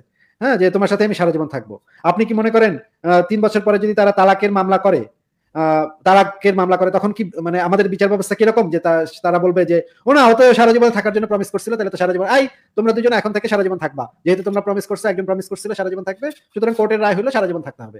এইটা কি পৃথিবীর কোনো বিচার ব্যবস্থাতে কি এরকম সিস্টেম আছে? জানেন আপনি? দেখুন ওইখানে বিয়ের সময় কিন্তু ওই আমাদের নীতি কথা শুনে দেওয়া হয় নীতিমালা আছে কিছু যে চাইলেও তালাক দেওয়া যাবে আমি যে জিনিসটা জিজ্ঞেস করছি পৃথিবীর কোনো বিচার ব্যবস্থাতে কি আপনি এখন পর্যন্ত বাপের জন্মে আমরা কোনোদিন শুনি আমি কোনোদিন শুনি নাই। আপনি শুনছেন কিনা যে এরকম কোনো সিস্টেম আছে? যে বিচারককে যদি আমি দেখাতে পারি যে অমুক মেয়ে আমার সাথে কমিটমেন্ট করছিল সারা জীবন থাকব এন্ড তালাক দিতে চাইতেছে আমি তো তালাক দিব না আমার সাথে থাকুন লাগবো। এটা বললে বিচারক বলবে যে হ্যাঁ তোমরা সারা জীবন থাকবে। এরকম কখনো হয়? আপনি যদি দেখুন উইল করে দেন দলিলে যে বা পঞ্চাশ টাকা স্ট্যাম্পে যে আমি থাকব সারা জীবন তাহলে তো আপনি বাধ্য। সাপোজ আমি একটা জমির উইল করে দিলাম একজন এখন এই দশ বছর পরে বলব, সম্পর্কের ক্ষেত্রে যদি আপনি লিখিত দেন তাহলেও আপনি বাধ্য না। সম্পর্কের ক্ষেত্রে আপনি যদি লিখিত দেন তারপরে আপনি বাধ্য না। ভাই আমার মনে হয় যথেষ্ট কথা হয়েছে আপনার আপনার আপনার আপনার মানে যেই আপনি যে একটা উদাহরণ দিচ্ছেন ধর্মের একটা ভালো দিক। ভাই ধর্মে আরেকটা ভালো দিক আছে যেমন সকালে সকালে উঠে নামাজ পড়া এই জিনিসটা ভালো। সকালে উঠাটা তো ভালো। মানে সকালে উঠে এটার জন্য আমাদের ধর্ম লাগবে। এছাড়া আমাদের আমরা কোনোভাবেই জানব না যে সকালে উঠা ভালো। এটার জন্য আমাদের নামাজ পড়া লাগবে আপনি সকালে উঠে যে নামাজ আছে, হিন্দু ধর্ম বলেন বৌদ্ধ ধর্ম বলেন সকালে সকালে উঠে সকালে। সকালে উঠে যে ভালো আপনি ভাই আপনি এই আপনার ফোনের মধ্যে একটা অ্যালার্ম দেন আপনার ধর্মের কোনো প্রয়োজনীয়তা লাগবে না। না না সাপোর্টন ভাই সকালে ওঠা যে ভালো এই জিনিসটা আপনি জানলেন কীভাবে? বলেন তো। যদি আমি বলি অনেস্টলি আমার ধর্ম থেকে আসছে। আমার বাবা না না না সকালে উঠে। ওইটা তো জানছেন ধর্ম থেকে জানছেন যে সকালে উঠতে হবে। হ্যাঁ, হ্যাঁ, কিন্তু হ্যাঁ। আচ্ছা সবাই জানছে হচ্ছে কথা আমার- শু- প্রশ্ন শুনে নেন প্রশ্ন শুনে নেন। আপনি প্রশ্ন শোনার আগে উত্তর দেওয়া শুরু করেন। এই জন্য আপনি প্রশ্ন বোঝেন না। আপনি ধর্ম থেকে শিখেছেন সকালে উঠতে হবে। রুলস কিন্তু ধর্ম সকালে ওঠাটা যে আপনার শরীরের জন্য ভালো এই জিনিসটা আপনি কোথা থেকে জেনেছেন? আচ্ছা এটা হচ্ছে আমরা ইউটিউব থেকে ডাক্তারদের সাজেশনগুলো দেখছি যে সকালে উঠতে হবে। এখন এই আমার কাছে মনে হলো তাহলে চোদ্দশো বছর মানে- আগে তাহলে মোহাম্মদ মানে সাবাটন ভাই সাবাটন ভাই আমি মানে চোদ্দশো বছর আগে কি সকালে উঠতো না আর কেউ জানতো না যে সকালে উঠলে মানে অল্প খাইতে হবে অল্প খাওয়াটা হলো এটা মোহাম্মদ মোহাম্মদের তো কোনো জ্ঞান ছিল মোহাম্মদ অল্প খাইতো মোহাম্মদ প্রচণ্ড রকমের খাইতো আমি আপনাকে প্রমাণও দিব একটু পরে। তারা তো বলছে কম খাইতে আমাদেরকে তো বলছে কম খাও তোমরা। তোমরা তিন ভাগের এক ভাগ খাও এক ভাগ আহ, খাও, তোমরা একটু একটু ধৈর্য ধরেন একটু ধৈর্য ধরেন। আচ্ছা আহ, ভাই, অন্য- আলোচনার আগে আমি অ্যাকচুয়ালি পোশাকের এই এই জিনিসটা নিয়ে মানে এক সেকেন্ড সাবাটন ভাই একটু একটু শেষ করে নি আপনি আমি দেখছি আমরা ওইটাতে একটু ডিটেলস আলোচনা করব একটু পরেই। একটু ধৈর্য ধরেন। আহ, আহ, ভাই উনি আমাদের কিন্তু ইয়া ছিল যে আপনাকে আমি কিন্তু বারবার বলে বলে এই জিনিসটা আপনার মুখ থেকে বের করাইছি যে এমন একটা জিনিস ধর্মের ক্ষেত্রে বলতে হবে যেটা ভালো, যেটা আমরা অন্য কোনো ভাবে জানতে পারতাম না। ওনাকে যখন জিজ্ঞেস করলাম, এই যে সকালে উঠলে যে ভালো, এটা আপনি কেমন জানলেন? ডাক্তারদের থেকে জানছি। মানে ডাক্তারের কথা থেকে জানলো, তারা কি ধর্মগ্রন্থ পড়ে শিখছে? না, ডাক্তাররা মানব শরীর গবেষণা করে এই জিনিসটা বলছে। তার মানে এই জিনিসটা তো অন্য সোর্স থেকে জানা সম্ভব। আর আরেকটা কথা উনি বলছেন যে চোদ্দশো বছর আগে কেমনে জানলো ভাই সকালে উঠলে ভালো? সাপোর্টার ভাই চিন্তা করছেন, ওনার বুদ্ধিমত্তা কোন লেভেলের চোদ্দশো বছর আগে মানুষ কেমনে জানলো ভাই সকালে উঠলে ভালো? অদ্ভুত নিরক্ষর ভাই ছিল। নিরক্ষর একজন মানুষ এটা জানতে পারে না। নিরক্ষর একজন মানুষ চোখ বন্ধ করে মানে মুখ বন্ধ করে সারাক্ষণ বসে থাকে নাকি? না তার অনেক কিছুই বলতেছে যে ভালো সাপোজ যে আমরা আমার আমার গ্রামের অনেক আত্মীয় স্বজন আছে যারা জীবনে কোনোদিন বইয়ের ধারে কাছ দিয়েও কখনো যায় নাই। তারা ভোর একদম ভোর চারটার সময় ঘুমের থেকে ওঠে এবং উইঠা পুকুরে গোসল করতে যেত গ্রামে থাকতো তারা। তারা তো ভাই আচ্ছা। নিরক্ষর ছিল তারা কেমনে জানলো ভাই? ওয়াও তারা তো নবী তাহলে। নিশ্চয়ই তারা নবী না হলে কেমনে জানলো ভাই? সকালে উঠলে ভালো।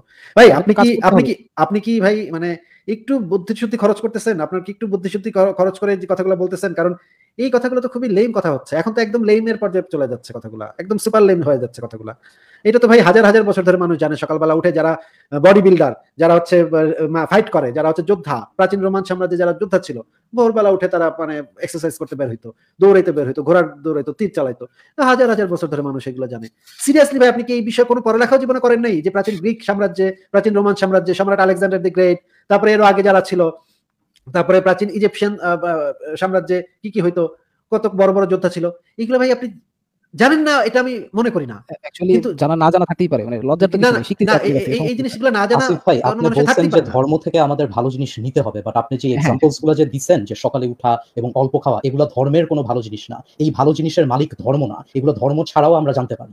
আপনার এবং এবং ধর্মের ভালো জিনিস এবং না। এবং এবং সাপোর্টন ভাই আমরা তো সেই হাজার হাজার বছর ধরেই জানি যে মানুষ যদি বেশি খায় তাহলে একটু মোটা হয়ে যায়। মোটা হয়ে গেলে আর হাঁটাচলা করা এক্সারসাইজ করা যুদ্ধ করা দৌড়ানো এগুলো একটু কমে যায়। এগুলো কি ভাই মাত্র চোদ্দশো বছর আগে মোহাম্মদ যখন বলল তারপর থেকে আমরা জানতেছি অনেক আগের থেকেই মানুষ জানতো যে মানুষ যদি সকালে উঠে দেন বেশি সময় ধরে তারা কাজ করতে পারে। কম ঘুমাইলে দেন কম টাইম ধরে তারা রেস্ট নিল বেশি টাইম তারা কাজ করতে এটা তো খুবই বেসিক একটা জিনিস। এটার জন্য তো পড়ালেখা বা অক্ষর জানার তো কোনো প্রয়োজনীয়তা রাখে না। বা ধর্ম দেখার তো কোনো প্রয়োজনীয়তা লাগতেছে মানে ধর্মের একজন ব্যক্তি এসে আল্লাহর কাছ থেকে আইনা বলল যে সকালে উঠলে ভালো তারপর থেকে মানুষ বুঝতে পারল, আরে তাই তো আমরা তো আগে সকালে কোনোদিন উঠতাম না, আমরা তো জানতামই না যে সকালে উঠলে ভালো। এই যে মোহাম্মদ নবী এসে বলল, তারপরে আমরা এই বিষয়টা জানতে পারলাম। বা ধরেন যিশু এসে বলল যে, তোমরা কম কম খাও একটু হ্যাঁ? তখন তারা বুঝতে পারল, একটু কম কম খাইলেই বেশি একের পেট ফাটা খাইলে মানুষ মোটা হয়ে যায়, এটা মানুষ আগে জানতোই না, বুঝতোই না, বুঝছেন? যিশু এসে কইলো, এরপর থেকে মানুষ বুঝতে পারল। ভাই, সিরিয়াসলি এই লেভেলের কথাবার্তা আমাদের বলতে হবে? ওকে ফাইন আপনি আসিফ ছোট আসিফ ভাই আমাদের যে মূল প্রশ্নটা যে ছিল যে এমন একটা জিনিসের এক্সাম্পল দেন যেটা ভালো জিনিসের এক্সাম্পল দেন যেটা শুধুমাত্র আমরা ধর্মের মধ্যে পাইতে পারি আর আর কোনো জিনিসের জায়গায় আমরা পাইতে পারি না। আপনার তো দুইটা এক্সাম্পল তো মিললো না সেখানে আপনি তো একটাও ভালো জিনিসের কথা তো বলতে পারলেন না ধর্মের অ্যাকচুয়ালি প্রথমটা আমার কাছে মনে হচ্ছিল যাই হোক যেটা আপনারা আপনাদের মতামত থেকে যেটা বলছেন এখন ওইটার বিরুদ্ধে আমি আর কিছু বলতে পারছি না বাট এটা আমার পার্সোনাল একটা মতামত। আসিফ ভাই প্রথমে আপনি যে বোরখার কথা বলছেন এটা কিন্তু মতামত কিন্তু আপনি দিচ্ছেন। আপনি কিন্তু এই জিনিসটা স্বীকার করছেন যে ধর্ষণ কেন হয়? তারা মানে ধর্ষণকারীরা কি আসলে যৌন লালসার উপরে উত্তেজিত হয়ে তারা কি ধর্ষণ করে নাকি না? কিনা এটা আপনি নিজেও বলছেন যে আপনি জানেন না এটা নিয়ে পড়ালেখা আপনি করেন নাই। At the end of the day ধর্ষণ কেন হয়? ইউ ডোন্ট নো সো আপনি মতামত যদি কেউ দিয়ে থাকে সেটা হচ্ছে আপনি।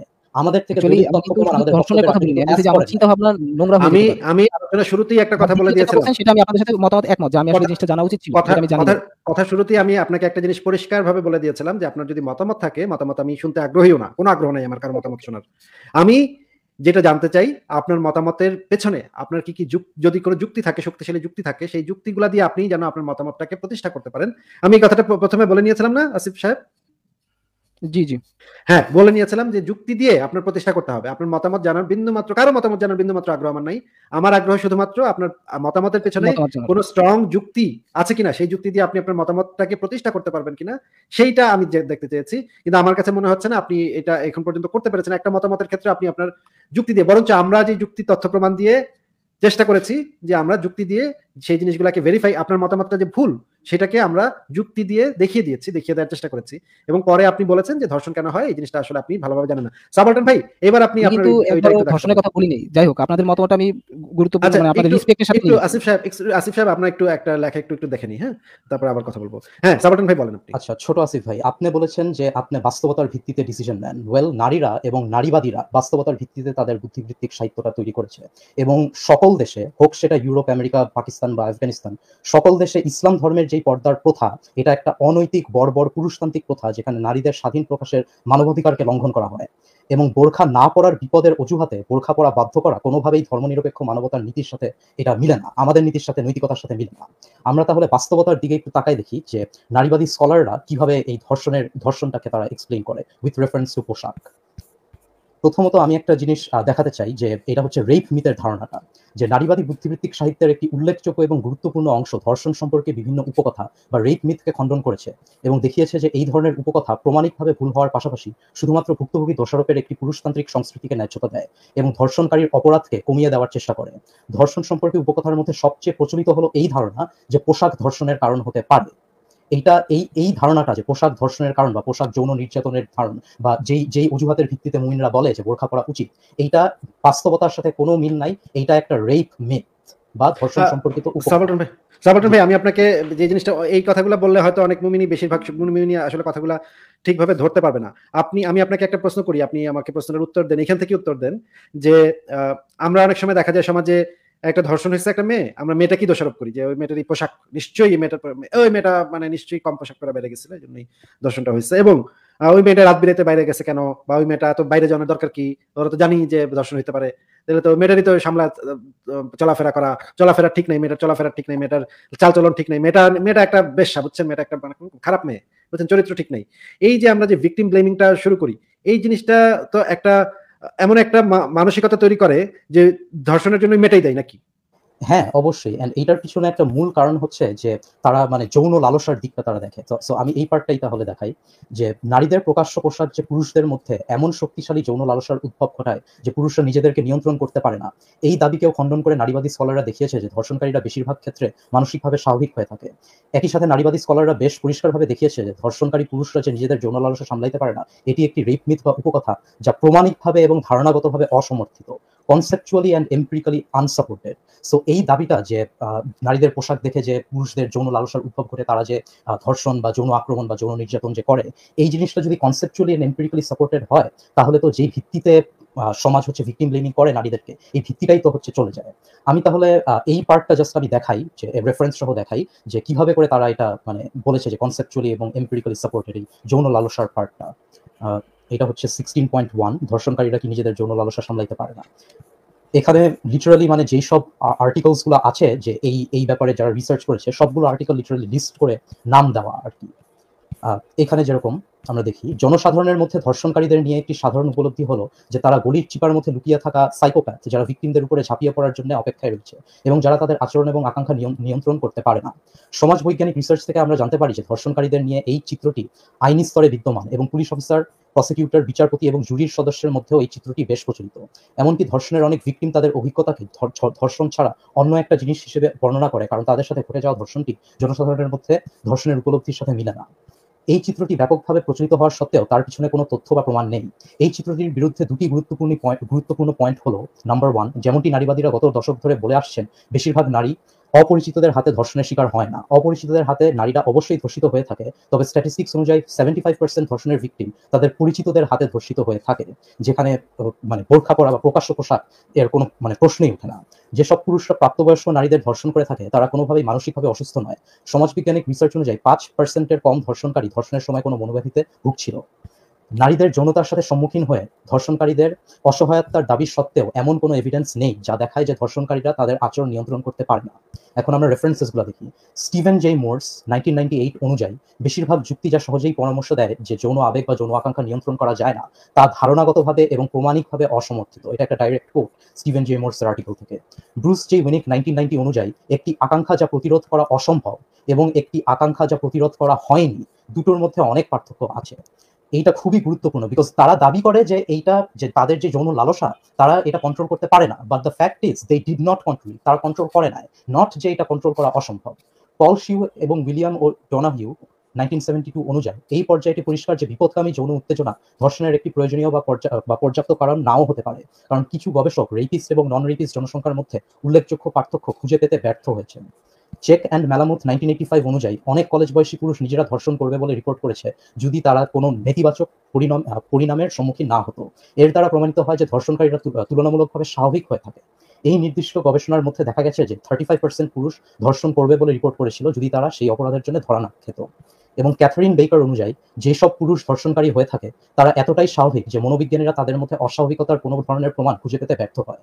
যেসব পুরুষরা ধর্ষণকারী হয়ে থাকে, তাদের, তাদেরকে একটি মনোবৈজ্ঞানিক দৃষ্টিভঙ্গি অনুযায়ী বাকি পুরুষ জনসংখ্যার থেকে আলাদাপ্রাপ্ত করা অসম্ভব। অবশ্যই ধর্ষণকারীদের কিছু কিছু শনাক্তকারী বৈশিষ্ট্য রয়েছে, যা তাদেরকে নন রেপিস থেকে আলাদাপ্রাপ্ত করে। তবে এই বৈশিষ্ট্যগুলি মনোবিজ্ঞান, মনোবিজ্ঞানের সাথে সম্পর্কিত হওয়ার পরিবর্তে সেগুলি সামাজিকভাবে গঠিত। অতএব যেসব পুরুষ ধর্ষণ করেছে অথবা ধর্ষণ করবে বলে রিপোর্ট করেছে, তারা বেশি মাত্রায় রেপ মিথ নারীদের বিরুদ্ধে সহিংসতা এবং যৌন সম্পর্কে বাধা ধরা ধারণাকে সমর্থন করে।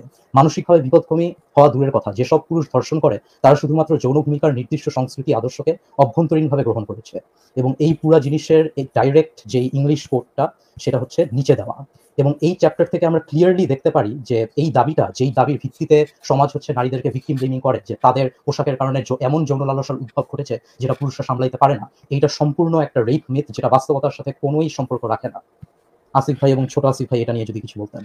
এটা হচ্ছে একটা চাপাবাজি। এই এই যে ধর্ষণ, ধর্ষণকারীদের যে ধর্ষণটা সেটাকে আরও সেটাকে একটা ইয়া দেয়া, সেটাকে একটা নৈতিক সমর্থন দেয়া, পরোক্ষ একটা নৈতিক সমর্থন দেয়া এবং তাদেরকে একটা অসহায় হিসেবে তাদেরকে তুলে ধরা, ধর্ষণকারীদেরকে হ্যাঁ? ইনফ্যাক্ট ধর্ষণকারীদেরকে অসহায় মানে তারা সামলাতে পারতেছে না, এরকমের একটা মিথ তৈরি করে অবশ্যই যে কেউ তার যৌন চাহিদাকে কন্ট্রোল করতে পারে। যৌন চাহিদা এমন না যে তা সা- ওইটা একটা মেয়েকে পাইছে, তাকে না ধর্ষণ করলেই তার হচ্ছে না। এই রকম কোনো, এটা এটা কোনো কথাই আসলে না। এটা কোনো, এটা যারা বলবে, তারা একেবারে মানে এর মতো ফালতু কথা আর হইতেই পারে না। আসিফ সাহেব আপনি কি বলেন? আপনার কি মনে হয়? আচ্ছা প্রথমত হচ্ছে যে আমার কথাটাই ছিল যে এটা থেকে একটা ফ্যান্টাসি থেকে আমার চিন্তা ভাবনা নোংরা হয়ে যায় বাট ধর্ষণ নিয়ে আসলে নোংরা হয়ে যায় আমি বিশ্বাস করি বিলিভ করি যে আসলে. দায়ী নয়। ওয়েট ওয়েট ওয়েট নোংরা হয়ে যায় মানে কি ভাই? বুঝলাম না তো নোংরা মানে কি? নোংরা হইতেই পারে আমার চার পাঁচজনকে দেখাবো আমার একটা চিন্তা ভাবনা চেঞ্জ আসে মানে তাদেরকে একটা ফ্যান্টাসিতে ভুগি দেন আমি পরবর্তীতে কোথায় সব আপনি কি সব ধরনের যৌন চিন্তাকে আপনি বলবেন নোংরা? উম, না সব ধরনের নোংরা বলা যাবে না বাট কিছু কিছু ক্ষেত্রে নোংরা এসে বলাই যায় যে আমরা কোনো ধরনের কনসেপ্ট তার কনসেন্ট ছাড়াই তার অনুমতি আপনি ছাড়াই আপনি আপনি যদি এখন আপনি যদি আপনি যদি আপনি আসিফ ছোট আসিফ ভাই আপনি যদি এখন মনের মধ্যে ভাবেন যে আমি হচ্ছে ধরেন অমুককে আপনি মনের মধ্যে ভাবতেছেন যে তাকে আপনি রেপ করতেছেন অবশ্যই এটা একটা নোংরা চিন্তা। কিন্তু at the end of the day আপনি যদি এটা আপনার শুধুমাত্র মাথার স্তরে রাখেন যতই আমরা নোংরা বলি এটা একটা অপরাধ না। এটা তো কোনো মানে এটা অপরাধ কীভাবে হইল বুঝলাম না। আচ্ছা যাই হোক আপনার মনে হচ্ছে মানে মনে মনে ভাবতেছেন আপনি খুব ধর্ষণ করতেছেন একটা মেয়েকে হ্যাঁ?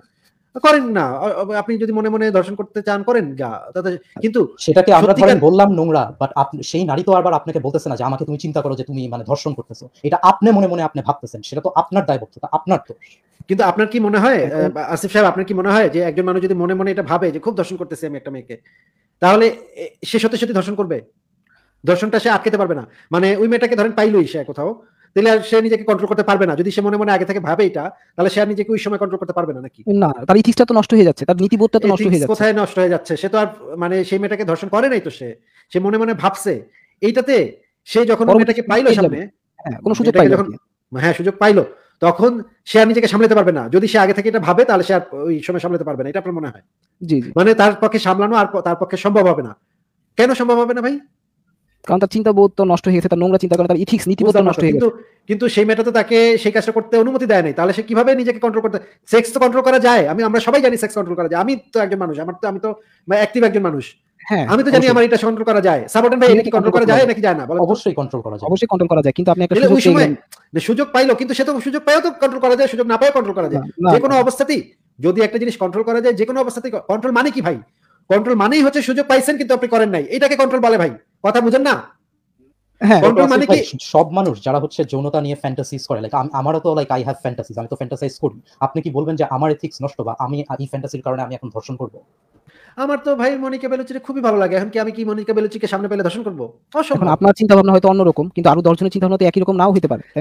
কোন স্পেসিফিক চিন্তা চিন্তা ভাবনা আমি যতটুকু জানি মানুষ উৎসাহিত করে একটা মানুষকে কোন চিন্তাটা আপনি বলতে চাইতেছেন? আমি যতটুকু বুঝি মানুষ ন্যাচারালি অপরাধ করতে আগ্রহী বা অপরাধ করার প্রতি তাদের আকর্ষণ থাকে মানে আমি যতটুকু বুঝি। এটা তাহলে আপনি মানুষ সম্পর্কে খুবই ন্যারো আপনার ধারণা। বাট কারণ আমি যতটুকু বি- বি- বিশেষ করে বিবর্তন একটা মাধ্যমে অপরাধের মনোভাবকে পোষণ করে। যদি একটা মানুষ ধর্ষণের মনোভাবকে পোষণ করে এবং সেই মনোভাবের ভিত্তিতে সে যদি ধর্ষণ করে তাহলে তো সে একটা ধর্ষক।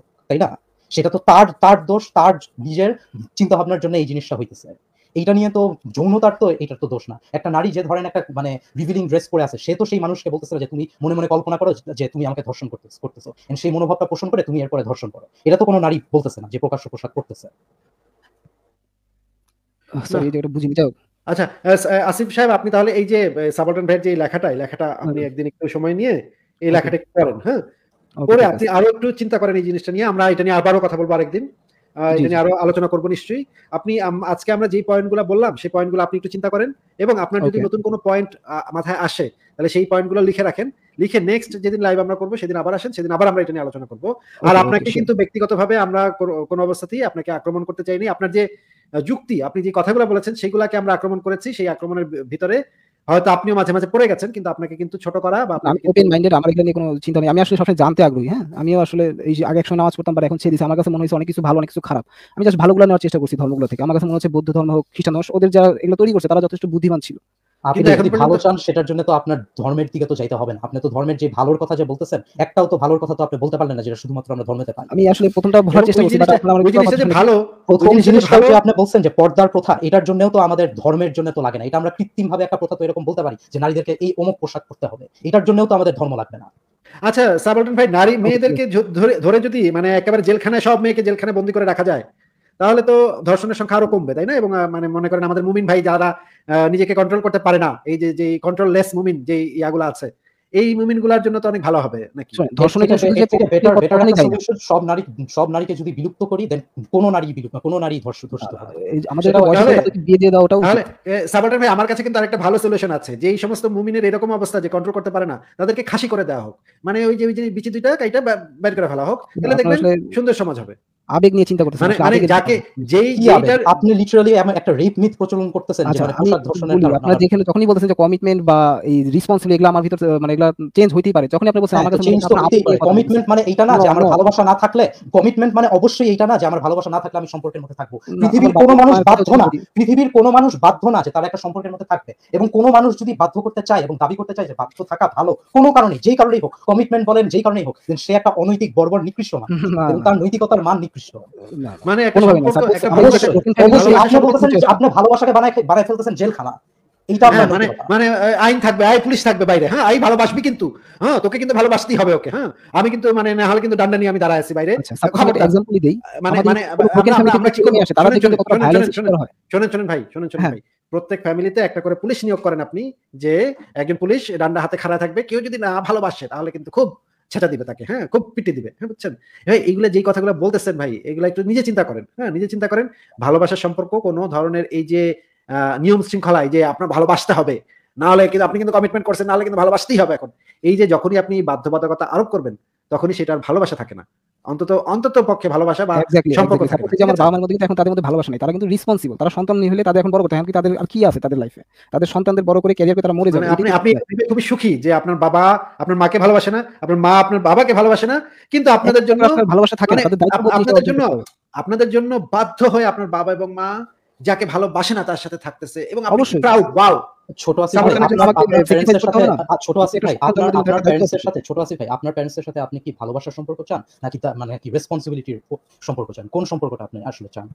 এখানে রেসপন্সিবিলিটি আসে। কিন্তু পাশাপাশি যদি একসাথে না থাকে তাহলে একটা সন্তানের মানসিক একটা প্রভাব তৈরি করে আমার বাবা মা আলাদা আমার বাবা আরেকজন পুরুষের সাথে- নারীর সাথে সম্পর্ক করে রয়ে গেছে আমার মা আরেকজন পুরুষের সাথে। এটা একটা ছোট শিশুর জীবনে বা মানসিকভাবে তাকে ক্ষতিগ্রস্ত করে। আমি যতটুকু মাঝের মধ্যে ক্ষতিগ্রস্ত করে মাঝের মধ্যে ক্ষতিগ্রস্ত করে না। সব মানুষের- অভিজ্ঞতা তো আপনার মতন হয় না। এরকম অসংখ্য অসংখ্য কোটি বাচ্চা আছে মানে- এটা- তারা তারা তো সব মানুষ সব ডিভোর্স চিলড্রেন তো আর ট্রমাটাইজ হয় না। এইটা- হয়। আপনার ডাক্তারের এটা- বলছে, ম্যাক্সিমাম এটা- এটার পিছনে আপনার কোনো তথ্য আছে নাকি? আপনি জাস্ট মুখ দিয়ে একটা ভূমি করলেন যে ম্যাক্সিমাম না বলার কথা এটা সবাই জানে যে সবাই জানে তো আপনি তথ্য না দেখাইলে তো আমি তো সবাই জানে তো এটা কোনো কথা না। আপনার মুখের কথা তো আমরা তো দেখব না। আমরা এখন আর খুব বেশি মানে আগানো উচিত না, একটা মানুষ দুইটা মানুষ একসাথে থাকতেছে একজন আরেকজনকে ভালোবাসে না হ্যাঁ? তারপরে বাধ্য হয়ে তাদের থাকতে হচ্ছে। এরকম একটা ফ্যামিলিতে একটা বাচ্চা বড় হচ্ছে সেই বাচ্চাটা ছোটবেলা থেকে জানে যে আমার বাপেও আমার বাপের ভালোবাসে মায়ের মা বাপের ভালোবাসে না বাপে মায়ের ভালোবাসে না। সে জানবে? আমি বাচ্চাকে জানাব কেন? সে বাসা দেখবে না? সে বা- ভাই ভালোবাসা এটা কি আসে- ভালোবাসা কি বাসে না? এই জিনিসটা একটা সম্পর্ক একটা জিনিস যেটা বাচ্চাদের সাথে শেয়ার করা উচিত। একটা প্যারেন্টের মনেই হইতে পারে যে আমি আমার ভালোবাসার সম্পর্কটা আমি শেয়ার করব। মানে এই- এইটা বাচ্চারা কখনো বুঝতেই পারবে না। মানে সাপোজ আপনার আপনার বাচ্চা যে আপনার বাবা মাকে দেখতেছে একসাথে হঠাৎ করে তারা যদি দেখে আপনার আলাদা হয়ে গেছেন তার কিন্তু এটা মানসিকভাবে ক্ষতিগ্রস্ত করবে। সেই বাচ্চাটা মানসিক ভাবে ক্ষতিগ্রস্ত মানে বাচ্চারা কষ্ট পাবে সর্বক্ষেত্রে যে মানসিক ভাবে যে আঘাত দিবে বা ক্ষতিগ্রস্ত করবে এমন কোনো কথা তো না divorce is painful of course চিলড্রেনের জন্য divorce can be painful but not always এবং এবং তা এটার থেকে আরও বেশি পেইনফুল হবে যদি ঘরের ভিতরে একজন আরেকজনকে ভালো না বাসে একজনকে একজনের সহ্য না হয় তারপর যদি মাইরা পিটা কামড়া কামড়ি কইরা যদি তারা একসাথে থাকে এরকমের একটা পরিবেশে একটা বাচ্চা আরও বেশি এরকমের একটা পরিবেশে এরকম তাহলে তো সেটা তো ঈশের ক্ষেত্রে প্রযোজ্য মানে প্রেমের ক্ষেত্রে প্রযোজ্য তাহলে এতক্ষণ টানা পেতে এক্সট্রিম এক্সট্রিম লেভেলে গেলে। মানে এক পক্ষ Extreme- খুব বাজে extreme মানে- এক্সট্রিম মানে কতটুকু এটা আপেক্ষিক ব্যাপার। যেটা বললেন সম্পর্ক- লাগাই সেই মানুষের সেটা তো এক্সট্রিম আপনার একটা আপেক্ষিক ব্যাপার ছোট আসিফ ভাই যে যেই সম্পর্কের মধ্যে মানুষগুলো আছে তারা তো ডিসাইড করবে যে কিসের ভিত্তিতে তার রিলেশনশিপে থাকবে বা এন্ড আচ্ছা, করবে। কোন জিনিসটা এক্সট্রিম হবে বা কোন জিনিসটা এক্সট্রিম হবে না আপনি তো সেটা নির্ধারণ করার কেউ না। আচ্ছা এখন আমি একটু বলি আমার হচ্ছে যে মানে আপনার যে দ্বিতীয় আমি একটা ভুল বলছিলাম যে আমি সকল উঠে এটার জন্য আমি দুঃখিত এটা আসলে আমার ভুল ছিল যেটা জানা উচিত ছিল সেটা আমি দুঃখিত বাট প্রথমে হ্যাঁ, আমি অল্প খাওয়াটা অল্প খাওয়াটাও কি কি আপনি মানে তাহলে এটাও একটা ভুল হ্যাঁ হ্যাঁ ছিল, এটা এটা স্বীকার করে নিয়েছি, আমার আমার চিন্তা ভাবনা ভুল এই আচ্ছা, যে নারীদেরকে পোশাক পরানো জন্য যে আমাদের ধর্মের দরকার নাই। থেকে আপনার যে যে আমরা কৃত্রিম ভাবে আমরা কৃত্রিম ভাবে আমরা এটা বলতে পারি যে নারীরা নারীরা অমুক পোশাক পরুক। হুইচ ইজ ওয়াই আপনার তিনোটা কারণ বোরখা রেসপন্সিবল নিয়ে যখন আপনারা এগুলো সব আমি আর এই বিষয়ে কথা বলতে আগ্রহী না। So goodbye I need আচ্ছা। টু টেক মাই ডিনার আচ্ছা আমি হ্যাঁ, খেয়ে পরবর্তীতে লাইভে আসলে এরপর যখন দাবি করবেন যে ধর্মের মধ্যে ভালো জিনিস আছে অন্তত পক্ষে একটা ভালো জিনিসের কথা আপনি ডিফেন্ড করে যান। শিওর শিওর আচ্ছা আমি একটা আমি একটা আমি একটা রেফারেন্স দেখাবার কথা বলেছিলাম সেই রেফারেন্স একটু দেখা দিই নাহলে একটা আহ, ইয়া থেকে যাবে। আমি বলতে খারাপ দিকে বলতে পারি যে আমি ধর্ম থেকে সরে আসছি সেটাও কিন্তু আমি বলতে পারি চাইলে যদি বলেন আর কি।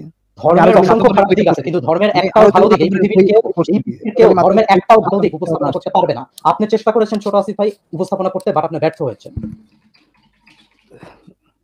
আমি আসলে সবসময় মানে লিভার মানে ওপেন মাইন্ডেড সো ভালো খারাপ সবকিছুই নেই। আমার ভুল হলে আমি সেটা স্বীকার করি একটাও ভালো জিনিসের কথা আপনি বলতে পারলেন আমি তো প্রথমটার সাথে আপনার সাথে একমত না সেটা থাকতেই পারে। তাহলে প্রথমে আপনি বলেন আমি তাই আপনি কি আচ্ছা, এটা আমার- দ্বিমত পোষণ ছোট ভাই আপনি কি তাহলে বলতে চাইতেছেন? আমি মানে ইসলাম ধর্ম না পড়ে কৃত্রিম ভাবে আমি এরকম নির্ধারণ করতে পারব না যে নারীদের হচ্ছে এরকম বস্তা পড়া লাগবে। এটার জন্য কি আমার ইসলামই লাগবে? আমি এটা আগ্রহী না। মনে মনে মতামতকে পারব না। আমি আমার আপনার মতামতকে সম্মান করতে চাই দ্বিতীয় মতামতে যে এটা মতামত কি মতামত কি? আপনি বলেন আমি কি এটা করতে পারব না? ইসলাম ছাড়া কি আমি জাস্ট মনে মনে ভেবে যে নারীদের উপরে আমি হচ্ছে বস্তা পড়াবো এটা কি আমি করতে পারব না?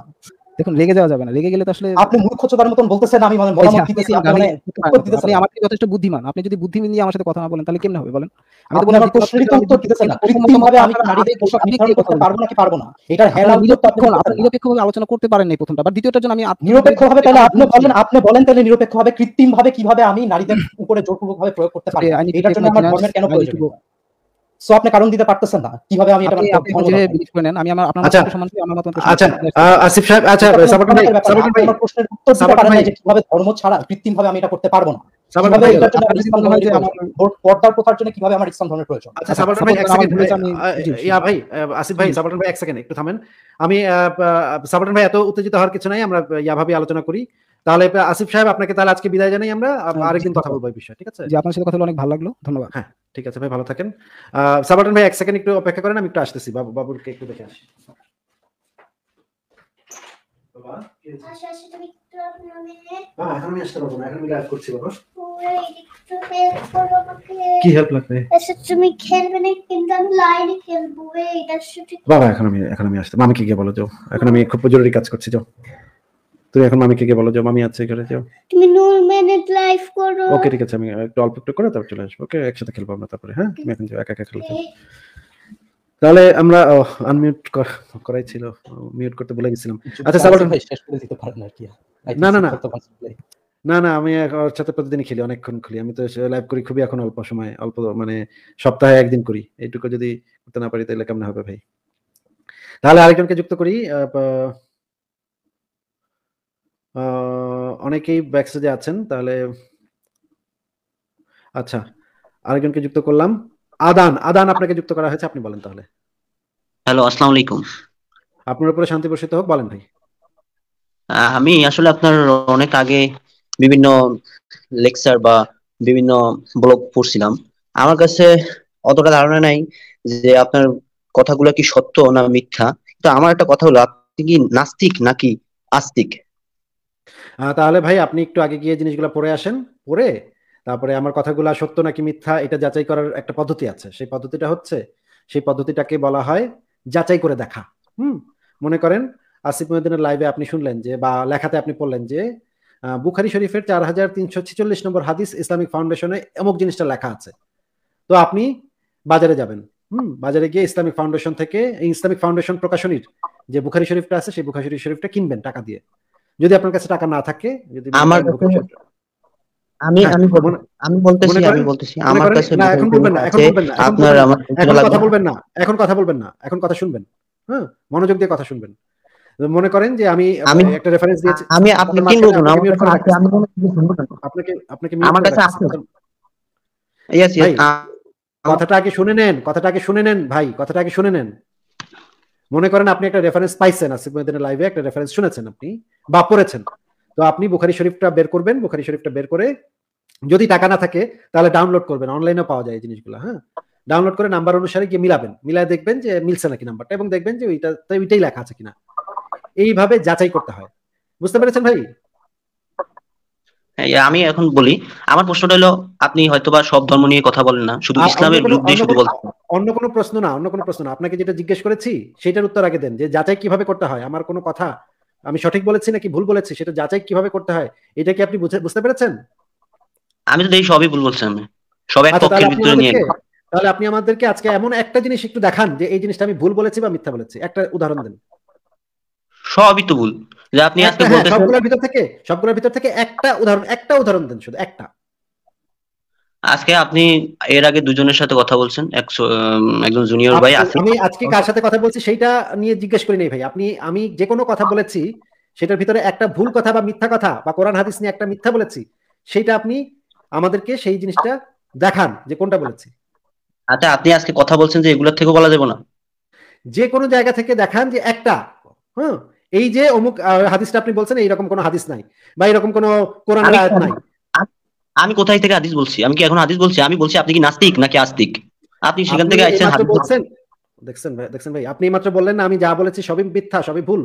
তাহলে অবশ্যই আপনি এখানে পদ দ্বারা ব্যাখ্যা করছেন তা আমি এটা বলছি। ধর বেটা ছাগল কথাকার? কি বলি আর কি বলে? দেখেন তো সাবলটন ভাই কথা তো বলা যাবে না এর সাথে। আমি জিজ্ঞেস করেছি পর্দার অপব্যাখ্যা এক জিনিস আর ভুল আরেক জিনিস। গাধা কথাকার ছাগল কথাকার এই মুমিন ছাগলগুলা মানে খামারের থেকে ইচ্ছা আসে। মানে একটা কথাও ঠিক মতো বলতে পারে না। পর্দার অপব্যাখ্যা করেছি নাকি সঠিক ব্যাখ্যা করেছি সেটা তো অন্য কথা। ব্যাখ্যাটা হচ্ছে যার যার ব্যাপার যার যে কে কীভাবে ব্যাখ্যা করবে। কিন্তু তথ্যটা কি? সেটা তো আমি ভুল বলেছি, ভুল তথ্য দিয়েছি সেটা কোথায় বা মিথ্যা তথ্য দিয়েছি সেটা কোথায়? যেমন আমি একটা তথ্য দিয়ে দিলাম, সাবাটন ভাই, নবী মোহাম্মদ একটা লুচ্চা এবং ধর্ষক ছিল এবং নবী মোহাম্মদ একজন গণহত্যাকারী ছিল। মেয়ে দেখলে তার ল্যাক ল্যাক করতো হ্যাঁ লালা ঝট লালা ঝটতো আর ল্যাক ল্যাক ল্যাক ল্যাক করতো। মেয়ে দেখলে সে নিজেকে সামলাতে পারতো না। লুচ্চা নবী মোহাম্মদ এত লুচ্চা ছিল যে মেয়ে দেখলে তার সামলাইতো না হ্যাঁ এই তথ্যটা কি সত্য নাকি মিথ্যা? এইটা ধরেন আপনাকে আবারও যুক্ত করলাম আধান। আপনাকে আমি বললাম যে নবী মোহাম্মদ ছিল একটা লুচ্চার লুচ্চা লম্পটের লম্পট বদমাইশের বদমাইশ। সে মেয়ে দেখলে তার খাড়া এমন খারান খারাইতো সে আর নিজের কন্ট্রোল করতে পারতো না। এই তথ্যটা কি সত্য নাকি মিথ্যা? এটা বলেন। অবশ্যই মিথ্যা। মাইন্ড ইউর ল্যাঙ্গুয়েজ একজন প্রফিট নবী একজন কি নবী মোহাম্মদের কি যৌনদাসী ছিল নাকি ছিল না? যৌনদাসী দুশো কোটি মানুষ- করতো? দুশো কোটি মানুষ যাকে ফলো করে। করিনি। সেই দুইশো কোটি মানুষের মধ্যে আমরা অন্তর্ভুক্ত না। আপনার নবীকে মানার বা সম্মান দেওয়ার ঠেকা পড়ে নাই আমাদের। না না সাবাটন ভাই আমার প্রশ্নটা হচ্ছে নবী মোহাম্মদের কি যৌনদাসী ছিল? যার সাথে নবী মোহাম্মদ লাগালাগি করতো এরকম কোন যৌনদাসী ছিল? বলেন। ডাইরেক্ট একটা কোশ্চেন এটা হ্যাঁ বা না উত্তর দিতে হবে। I want to say that it's not right আপনি বুঝতে ভুল করছেন যে আচ্ছা কীভাবে কি করছে ঠিক আছে ঠিক আছে তাহলে আমরা এই জিনিসটা একটু যাচাই করে দেখি যে নবী মোহাম্মদের কোনো যৌন দাসী ছিল নাকি। নাকি? এটা আমরা কোরআন হাদিস থেকে তাফসির থেকে সিরাত থেকে যাচাই করে দেখি নাকি? কি বলেন? আমি আপনাকে বলতে চাই যে আপনি কি বলতে চান সেটা আমি জিজ্ঞেস করি নাই। আপনি কি কি বলতে চান? সেটা তো। বলদ ওরে বলদ আপনি- বলদ মোমেন। ওরে বলদা ওরে ছাগল ওরে রাম ছাগল। আমি তুই কি বলতে চাস সেটা তো আমি জিজ্ঞেস করি নাই তো। তোর আমি জিজ্ঞেস করেছি তোর নবী যে আমি- ছিল তোর নবী যে দাসী লাগাইতো আমাকে কথা দাসী- বলতে এই যে ব্যাক স্টেজে নিয়ে এখন কথা বলব। তোর নবী যে দাসী লাগাইতো হাফসার ঘরে যে দাসীরে নিয়ে লাগালাগি করতো এটা তুই জানোস নাকি জানোস না? এখন তো এখন যুক্ত করে তুই করে বলব। তোর সাথে তো ভালোভাবে কথা বলা সম্ভব না। তোর এখন যুক্ত করে তুই করে বলব। ওরে তার তাসরিফ ছাগলা, রাম ছাগল, তুই কি জানোস যে তোর নবী যে দাসী লাগাইতো? এবং হাফসার ঘরে যে দাসীরে নিয়ে লাগালাগি শুরু করছিল। তখন যে হাফসা, নবীর বিবি হাফসা, ওমরের ওমরের মেয়ে, হাফসা যে আবার কিছুক্ষণ পর ঘরে এসে দেখে তার নবী দাসী মারিয়া কিপ্তিয়ারে লাগাচ্ছে, বিছনারে কাটে খাটের উপরে, উঠাইয়া, দাসী মারিয়া কিপ্তিয়ারে লাগাচ্ছে তোর নবী। এইটা যে ধরা খাইলো তোর নবী হাফসার কাছে, এই ঘটনা কি তুই জানোস নাকি জানোস না? বল। আদান বল একদম ভুয়া আচ্ছা ঠিক আছে। আমরা এখন তাহলে সেই জিনিসগুলো একটু যাচাই করে দেখি যে নবী মোহাম্মদ দাসী মারিয়া কিপ্তিয়ারে হাফসার ঘরে হাফসার খাটের উপরে উঠাইয়া লাগানো শুরু করছিল নাকি করে নাই? সেই জিনিসটা আমরা একটু দেখি। আমার একটা লেখাই আছে এই বিষয়ে। আহ, মানে নতুন একটা লেখা নতুন একটা লেখাও দেখা দেখানোর সুযোগটা পাই গেলাম। খুব সুন্দরভাবে আমরা দেখা দিব এখন।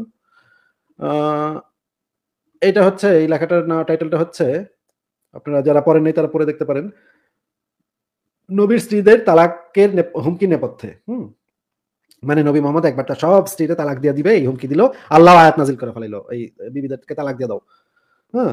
সুরা তাহারিমের এক থেকে এক থেকে পাঁচ, এই মূল ঘটনা এখান থেকে পড়তে পারেন, মূল ঘটনা কি ছিল, এটার পেছনে মূল কারণ ছিল দাসী মারিয়া কিপ্তিয়ার সাথে নবী যে লাগালাগি করতো এই জিনিসটা, তার বিবিরা পছন্দ করে নাই, প্রতিবাদ করছিল, তখন মোহাম্মদ হুমকি দিয়েছিল সব বিবিরা একসাথে তালাক দিয়ে দিবে, এই জিনিসটা আমরা কোথায় পাই, এটা আমরা পাই, প্রথমে আমরা পাই সুনানু নাসাই শরীফের তিন হাজার নয়শো একষট্টি নম্বর হাদিস, হাদিসটা সহি। এখানে যে জিনিসটা বলা আছে, আমরা একটু পরে দেখি। রাসুল্লাহ এটা সরাসরি বই থেকে দেখাচ্ছি, সরাসরি বইয়ের স্ক্রিনশট এখানে লেখা আছে সহি হাদিসে লেখা আছে, রাসূলুল্লাহর কাছে একটি বাদী ছিল, যার সাথে রাসূলুল্লাহ সহবাস করতেন। এতে আয়েশা ও হাফসা রাসূলুল্লাহর সাথে লেগে থাকলেন। পরিশেষে রাসূলুল্লাহ সে বাদীটিকে নিজের জন্য হারাম করে নিলেন।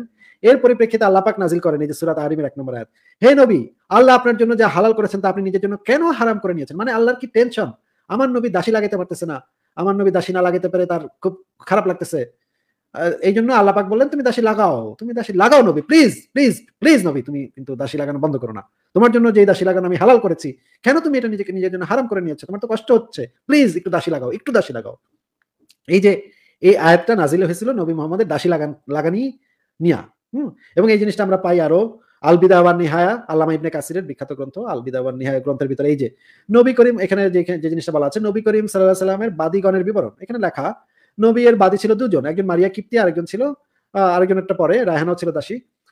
এখানে বলেন মারিয়া ছিল সুন্দরী ও গৌরবর্ণ। তার সৌন্দর্যে রাসূলুল্লাহ মুগ্ধ হন। তারপরে কি লেখা? রাসূলুল্লাহ মারিয়া কিপ্তিয়াকে অত্যন্ত পছন্দ করতেন। তিনি ছিলেন সুন্দরী ও মনোহর কেশ কোকরানো কেশধারিণী। মালিকানা সূত্রে মালি মারিয়া সঙ্গভোগ করেন। এখানে দেখেন, এখানে যে জিনিসটা, মারিয়ার পেটে মোহাম্মদের একটা বাচ্চাও জন্ম হয় মানে একটা বিয়ে না করে মারিয়ার পেটে একটা বাচ্চা পয়দা করে ফেলছে নবী। মারিয়ার বাচ্চাটার জন্ম হয়, সেই সন্তানটার নাম হয় ইব্রাহিম। আচ্ছা দেখি আরও দেখি পরে। মারিয়ার হাফসা বিসনায় যে মারিয়ার নিয়ে যে উঠল, এই জিনিসটা পাওয়া যায়, বিভিন্ন তাফসিরেই পাওয়া যায়। এটা আমরা, তাফসিরে জালালাইন থেকে যদি আমরা দেখি, সেখানে আমরা কি দেখতে পাবো দেখি? একটু বড় করে দিই, তাহলে আরও ভালো দেখা যাবে। এখানে যে জিনিসটা লেখা দেখেন, এই সুরা নাজিলের এই যে সুরা তাহরিমের তাহরিমের নাজিলের মানে প্রেক্ষাপট, প্রেক্ষাপটটা কি? দেখেন, আহ, রাসূলুল্লাহ নিজের স্ত্রীদের সাথে থাকার পালার দিন নির্ধারণ করে দিয়েছেন। যখন হাফসার দিন আসলো, তখন তিনি তার পিতা মাতাকে দেখতে যাওয়ার জন্য রাসুলের কাছে অনুমতি চাইলেন। রাসুল তাকে ডেকে অনুমতি দিলেন। হজরত হাফসা চলে যাওয়ার পর রাসূলুল্লাহ হযরত হাফসার ঘরে হজরত মারিয়াকে ডেকে পাঠালেন। অতঃপর সেখানে একাকিত্বে অবস্থান করলেন। ইতিমধ্যে হজরত হাফসা চলে আসলো তার ঘরে। হজরত মারিয়া সহ রাসূলকে দেখতে পেলেন। কি করতেছিল সেখানে? এটা দেখে হাফসা অত্যন্ত রেগে গেলেন। কেন রেগে যাবে ভাই? কি এমন করতেছিল মারিয়ার রাসূল সেই সময়? দাসিয়ার, দাসীবান্দির সাথে তার স্বামী রাসূল মোহাম্মদ সেই সময় বান্দির সাথে কি করতেছিল এটা জেনে দেখে হাফসা চিন্তা গেল। বুঝলাম না তো ভাই। এখানে কি করতেছিল তোমরা? তোমরা কি করছিলে? এখানে লেখা, এটা দেখে হজরত হাফসা অত্যন্ত রেগে গেলেন এবং বললেন, আপনি আমার ঘরে, আমার অনুপস্থিতিতে একে নিয়ে আসলেন এবং একাকিত্বে কাটালেন। এটা আমাকে অপমানিত করার উদ্দেশ্য ছাড়া আর কোনো কারণে নয়। তখন রাসুল্লাহ তাকে খুশি করার উদ্দেশ্যে বলেন ঠিক আছে আমি আজ হতে তাকে নিজের জন্য হারাম করে নিলাম। এ সংবাদ তুমি অন্য কাউকে দিও না মানে তুমি কাউরে বইলো না আমি আর এই কাম করব না। হুম? রাসূলুল্লাহ ঘর থেকে বের হয়ে গেলে হযরত হাফসা সংবাদ আয়েশাকে জানিয়ে দিলেন। এই বর্ণনাটা আমরা পাচ্ছি। তাফসিরে জালালাইন বিখ্যাত তাফসির গ্রন্থ মানে কোরআনের যে ব্যাখ্যা সেই ব্যাখ্যা গ্রন্থে আমরা পেলাম এই জিনিসটা। আরও পাই আমরা তাফসির ইবনে কাসির এই জিনিসটা পাই আরও দেখি আমরা। এই তাফসির ইবনে কাসিরের ভিতরে যে জিনিসটা পাই যে সূরা তাহরিমের আহ, মানে তাফসির এখানে বলা হচ্ছে তাফসিরে ইবনে জারিরে রয়েছে যে, রাসূলুল্লাহ তার কোন এক স্ত্রীর ঘরে উম্মে ইব্রাহিমের সাথে কথাবার্তা বলছিলেন। মানে মাত্র কিন্তু কথাবার্তা বলছিল, বেশি কিছু কিন্তু না হ্যাঁ? তখন তার ওই স্ত্রী তাকে বলেন, আমার ঘরেও আমার বিছানায় এই কাজ কারবার? মানে ওই যে হাফসা আয়সা তখন বলল, আমার ঘরে আমার বিছানায় এই কাজ কারবার? মানে কি কাজ কারবার ভাই? মোহাম্মদ তো খালি কথাবার্তা বলছিল। তখন এরকম কি মানে বউ এসে কেন বলল কি কাজ কারবার? তখন রাসুল্লাহ সাল্লাহ সাল্লাম বললেন, আমি তাকে আমার উপর হারাম করে নিলাম। এই যে হারাম করে নিল তারপর এটা নিয়ে গন্ডগোল শুরু হয়েছিল। এই যে দেখেন, মারিয়া কিপ্তাকে কেন্দ্র করে এই ঘটনার সূত্রপাত। রাসুল্লাহ মারিয়া কিপ্তের সাথে মিলিত হলেন এবং হাফসা দুঃখিত হন যে তারই পালার দিন, তারই ঘরে এবং তারই বিছানায় তিনি মারিয়ার সাথে মিলিত হলেন। এই জিনিসগুলো প্রত্যেক, অনেকগুলা তাফসিরে, অনেকগুলা মানে হাদিসে, কোরআনেও আছে কোরআনের আয়তে বলা আছে এই জিনিসটা। সব জায়গাতে বলা আছে। এই জিনিসটা মানে উনি বললেন এটা মিথ্যা। তাহলে এখন একটু এই রাম ছাগলকে একটু যুক্ত করে দেখি যে তার কাছে কি দলিল আছে। হ্যাঁ রাম ছাগল ভাইয়া, আপনার কাছে কি দলিল আছে বলেন তো দেখি। মাইন্ড ইউ ল্যাঙ্গুয়েজ আরেকটা ফালতু- কথা বললে আসিফ পাশে লাথি জাস্ট মেরে- পড়ে শোনাইলো আসিফ ভাই তো দলিল I want to just say that- পড়ে শোনাইলো সে কি মাইন্ড ল্যাঙ্গুয়েজ করল? আশ্চর্য আরেকটা ফালতু কথা বললে তোর পাশেও লাথি মারবো তোর আল্লাহর পাশে ডবল লাথি মেরে একেবারে আরশের ভিতরে ঢুকাই দিবি। তোর কাছে যদি কোনো দলিল থাকে কোনো যৌক্তিক আলোচনা থাকে তাহলে করতে পারবি। এছাড়া অন্য কোনো কথা বললে লাথি মেরে তোর আল্লাহর পাশের ভিতরে তোরে ঢুকাই দিবি। হ্যাঁ যুক্ত করলাম। ভদ্রভাবে কথা বলবি যুক্তি দিয়ে কথা বলবি দলিল দিয়ে কথা বলবি বল। আমি আপনাকে কি যুক্তি দেবো? আমার এই কথাগুলো যে বললাম এগুলো যে ভুল বা মিথ্যা আমার নাকি প্রত্যেকটা কথা ভুল মিথ্যা সেটার দলিল দিবি। তো অবশ্যই ভুল। এখানে কি বুঝেছে আর কি বুঝেছে? এখানে আপনি কিছু বুঝছেন। তাহারিম সুরা পড়ছেন। তাহারিম অর্থ কি এটা জানেন? তাহারিম অর্থ হলো নিষিদ্ধীকরণ। নিষিদ্ধীকরণ কি কারণে নিষিদ্ধীকরণ? আমি বুঝেন কিছু? আমি কি বুঝি না না বুঝি? সেটা তো জিজ্ঞেস করি নাই। আমি জিজ্ঞেস করেছি আমার আপনি আবার মাঝখানে কথা বলে বলদের বাচ্চা কথাকার তোর পাশায় লাথি মেরে তোরে আল্লাহর পাশের ভিতরে তোরে ঢুকাই দিব। বলদের বাচ্চা কথাকার ফাইজলামি করতে আসো সেখানে? তাহারিমের মানাকে আপনি তুই আমার চেয়ে বেশি বুঝোস। তোর, তোদের যত মানে মাদ্রাসার যত হুজুর আছে সবগুলা সারা জীবনে যে বই তার থেকে আমি একদিনে তার থেকে বেশি বই পড়ি। এটা তুই তুই এটা আমি কি বুঝি না বুঝি, এটা তুই বুঝোস বলদের বাচ্চা তোরে যেটা জিজ্ঞেস করছি, ভালো করে শোন, এরপরে আরেকটা ফালতু কথা বললে পাশে এমন লাথি মারবো যে তোর আল্লাহ হেন্তি আরও সের উপরে চিৎকার করে কান্দন শুরু করব। একটা ফালতু কথা কবি তোর তাইলে। তোরে জিজ্ঞেস করছি যে আমার এই কথাগুলো যে ভুল, সেটার দলিল দে। তোর মুখের কথা না, দলিল দিয়ে দেখা। সম্পূর্ণ ভুল। তাহারিন সূরা আমি পড়ছি। দলিল দিয়ে দেখা বলদের বাচ্চা দলিল দিয়ে দেখা বলদের বাচ্চা। কি? আমি এখানে ইবনে কাসির থেকে দেখাইতে পারব তাবরি থেকে দেখাইতে পারব এখানে বের করে দেখান আপনার মুখের কথা তো গ্রহণ করব না। আপনি বই থেকে দেখান তবে দেন আপনার কথা তো অবশ্যই মানবো। মেনে নিতে আমরা তখন বাধ্য হব। আমি দেখাচ্ছি এটা তো আমার প্ল্যাটফর্ম না আমি তো এখানে কোনো স্পষ্ট কোনো এখানে ইয়া দেখাইতে পারব না। একটা অপশন আছে সেটা আপনি আমার কাছে কি করে আপনি দেখাবেন। কম্পিউটার আছে বা ইয়া? অন্তত পক্ষে আপনার রেফারেন্সের লিংকটা তো অ্যাটলিস্ট দিতে পারবেন। আমি আজকে হ্যাঁ ইবনে কাসিরের বইয়ের কত ইবনে কাসির কত নম্বর তাবরি খুলেন তারপরে কত নম্বর কত নম্বর পাতাতে আছে বললে আমি বের করে দিব। সূরা তাহারিম খুলেন আর এটা কত নম্বর পৃষ্ঠা আমি কি এক এক এক এক প্রকাশনী এক এক কি পৃষ্ঠা? আচ্ছা আমি এখন আপনার কোনটা বলব? আমার কাছে ডাউনলোড করা আছে প্রথমে তোর দাবিটা বল যে আমার নবী কখনো দাসীবান্দি লাগায় নাই এটা দাবিটা বল ভালো করে। আমার নবী কখনো এসব করে নাই আপনি যেগুলো বলছেন এগুলো কোনটা করে নাই? নাই কোনটা করে? আপনি স্পেসিফিক্যালি বলেন যে কি করে নাই? যে যেগুলো খারাপ ভাষা ব্যবহার করছে আমি এগুলো মুখ দিয়ে আনতে পারব না এগুলো আমি দাসী দাসী দাসী সেক্স করছে? তোর নবী কখনো দাসী দাসীরে দাসীর সাথে সেক্স করছে? আমি এই বিষয় মুখে আনতে পারব না না, না। আর এটাগুলো করে নাই। আচ্ছা তোর নবী কখনো দাসী সেক্স করে নাই? তোর কাছে নাসাই শরীফ আছে? তোর কাছে নাসাই শরীফ আছে? দেখেন হাদিস গ্রন্থ সম্পর্কে যেই যেই দলিল বের করে দেখাইলো যে মারিয়া কি সেটা সেটা সেটা নিয়ে আপনি কি সেই দলিল কি মিথ্যা? দুইজনে এক সেকেন্ড এক সেকেন্ড এই যে তাশরিফ মানে রামসাগল তোর কাছে সুনানুন ভাই, নাসাই শরীফ আছে? আবার মানে ফালতু কথা বললে ব্যাকস্টেজে রেখে কথা বলব। তাশরিফ ছাগল তোর সাথে এইভাবেই কথা বলব। তুই যেই যেই যেইভাবে কথা বলছিস তোর সাথে সেইভাবেই আচরণ করা হবে। তুই যদি ভদ্রভাবে আলোচনা করতি দেখ এর আগের জনের সাথে ভদ্রভাবে আমরা আলোচনা করছি। তুই যদি ভদ্রভাবে আলোচনা করতি তাহলে তোর সাথে অবশ্যই ভদ্রতা আমরা বজায় রাখতাম তোর সাথে ভদ্রভাবে আলোচনা করতাম। তুই মানে বদমাইশি করছিস তুই এখন তোর কাফারত তোরই দান লাগবো। তোর বদমাইশির কাফারত আরেকজন দিব না। তোর সাথে তুই করেই কথা বলব এবং তোর রামসাগল বলেই ডাকবো। তুই তো তোর কাছে। সুনানুন নাসি শরীফ আছে? অবশ্যই আছে সুনানি নাসাই শরীফ এটা পাতুল বাড়িতে আছে এটা দুর্বল দুর্বল এটা যে দুর্বল সেটা তুই বাইর করে দেখা মানে দলিলটা বাইর করে দেখা এটা যে দুর্বল। অবশ্যই দুর্বল। ফাতুল বাড়ি খুলেন আপনি ফাতুল বাড়িতে লেখাই তো আছে। ফাতুল বাড়িতে আমি দেখা তুই স্ক্রিন শেয়ার দিয়ে দেখা। ফাতুল বাড়িতে কইছে এটা দুর্বল সেটা দেখা। আমি স্ক্রিন শেয়ার এখানে বুঝতেছি না আমি নতুন এখানে জয়েন হয়েছি আমি এখন আপনাকে এটা দেখতে হবে আরে বলদা যেদিন তুই স্ক্রিন শেয়ার শিখতে পারবি সেদিন তাহলে তুই আসবি। তুই দলিল দেখাইতে পারবি না তুই আসছিস কি করতে? গাছ কাটতে? আমি কি জানি আপনার যে এখানে এরকম জয়েন টয়েন করা নাই আমি তো ওয়েব আমরা যে এখানে দলিল দেখাই এখানে যে স্ক্রিনে দলিলগুলো দেখাই দিই এটা তুই দেখাস নাই? আমি তো আপনার এসব অভ্রান্ত আরে তুই আল্লাহর কাছে মোনাজাত কর তুই আল্লাহর কাছে মোনাজাত কর যে আল্লাহ যেন তোরে এই জিনিসটা দেখায় দেয় আমাদের স্ক্রিনে যেন এই জিনিসটা চলে আসে। ফাতুল বাড়ির ওই দলিলটা যেন আমাদের স্ক্রিনে চলে আসে এটা তুই মানে আল্লাহর কাছে দোয়া কর এটা সুরা পেরা ফুদে। আসবে না। আল্লাহর উপরে বিশ্বাস নাই তোর। আল্লাহ তো চাইলে করতেই পারে। সাবাটান ভাই আল্লাহ যদি এত ক্ষমতাবান হয় এবং আল্লাহ যদি সব করতে পারে তাহলে কি আল্লাহ কি এটা করতে পারে না? যে স্ক্রিনে আমরা এখন দেখতে পাবো ফাতুল বাড়ি? কোনো ব্যাপারই আমাদের আপনি দেখেন কোথাও কি আমাদের তাহলে কোথাও তাহলে তুই মানে একটা সুরা পেরা ফুদে না তুই একটা সুরা পেরা ফুদে দেখি আমরা স্ক্রিনে এখন আমরা ফাতুল বাড়ির সেই দলিলটা দেখতে পাই কিনা। আমাকে একটু বলতে দেন। আমি বলতেছি যে আমাদের বলতে দিবই না। তুই এসে শুরুতে এসে পাকনামি করছিস এবং বদমাইশি করছিস তোরে তো বলতে দিবই না আমি। তোর তো ব্যাক স্টেজে রেখে রেখে তোর সাথে ফাইজলামি করব। তোর মতো বলদের সাথে আমি কথা বলি না। তোদের মতো বলদের সাথে আমি কথা বলি না। তোদের মতো বলদের সাথে আমরা মজা করি ঠাট্টা মস্করা করি রে। হ্যাঁ তুই খামারের মানে চুনা হাগা খামারের চুনা হাগা খামারি তোদের সাথে আমরা ফাইজলামি করি। তোরা তোদের মানে কোনো যোগ্যতা আছে আমাদের এখানে এসে কথা বলার? তোরা কি মনে করস যে তোদের কোনো যোগ্যতা আছে রাম ছাগল কথাকার? মানে সেই পাকনামি শুরু করছিস। আপনার সব কথা মিথ্যা আপনার সব কথা ভুল। হ্যাঁ, ওরে বাপরে বাপ কোথাকার কোন ইয়া রে বাপরে বাপ। এটা নাকি দুর্বল। মানে আলামা নাসিরুদ্দিন আলবানি তাকিকৃত সহিদিসে বলতেছে সে দুর্বল। তুই কোথাকার কোন ছাগল রে? বলত কোথাকার? এখন আরেকটা প্রশ্ন করি। তুই তো তুই সহি মুসলিম শরীফ বই আছে তোর কাছে? অবশ্যই আছে। আরে দাঁড়ান আমি একটা এক মিনিট কথা বললি তুই এক সেকেন্ড হ্যাঁ। তুই এক সেকেন্ড কথা বলতে তুই এক সেকেন্ড কথা বলতে পারবি না। তুই এক সেকেন্ড তুই শুরুতে পাকনামি করছিস তোরে আমি আবার কথা বলতে দিব। তোর মানে আল্লাহটা কি? তোর মানে শখটা কি? আইসা তুই মানে শুরুতে পাকনামি করছিস তোরে আমি কথা বলতে দিব? তোর এত বড় মানে মানে মানে বুকের পাটা তুই আমাদের এখানে এসে মানে ইয়া করবি ফালতু কথা কবি। রাম ছাগলের বাচ্চা শোন তুই সহি মুসলিম শরীফ তোর কাছে আছে? রাম আমি এটা শোন রাম বাচ্চা শোন। আমি আচ্ছা। আমি উত্তর দেওয়ার তোর এক শর্তে মাফ করতে পারি তুই এক শর্তে মাফ করতে পারি তোর সাথে ভদ্রভাবে কথা বলব একটা শর্ত আছে তুই শুরুতে এসে যে পাকনামি গুলা করছ সেগুলোর জন্য মাপ চাবি তাহলে তোর মানে আমিও ভালোভাবে কথা বলব তোরও ভালোভাবে কথা বলতে দিব। তুই আগে ক্ষমা চা মাফ চা যে আমি ভুলে গেছে আমি মানে পাকনামি করছি শুরুতে এসে পাকনামি করাটা ঠিক হয়নি আমি খুবই দুঃখিত। এটা বলবি তারপরে তোর আমি ভালোভাবে কথা বলতে দিব। তোর আমি একটা সুযোগ দিলাম শেষ সুযোগ দিলাম বল। আমি মাপ চাওয়ার আগে দুই মিনিট কথা বলতে চাই। লাত্তি মেরে বের করে দেবো তোর পাশে আল্লাহর পাশে লাত্তি মেরে তোর বের করে দেবো। কোনো এক আমি দুই মিনিট মাপ চাবি? মাপ চাবি তুই? যা যা দৌড়ে উঠে থাক। তোর মতো বলো এই সমস্ত বলদ ছেলেদের সাথে আমি কথা বলি? মানে তোদের কোনো বেল আছে এখানে? তুই চুনা হাঁকা খামারে গিয়ে কথা কাউ গিয়ে যা। আচ্ছা আরেকটা আরেকজনকে যুক্ত করি। মানে ভদ্রভাবে যদি কথা বলতে না পারোস তাহলে এইদিকে আসবি না। একের পাশে লাথি মারবো একের খামারে গিয়ে পড়বি তোরা। ঠিক আছে? মানে খুব ভয়ঙ্কর আমি খুবই ভয়ঙ্কর। আমার সাথে কথা বলতে আসলে যেন তোদের হাঁটু কাঁপে।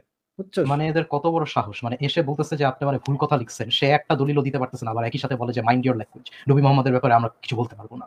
মানে কীরকম লাই এদের? মানে তার কাছে কোনো কিছু নাই। সে মানে আমাদের আমার আমার কাছে আমি সব দলিল দেখাচ্ছি আমি আমি ভুল আর সে কিছুই নাই সে রাই চিন্তা করেন। আচ্ছা ঠিক আছে বলদের বাই- বাইর করে দিচ্ছি বলদের বাচ্চাগুলো রাখব না। তাহলে আরেকজনকে যুক্ত করি। মোহাম্মদ জহিরুল আপনি বলেন তাহলে। হ্যাঁ, তো আমি এখানে বলতে চাই আপনি যে এখানে বললেন যে নারীদের পর্দা করার কথা বা যে পর্দা কেন করবে আরেকটা কথা যেটা বললেন যে ওই পর্দা করার কথাটাই বলি। পর্দা কেন করবে সেটা বলি নাই ভাই পর্দা কেন করবে সেটা বলি নাই। একজন কি করবে না না করবে সেই সিদ্ধান্তটা যেন সে নিতে পারে। একজন মানুষ কি করবে না না করবে সেই সিদ্ধান্তটা যেন সে নিতে পারে এবং এই সিদ্ধান্ত নেওয়ার ক্ষেত্রে লিঙ্গ যেন কোনো ধরনের বৈষম্য সৃষ্টি না করে। ভাই কথাগুলা কি বোঝা যাচ্ছে যে লিঙ্গ যেন এই সিদ্ধান্ত গ্রহণের ক্ষেত্রে কোনো বৈষম্য সৃষ্টি না করে? কথাগুলা কি বোঝা যাচ্ছে না ভাই? আপনার কথাটা মেনে নিলাম। আচ্ছা এবার তো আমার এখানে আমার এখানে প্রশ্ন হচ্ছে যে অ্যাডভার্টাইজমেন্ট দেখানো যায় দেখানো হয় যেটা মানে সেই অ্যাডভার্টাইজমেন্টটা কেন দেখানো হয়? মানে যে কোনো কিছুরই। যে কারণে দেখানো হোক সেই ক্ষেত্রে যদি অ্যাডভার্টাইজে যদি একজন যে অ্যাডভার্টাইজে মডেলিং করতেছে তার যদি সম্মতি থাকে তাহলে আপনার বাপের কি? না আমি আমি ওটা বলতে চাই না। আমি বলছি অ্যাডভার্টাইজমেন্ট দেখানোর উদ্দেশ্যটা কি? অ্যাডভার্টাইজমেন্ট দেখানোর উদ্দেশ্য হচ্ছে গিয়ে সেই প্রোডাক্টটা মানে অ্যাডভার্টাইজমেন্ট দেখানোর মানেই যে অ্যাডভার্টাইজমেন্ট দেখানোর মানে এটা না যে আপনি দোকান থেকে জোর করে সেই জিনিসটা চুরি করে আনার জন্য আপনাকে আহ্বান করা হচ্ছে। তা তো না তো ভাই। আপনি কি মনে করেন যে টিভিতে একটা অ্যাডভার্টাইজ দেখাইলো হ্যাঁ? আইফোন থার্টিন প্রো এর মানে আপনাকে এই দেয়া হইল যে আপনি এখন দোকানে গিয়ে ভাঙচুর করে দোকানের তালা ভাঙ্গা আইফোন থার্টিন প্রোটা কিনে নিয়ে আসবেন। এটা আপনার কাছে মনে হচ্ছে? এটা মনে হচ্ছে না। আমি বলতে চাইছি অ্যাডভার্টাইজমেন্ট দেখানোর আপনার আপনার কাছে যখন আপনি যখন আইফোন থার্টিন প্রো এর অ্যাডভার্টাইজটা দেখতেছেন এইটার মানে হচ্ছে আপনার সেই যোগ্যতাটা লাগবে যে যোগ্যতাটা হইলে আপনি সেই আইফোন থার্টিন প্রোটা কিনতে পারবেন। সেই এবং আইফোন থার্টিন প্রো চালাইতেও আপনার কিছু যোগ্যতা লাগবে। শিখতে হবে কীভাবে চালাইতে হবে। এটা কীভাবে অপারেট করতে হবে সেটাও আপনার জানতে হবে এবং সেটাকে কীভাবে মেনটেন করতে হবে সেটাও আপনার জানতে হবে এবং এই যোগ্যতাগুলো যদি আপনি অর্জন করতে পারেন, তখন আপনি আইফোন থার্টিন প্রোটা কিনতে পারবেন। কিন্তু আপনি মনে করেন মাদ্রাসার মানে ইয়া হুজুর, হুম? আপনি মানে বাচ্চা বাচ্চা ধর্ষণকারী হুজুর। অ্যান্ড আপনার আপনি আইফোন থার্টিন প্রো অ্যাডভার্টাইজ দেখছেন। তার মানে তো এটা না যে, যারা এই অ্যাডভার্টাইজটা বানাইছে একটা বানাইছে, তারা আপনাকে বলতেছে যে, আসেন ভাই, আমাদের দোকানে শোরুমে আইসা শোরুমটা ভাঙ্গা আইফোন থার্টিন প্রোটা নিয়ে যান যে আইফোন থার্টিন প্রো আপনি চালাতে পারেন না। ইনফ্যাক্ট আপনার আপনি পড়ালেখা জানেন না আপনার আপনি এবিসিডিও জানেন না আপনি আইফোন থার্টিন প্রো তো চালাতে পারবেন না। আপনার তো সেই যোগ্যতাটা থাকতে হবে আইফোন থার্টিন প্রো চালাইতে পারবেন কিনতে পারবেন মেনটেন করতে পারবেন। নাকি ভাই? হ্যাঁ কিন্তু যার যোগ্যতা থাকবে না সে যদি চায় তখন কি হবে ব্যাপারটা? সে তা কিনতে পারবে না আইফোন থার্টিন প্রো কিনতে পারবে না বা কিনতে পারলেও সে চালাতে পারবে না। সে যদি পড়ালেখাই না শিখে তাহলে সে চালাবে কেমনি আইফোন থার্টিন প্রো সেক্ষেত্রে কি প্রোডাক্টটা কিনে সে মানে জোর জবরদস্তি করবে না? মানে সেটা ভেঙে ফেলতে চাইবে যদি সেটা সঠিক ব্যবহার না করতে পারে? প্রোডাক্টটা সে তো দোকান থেকে ছিনে আনতে পারবে না তো। তাহলে তো পুলিশ তারে বাইরে পাশা বাইরে পাশা লাল করে দিবে।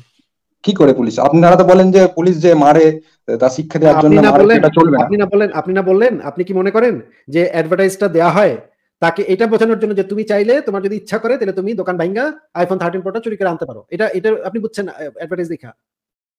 না এটা বুঝছি না কিন্তু এটা তো প্রভাব ফেলছে না যে আপনার এটা কীভাবে মাইন্ডের প্রভাব ফেলছে? মাইন্ডের মধ্যে এটা কীভাবে প্রভাব ফেলছে?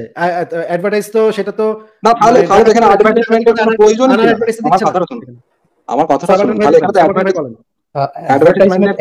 মোহাম্মদ জহিরুল ভাই অ্যাডভার্টাইজমেন্ট হচ্ছে মানে পণ্য বিক্রি করার উদ্দেশ্যে অ্যাডভার্টাইজমেন্ট দেওয়া হয়। এখন এইটার সাথে আপনি যে মানে পর্দার প্রথাটার এক্স্যাক্টলি কি সম্পর্কটা টানতেছেন এটা যদি একটু ব্যাখ্যা করেন। কারণ একটা মানুষ আর একটা পণ্যের মধ্যে কিন্তু আকাশ পাতালের পার্থক্য হচ্ছে।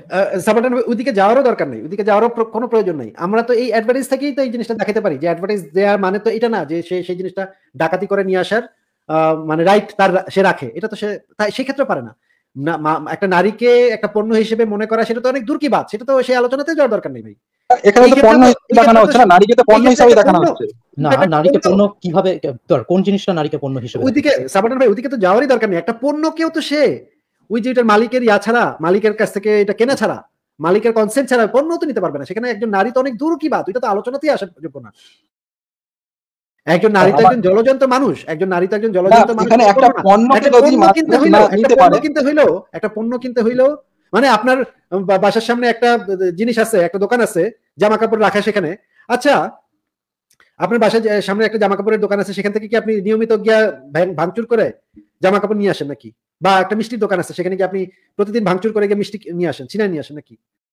না সেটা তো একটা নিয়ম আছে। কি নিয়ম আছে? আপনাকে পয়সা দিতে হবে পয়সা দিলে তারপরে আপনাকে মিষ্টি দেবে। একটা পণ্যের ক্ষেত্রে আপনি নিয়মটা মানতে চাচ্ছেন কিন্তু একজন তো সেই রকমই তো একটা নারীর ক্ষেত্রেও তো একটা নিয়ম আছে না? নিয়মটা নেওয়ার দরকার নেই। হ্যাঁ, নিয়মটা হচ্ছে তার সম্মতি মানা সে যেই জামা পরছে সেটার উপরে ভিত্তি করে তো আপনি তার উপরে বানরের মতন তো লাফাইতে পারেন না। আপনার তো তার সম্মতি নিয়মটা তো at end of the day আমরা তো চিৎকার করে করে বলি যে সম্মতি সম্মতি সম্মতি।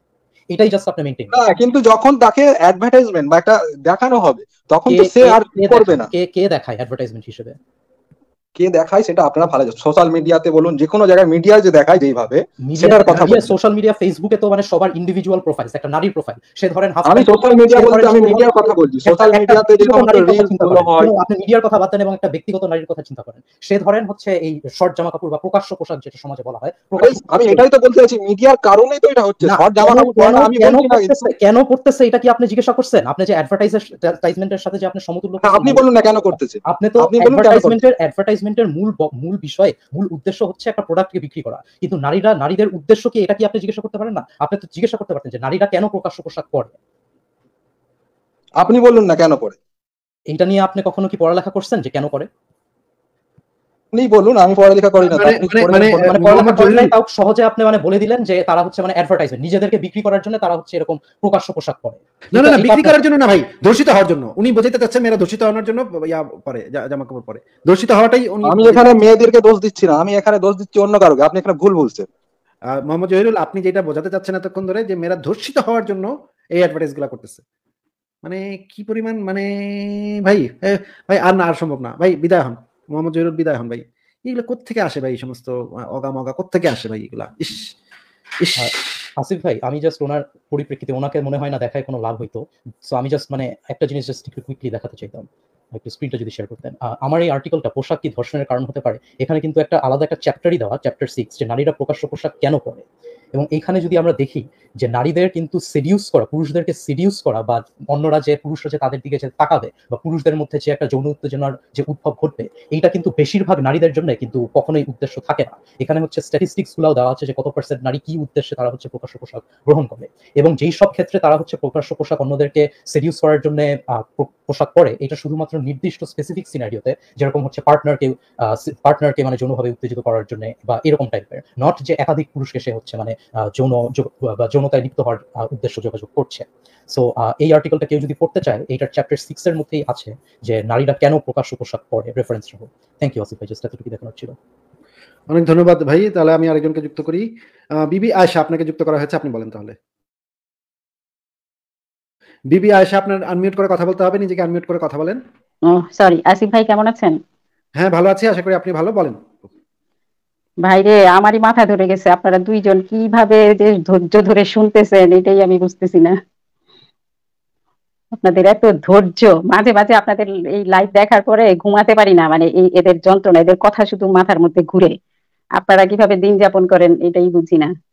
থ্যাংক আপনি বলেন যে এই যে আপনি বলেন যে এই যে যে আলোচনাগুলো শুনলেন এই যে একজন এসে বলল যে মেয়েদেরকে বাধ্য করতে হবে বোরকা পড়তে কারণ এটা সমাজের জন্য ভালো। আরেকজন এসে বলল যে অ্যাডভার্টাইজ দেয় মানে অ্যাডভার্টাইজ দেওয়া মানেই হলো ওই মানে সে এটা বুঝাতে চাচ্ছে যে মেয়েরা সুন্দর জামা কাপড় পরে এটা মানে হচ্ছে দর্শিত হইতে হওয়ার জন্য সুন্দর জামা পরে ঘোরাঘুরি করে। ওরা আমা- এখন উনি হচ্ছেন একজন ধর্ষক উনি মনে করেন একটু ধর্ষণ করছি তাহলে ক্ষতি কি? ছেলেরা কেন পরে? ছেলেরা কেন পরে? আমি তো দেখি একটা ছেলেও আমার ছেলে কিংবা আমার হাজবেন্ড একটা সুন্দর কাপড় কিনতে চায় পড়তে চায় তাহলে ওরা কেন পরে? ওই যে উনি ওনার যুক্তি ওনাদের যুক্তি হচ্ছে ওই যে মনে করেন ঈদের দিন সকালবেলা সুন্দর পাঞ্জাবি পায়জামা পরে বের হলো কেন বেরিয়েছে ভাই? দর্শিত দর্শন দর্শিত হওয়ার জন্য বেরিয়েছে। না আমার- এখন আমার হাজবেন্ড পড়তে চায় আমার ছেলেও পড়তে ছেলেরা এখন এরকম তো আপনারাও নিশ্চয়ই চান যে একটা ড্রেস পরতেছেন ভালো লাগতেছে। এখন আপনারা কেন পড়েন? ছেলেরা কেন পড়ে এটা? একটা মেয়ে যেহেতু ধর্ষিত হওয়ার জন্য পড়ে। এখানে আমার মাথায় একটা প্রশ্ন আসলো সাবর্টন ভাই বলেন তো ধরেন যে মাদ্রাসার যে ছোট ছোট বাচ্চা ছেলেরা ওরাও তো সুন্দর সুন্দর জামা পরে ওরাও কি তাহলে ধর্ষণ মানে মাদ্রাসার হুজুরদের দ্বারা ধর্ষণের শিকার হওয়ার জন্য এগুলো পরে তাদের যুক্তিতে তো ওইটাই মনে হতেছে ছেলে সুন্দর জামা পড়ছে কেন? নিশ্চয়ই ওরা- ওরাও চায় হুজুররা তাদেরকে রাতের বেলা মানে রুমে ডাইকা দর্শনটা করুক। এই জন্যই তো পরে নাকি? তাদের যুক্তিতে তো এইটাই দাঁড়ায় কি এগুলা ভাই? মানে কোথা থেকে লোকজন আসে? এগুলো আসলে আসলে অসীম ধৈর্য লাগে এদের সাথে কথা বলতে। মানে মাঝে মাঝে এত মানে প্যাথেটিক হতে পারে মানুষের চিন্তা ভাবনা এত প্যাথেটিক হতে পারে মানুষের চিন্তা ভাবনা এটা না অকল্পনীয়। মাঝে মাঝে মানে বমি আসে এই লোকগুলা মুখের উপরে বমি করতে ইচ্ছা করে। একদম ঠিক বলছেন আসিফ ভাই। আমাদেরই তো মানুষ যখন দেখি সমাজে কথা বলে বাইরে মেয়েদের কথা মেয়েরা আরও দেখি বেশি খারাপ। এরা বুঝেও না যে এদের সম্মানটা কোথায় নিজের সম্মানটাও নিজে বুঝে না। মানে নিজেকেও কোন জায়গায় কি মানে বলবে এই ধর্মের ব্যাপারে বলতেই থাকবে যে ধর্ম যে তাকে কোন জায়গায় নিয়ে গেছে এটাও তাদের কোনো চিন্তা ভাবনার মধ্যে নেই। মনে করেন এই যে জহিরুল মনে করেন এই জহিরুল যে লোকটা আসলো সেই লোকটার একটা মেয়ে আছে ছয় বছর বয়সী। সেই মেয়েটার জন্য জহিরুল সাহেব একটা সুন্দর একটা লাল রঙের একটা সুন্দর একটা জামা নিয়ে কিনে নিয়ে আসলো। লাল জামা এবং লাল জুতো- হ্যাঁ? এবং তাকে দিল। মেয়েটা খুব খুশি হয়ে পড়ল, অনেক ভালো লাগতেছে তার, সে খুব নাচতেছে নেচে নেচে ঘুরতেছে। সবাই দেখো আমার কত সুন্দর একটা পোশাক। এখন পাশের পাশের ছক্কু মোল্লা, সে কি করল? জহিরুল সাহেব যখন বাইরে গেল তখন সে তার কাজটা সেরা ফেলল। সেরা ফেলার পরে এই জহিরুল যে যুক্তিটা এখানে এসে দিচ্ছে, সেই যুক্তিটা দিল যে এই মেয়েটা এত সুন্দর লাল জামা, লাল জুতা পরে তার সামনে ঘুরছে কেন? ঘুরছে, সুতরাং আমি তো তাহলে দর্শনের ইয়াটা পাই গেছি। দর্শনের লাইসেন্সটা পাই গেছি। যেহেতু এই বাচ্চা মেয়েটা আমার সামনে লাল পোশাক করে ঘুরছে সেটা আমি দর্শন করছি। এই তো লাল পোশাক করে ঘুরছে কেন? এই যুক্তিটা যদি তখন ওই চক্কমোল্লা জহিরুল সাহেবকে দেয়, জহিরুল সাহেব কি সেই যুক্তিটাকে একসেপ্ট করবে নাকি বলবে যে এই এটা এটা বিচার চাই? কোনটা বলবে?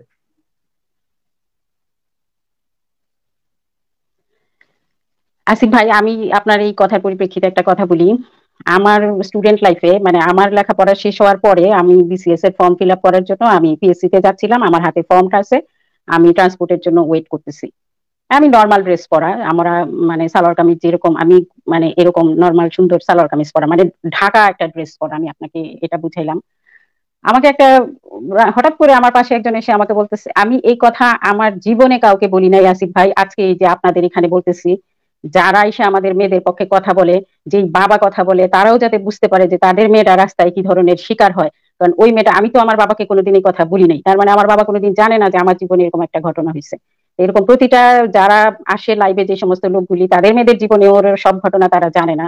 তাদের মেয়েদের জন্য আপনি যেমন বলেন যে একটা সুন্দর পৃথিবী রেখে যেতে চাই সন্তানের জন্য তাদের উচিত, তাদের মেয়েদের জন্য একটা সুন্দর পৃথিবী রেখে যাওয়ার। এবং এটার জন্য আমি প্রতিটা বাবাকে বলতেছি কথাটা, যে আমাকে, আমি নর্মাল আমি ট্রান্সপোর্টের জন্য ওয়েট করতেছি। আমার একজন বলতেছে, ভাই, চলো, তুমি আমার সাথে হোটেলে চলো, আমি তোমাকে পাঁচশো টাকা দিব। আপনি, আমি আসিফ ভাই ওই দিন মেয়ে থেকে আরও মেয়েতে পরিণত হয়ে গেলাম। আমি চিনি না, জানি না, হঠাৎ করে এক লোক আমাকে এই কথা বলল, আমি ভয়ে কি করব? তখন পাশে এক দোকানে ঢুকলাম। দোকানে ওদের কাছে হেল্প চাইলাম যে, এই লোক আমাকে কি বলতেছে, দেখেন। সাথে সাথে এরা মনে হয় গ্যাং থাকে। সাথে সাথে ওদের সাথে আরও দুইটা ছেলে এসে বলল হ্যাঁ হ্যাঁ ওর মধ্যে, ওর সাথে তো ওর রিলেশন আছে। ও ইয়ে করতেছে, ওদের মধ্যে একটু রাগারাগি হয়েছে এই জন্য মেয়েটা ওর সাথে যেতে চাচ্ছে না। আমি বললাম, আমি চিনি না, এখন আমার কথা কে বিশ্বাস করবে? হঠাৎ করে আমার হাতে মনে হইল যে আমার হাতে তো এই বিসিএস ফর্মটা আছে। এই ফর্মের মধ্যে তো আমার নাম লেখা আছে। আর ওই ছেলে তো আমাকে রাস্তায় হঠাৎ করে একদিন দেখছে, আমার নামও জানে না। তখন আমি ওদেরকে বললাম যে জিজ্ঞেস করেন তো আমার নাম কি? একে জিজ্ঞেস করেন। আর এই ফর্মের মধ্যে আমার নাম আলাদা করে আপনারা দেখেন আমার আমার নাম তো তো সে বলতে পারবে না। তখন এরা বুঝতে পারছে বিপদ, পরে ওরা চলে গেছে। তাহলে এখানে আমার পোশাকের কি দোষটা ছিল? না এটা এই- প্রশ্নটাও তো করার কোনো স্কোপ নাই যে পোশাকের কি দোষটা ছিল। আপনার যেই পোশাকই থাকুক এমনকি আপনি যদি নগ্ন ভাবেও হাঁটাহাঁটি করেন তারপরে এরা যে পোশাকের দোহাই দেয় আসিফ ভাই এই জন্য বললাম আমি একটা ভদ্র মেয়ে শিক্ষিত মেয়ে রাস্তায় যাচ্ছি। ভদ্র ভদ্র নাকি অভদ্র এমন মনে করেন যে একটা অভদ্র মেয়ে। অভদ্র মেয়ে হোক সে একজন দেহ ইনফ্যাক্ট একজন দেহ ব্যবসায়ী হোক সেও মানে নগ্ন হয়ে রাস্তায় ঘুরুক তারপরে তো আরেকজন মানুষ এই অধিকার প্রাপ্য প্রাপ্ত হয় না যে সেই মেয়েটার কনসেন্ট ছাড়া সেই মেয়েটাকে টাচ সে করবে। এইটা তো একটা বেসিক এটা তো একটা বেসিক ইয়া মানে বেসিক একটা রুল আমাদের সভ্য সমাজের একটা বেসিক রুল এই জিনিসটা কেন মাথায় ঢোকে না এই মুমিনদের? সে যে মেয়েই হোক সে মেয়ের চরিত্র যেমনই হোক সে মেয়ে ভদ্র হোক অভদ্র হোক মানে যেইটাই হোক না কেন তার দিয়ে তো কিচ্ছু যায় আসে না। এগুলো তো কোনো আলোচ্য বিষয়ই হতে পারে না যে সেই মেয়ে ভদ্র নাকি অভদ্র তাই না? হুম হুম। আচ্ছা আসিফ ভাই, আমি জাস্ট একটা জিনিস একটু রিলেটেড একটা জিনিস জাস্ট উল্লেখ করতে চাইতাম যে আমি আসলে মানে দেহ ব্যবসা শব্দটার মানে ইউসেজের একটু বিরুদ্ধে। আমি মনে করি যে এটা একটা লাঞ্ছনাদায়ক শব্দ, যার মাধ্যমে বোঝানো হয় যে একজন সেক্স ওয়ার্কার নিজের শরীরকে সমর্পণ করার মাধ্যমে তার মানবতাকে সমর্পণ করে দিচ্ছে। এবং নারীবাদী সাহিত্যের মধ্যে মানে এই শব্দটার ইউসেজের বিরুদ্ধেও বলা হয়েছে। আমি লাইক পার্সোনালি প্রেফার করি যে দেহ ব্যবসার পরিবর্তে সেক্স ওয়ার্কার বা এমনকি পতিতা বলা হচ্ছে দেহ ব্যবসার থেকে আরও কম লাঞ্ছনাদায়ক। ভাই, এখানে এরকম যদি শব্দ নিয়ে ইয়া হয়, তাহলে তো অনেক বিপদ হয়ে যাবে। কারণ হচ্ছে কি, প্রত্যেকটা শব্দ নিয়ে কেউ না কেউ আপত্তি তুলবে। এই শব্দ ব্যবহার করা যাবে না, সেই শব্দ ব্যবহার করা যাবে না। প্রত্যেকটা শব্দই যদি আমরা এভাবে ইয়া করি, তাহলে আমরা শব্দ ব্যবহারে তাহলে একটা ইয়াদ তৈরি করতে হবে, একটা লিস্ট তৈরি করতে হবে যে এই শব্দগুলো ব্যবহার করা যাবে, এই শব্দগুলো ব্যবহার করা যাবে না। আমরা সাধারণত যে শব্দগুলো ব্যবহার করি, অনেক শব্দই মানে মানে অবমাননা কর নাস্তিক শব্দটা অবমাননা কর। অনেক ক্ষেত্রে বাংলাদেশে নাস্তিক শব্দটা অবমাননা কর। নাস্তিক বলতে বোঝানো হয় হচ্ছে গিয়ে যাদের নীতি নৈতিকতা নাই। অনেক বাংলাদেশের মানুষ অনেক মানুষ এমনটা বোঝে যে নাস্তিক মানে হচ্ছে তারা যাদের কোনো নীতি নৈতিকতা নেই তাতে ভাই আম- কি করব? সেটা অবমাননা করেই তারা বলে ও তুই তো নাস্তিক তুই তো নাস্তিকের বাচ্চা নাস্তিক। এমন ভাবে বলে যে নাস্তিক শুনলে মনে হয় আমি খুব লজ্জা পাই যাব। আমার নাস্তিক বলছে আমি এত খারাপ গালিটা দিল। মানে নাস্তিক শব্দটা গালি হিসেবে তারা ব্যবহার করে। তারা আমাকে গালি হিসেবে নাস্তিক বলতেছে। কিন্তু আমার কাছে তো নাস্তিক শব্দটা ওই ওরা যেভাবে ব্যবহার করতেছে আমি তো সেভাবে ব্যবহার করতেছি না। এটা নির্ভর করতেছে আমি কীভাবে ব্যবহার করতেছি? তারা লাঞ্ছনা দেওয়ার জন্যই আমাকে বলতেছে তুই তো নাস্তিক তুই তো নাস্তিকের বাচ্চা নাস্তিক। তার মানে তো এটা না যে আমিও সেটা একইভাবে বুঝতেছি শব্দটাকে। আসিফ আসিফ ভাই ভাই, আমি আসলে মানে আমি আসলে এই কারণে বলছি না যে দেহ ব্যবসা একটা গালি আমি আসলে মানে গালি এবং লাঞ্ছনার মধ্যে একটা মানে আলাদা প্রাপ্ত করছি আর কি। আমি যদি মানে অবমাননার কথাটা যদি বাদও দেই যে নাস্তিক শব্দটার মাধ্যমে মানে এই শব্দটার মাধ্যমে কোনোভাবে কিন্তু যোগাযোগ মানে করা যায় না যে মানে নাস্তিকদের নৈতিকতা নাই। সাবাটন ভাই সাবাটন ভাই এই শব্দ নিয়ে আসলে জটিলতা নতুন জটিল নতুন নতুন জটিলতা তৈরি করার আসলে ইয়া নাই। এখন আমাদের সেই সময়টাও নাই। ওইটা নিয়ে আমরা পরে এক সময় আলোচনা করব না এই শব্দটা কোন কোন শব্দ ব্যবহার করা উচিত কোন কোন শব্দ উচিত না।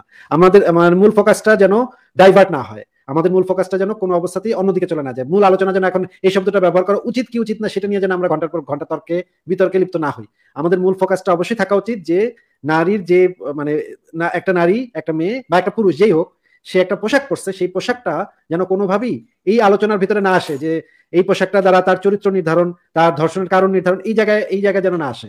কিন্তু অনেক সময় দেখা যায় আমরা আলোচনাটা অন্যদিকে নিয়ে যাই, অন্যদিকে ডাইভার্ট করাটা ঠিক হবে না। সাবটন ভাই। আমার আমার আসলে মানে এই স্পেসিফিক ওয়ার্ডের বিরুদ্ধে লাইক যেই পয়েন্টটা সেটা হচ্ছে যে আমি যদি ফিলিংস বাদও দেই লাইক এটা একটা সেক্স ওয়ার্ক নিয়ে একটা মানে ফলস একটা ধারণার প্রচলন ঘটায় যে আবারও আবারও আলোচনাটা অন্যদিকে চলে যাচ্ছে। সাবটন ভাই প্লিজ আলোচনাটা অন্যদিকে নিয়েন না। আমার আমরা একটা পয়েন্ট পয়েন্ট আছে সেই পয়েন্টটা প্লিজ থাকেন। তাহলে বিবি আয়শা আপনি কি আর কিছু বলবেন? আর কোনো নতুন কিছু বলবেন আমাদেরকে? আসিফ ভাই, আপনাকে শুধু একটা কথা বলতে চাই। সেটা এই গত ডিসেম্বর মাস গেল তো, তখন একটা গান তো প্রায় বাজতো, সব কটা জানালা খুলে দাও না। তো এই গানটা একদিন হঠাৎ আমার কানে আসার পরে আমার চোখে পানি চলে আসছে। আস- আসিফ ভাই, সত্য মানে আপনাকে এই কথাটা বলব, তখন থেকেই ভাবতেছি। ওখানে আরেকটা লাইন আছে, ওরা আসবে চুপি চুপি। আপনারা দেশের জন্য এত কাজ করতেছেন, দেশের মানুষের জন্য এত কিছু করতেছেন। আপনারা দেশে আসতে পারতেছেন না। এই কষ্টটা আমার তখন মানে বললাম না, আমার চোখে পানি চলে আসতেছিল। এবং তখন মনে হয়েছে যে আমরা আমাদের জানালাগুলি আপনাদের জন্য খুলতে না পারলেও আমাদের হৃদয়ের জানালা সবসময় আপনাদের জন্য খোলা থাকবে, আসিফ ভাই। আমরা আপনাদের জন্য হৃদয়ের জানালা খুলে অপেক্ষা করব। আমাদের ভাই, আপনারা আপনারা, আমি বিশেষ করে আমাকে মেয়ে মানুষ থেকে মানুষে পরিণত করে দিছেন আপনি। মানে আমার কৃতজ্ঞতার শেষ নাই আপনার কাছে। এবং একটা সময় পৃথিবীর অনেক মানুষ, যারা আমরা এরকম মুক্ত চিন্তা করি, ওরাও আপনার কাছে কৃতজ্ঞ থাকবে। এবং আমার কৃতজ্ঞতা প্রকাশ করতেছি আমি ব্যক্তিগতভাবে আপনার কাছে। এবং আমাদের হৃদয়ের জানালা সবসময় খোলা আপনার জন্য আপনাদের মতো মানুষের জন্য আপনারা আমাদের ভাই। অনেক ধন্যবাদ বিবি আয়শা আপনাকে। তাহলে আজকে আপনাকে বিদায় জানাই আমরা তাহলে শেষ আরেকজনকে যুক্ত করে তারপর লাইভটা শেষ করে দিব। থ্যাংক ইউ ভাই। জি আচ্ছা, সাবটেন ভাই থ্যাংক ইউ থ্যাংক ইউ আপু। আচ্ছা তাহলে আজকে আপনাকে বিদায় জানাই শেষ একজনকে যুক্ত করে আমরা তাহলে লাইভটা শেষ করে দিব দেখি। রিয়েল ফ্যাক্ট আপনাকে যুক্ত করা হয়েছে আপনি বলেন তাহলে। ভাই আসসালামু আলাইকুম ভাই। আপনার উপরে শান্তি বর্ষিত হোক বলেন। আচ্ছা আমি আপনার আসলে আপনাদের এই লাইভ আমি অনেকদিন যাবত আসলে ফলো করি। আমরা যারা আসলে ভাই আপনার সাউন্ডটা হঠাৎ করে একটু কমে গেল। প্রথম দিকে ঠিক ছিল কিন্তু এখন আবার একটু কমে গেল। ও আচ্ছা তাহলে আমি হেডফোনটা লাগার কারণে কমে গেছে। মেবি আমি হ্যাঁ, এখন ঠিক আছে আচ্ছা বলেন অসুবিধা নেই বলেন বলেন। এখন এখন মিউট করে ফেলছেন আপনি নিজেকে মিউট করে ফেলছেন। এখন কিছু শোনা যাচ্ছে না মিউট করে ফেলছেন আনমিউট করেন।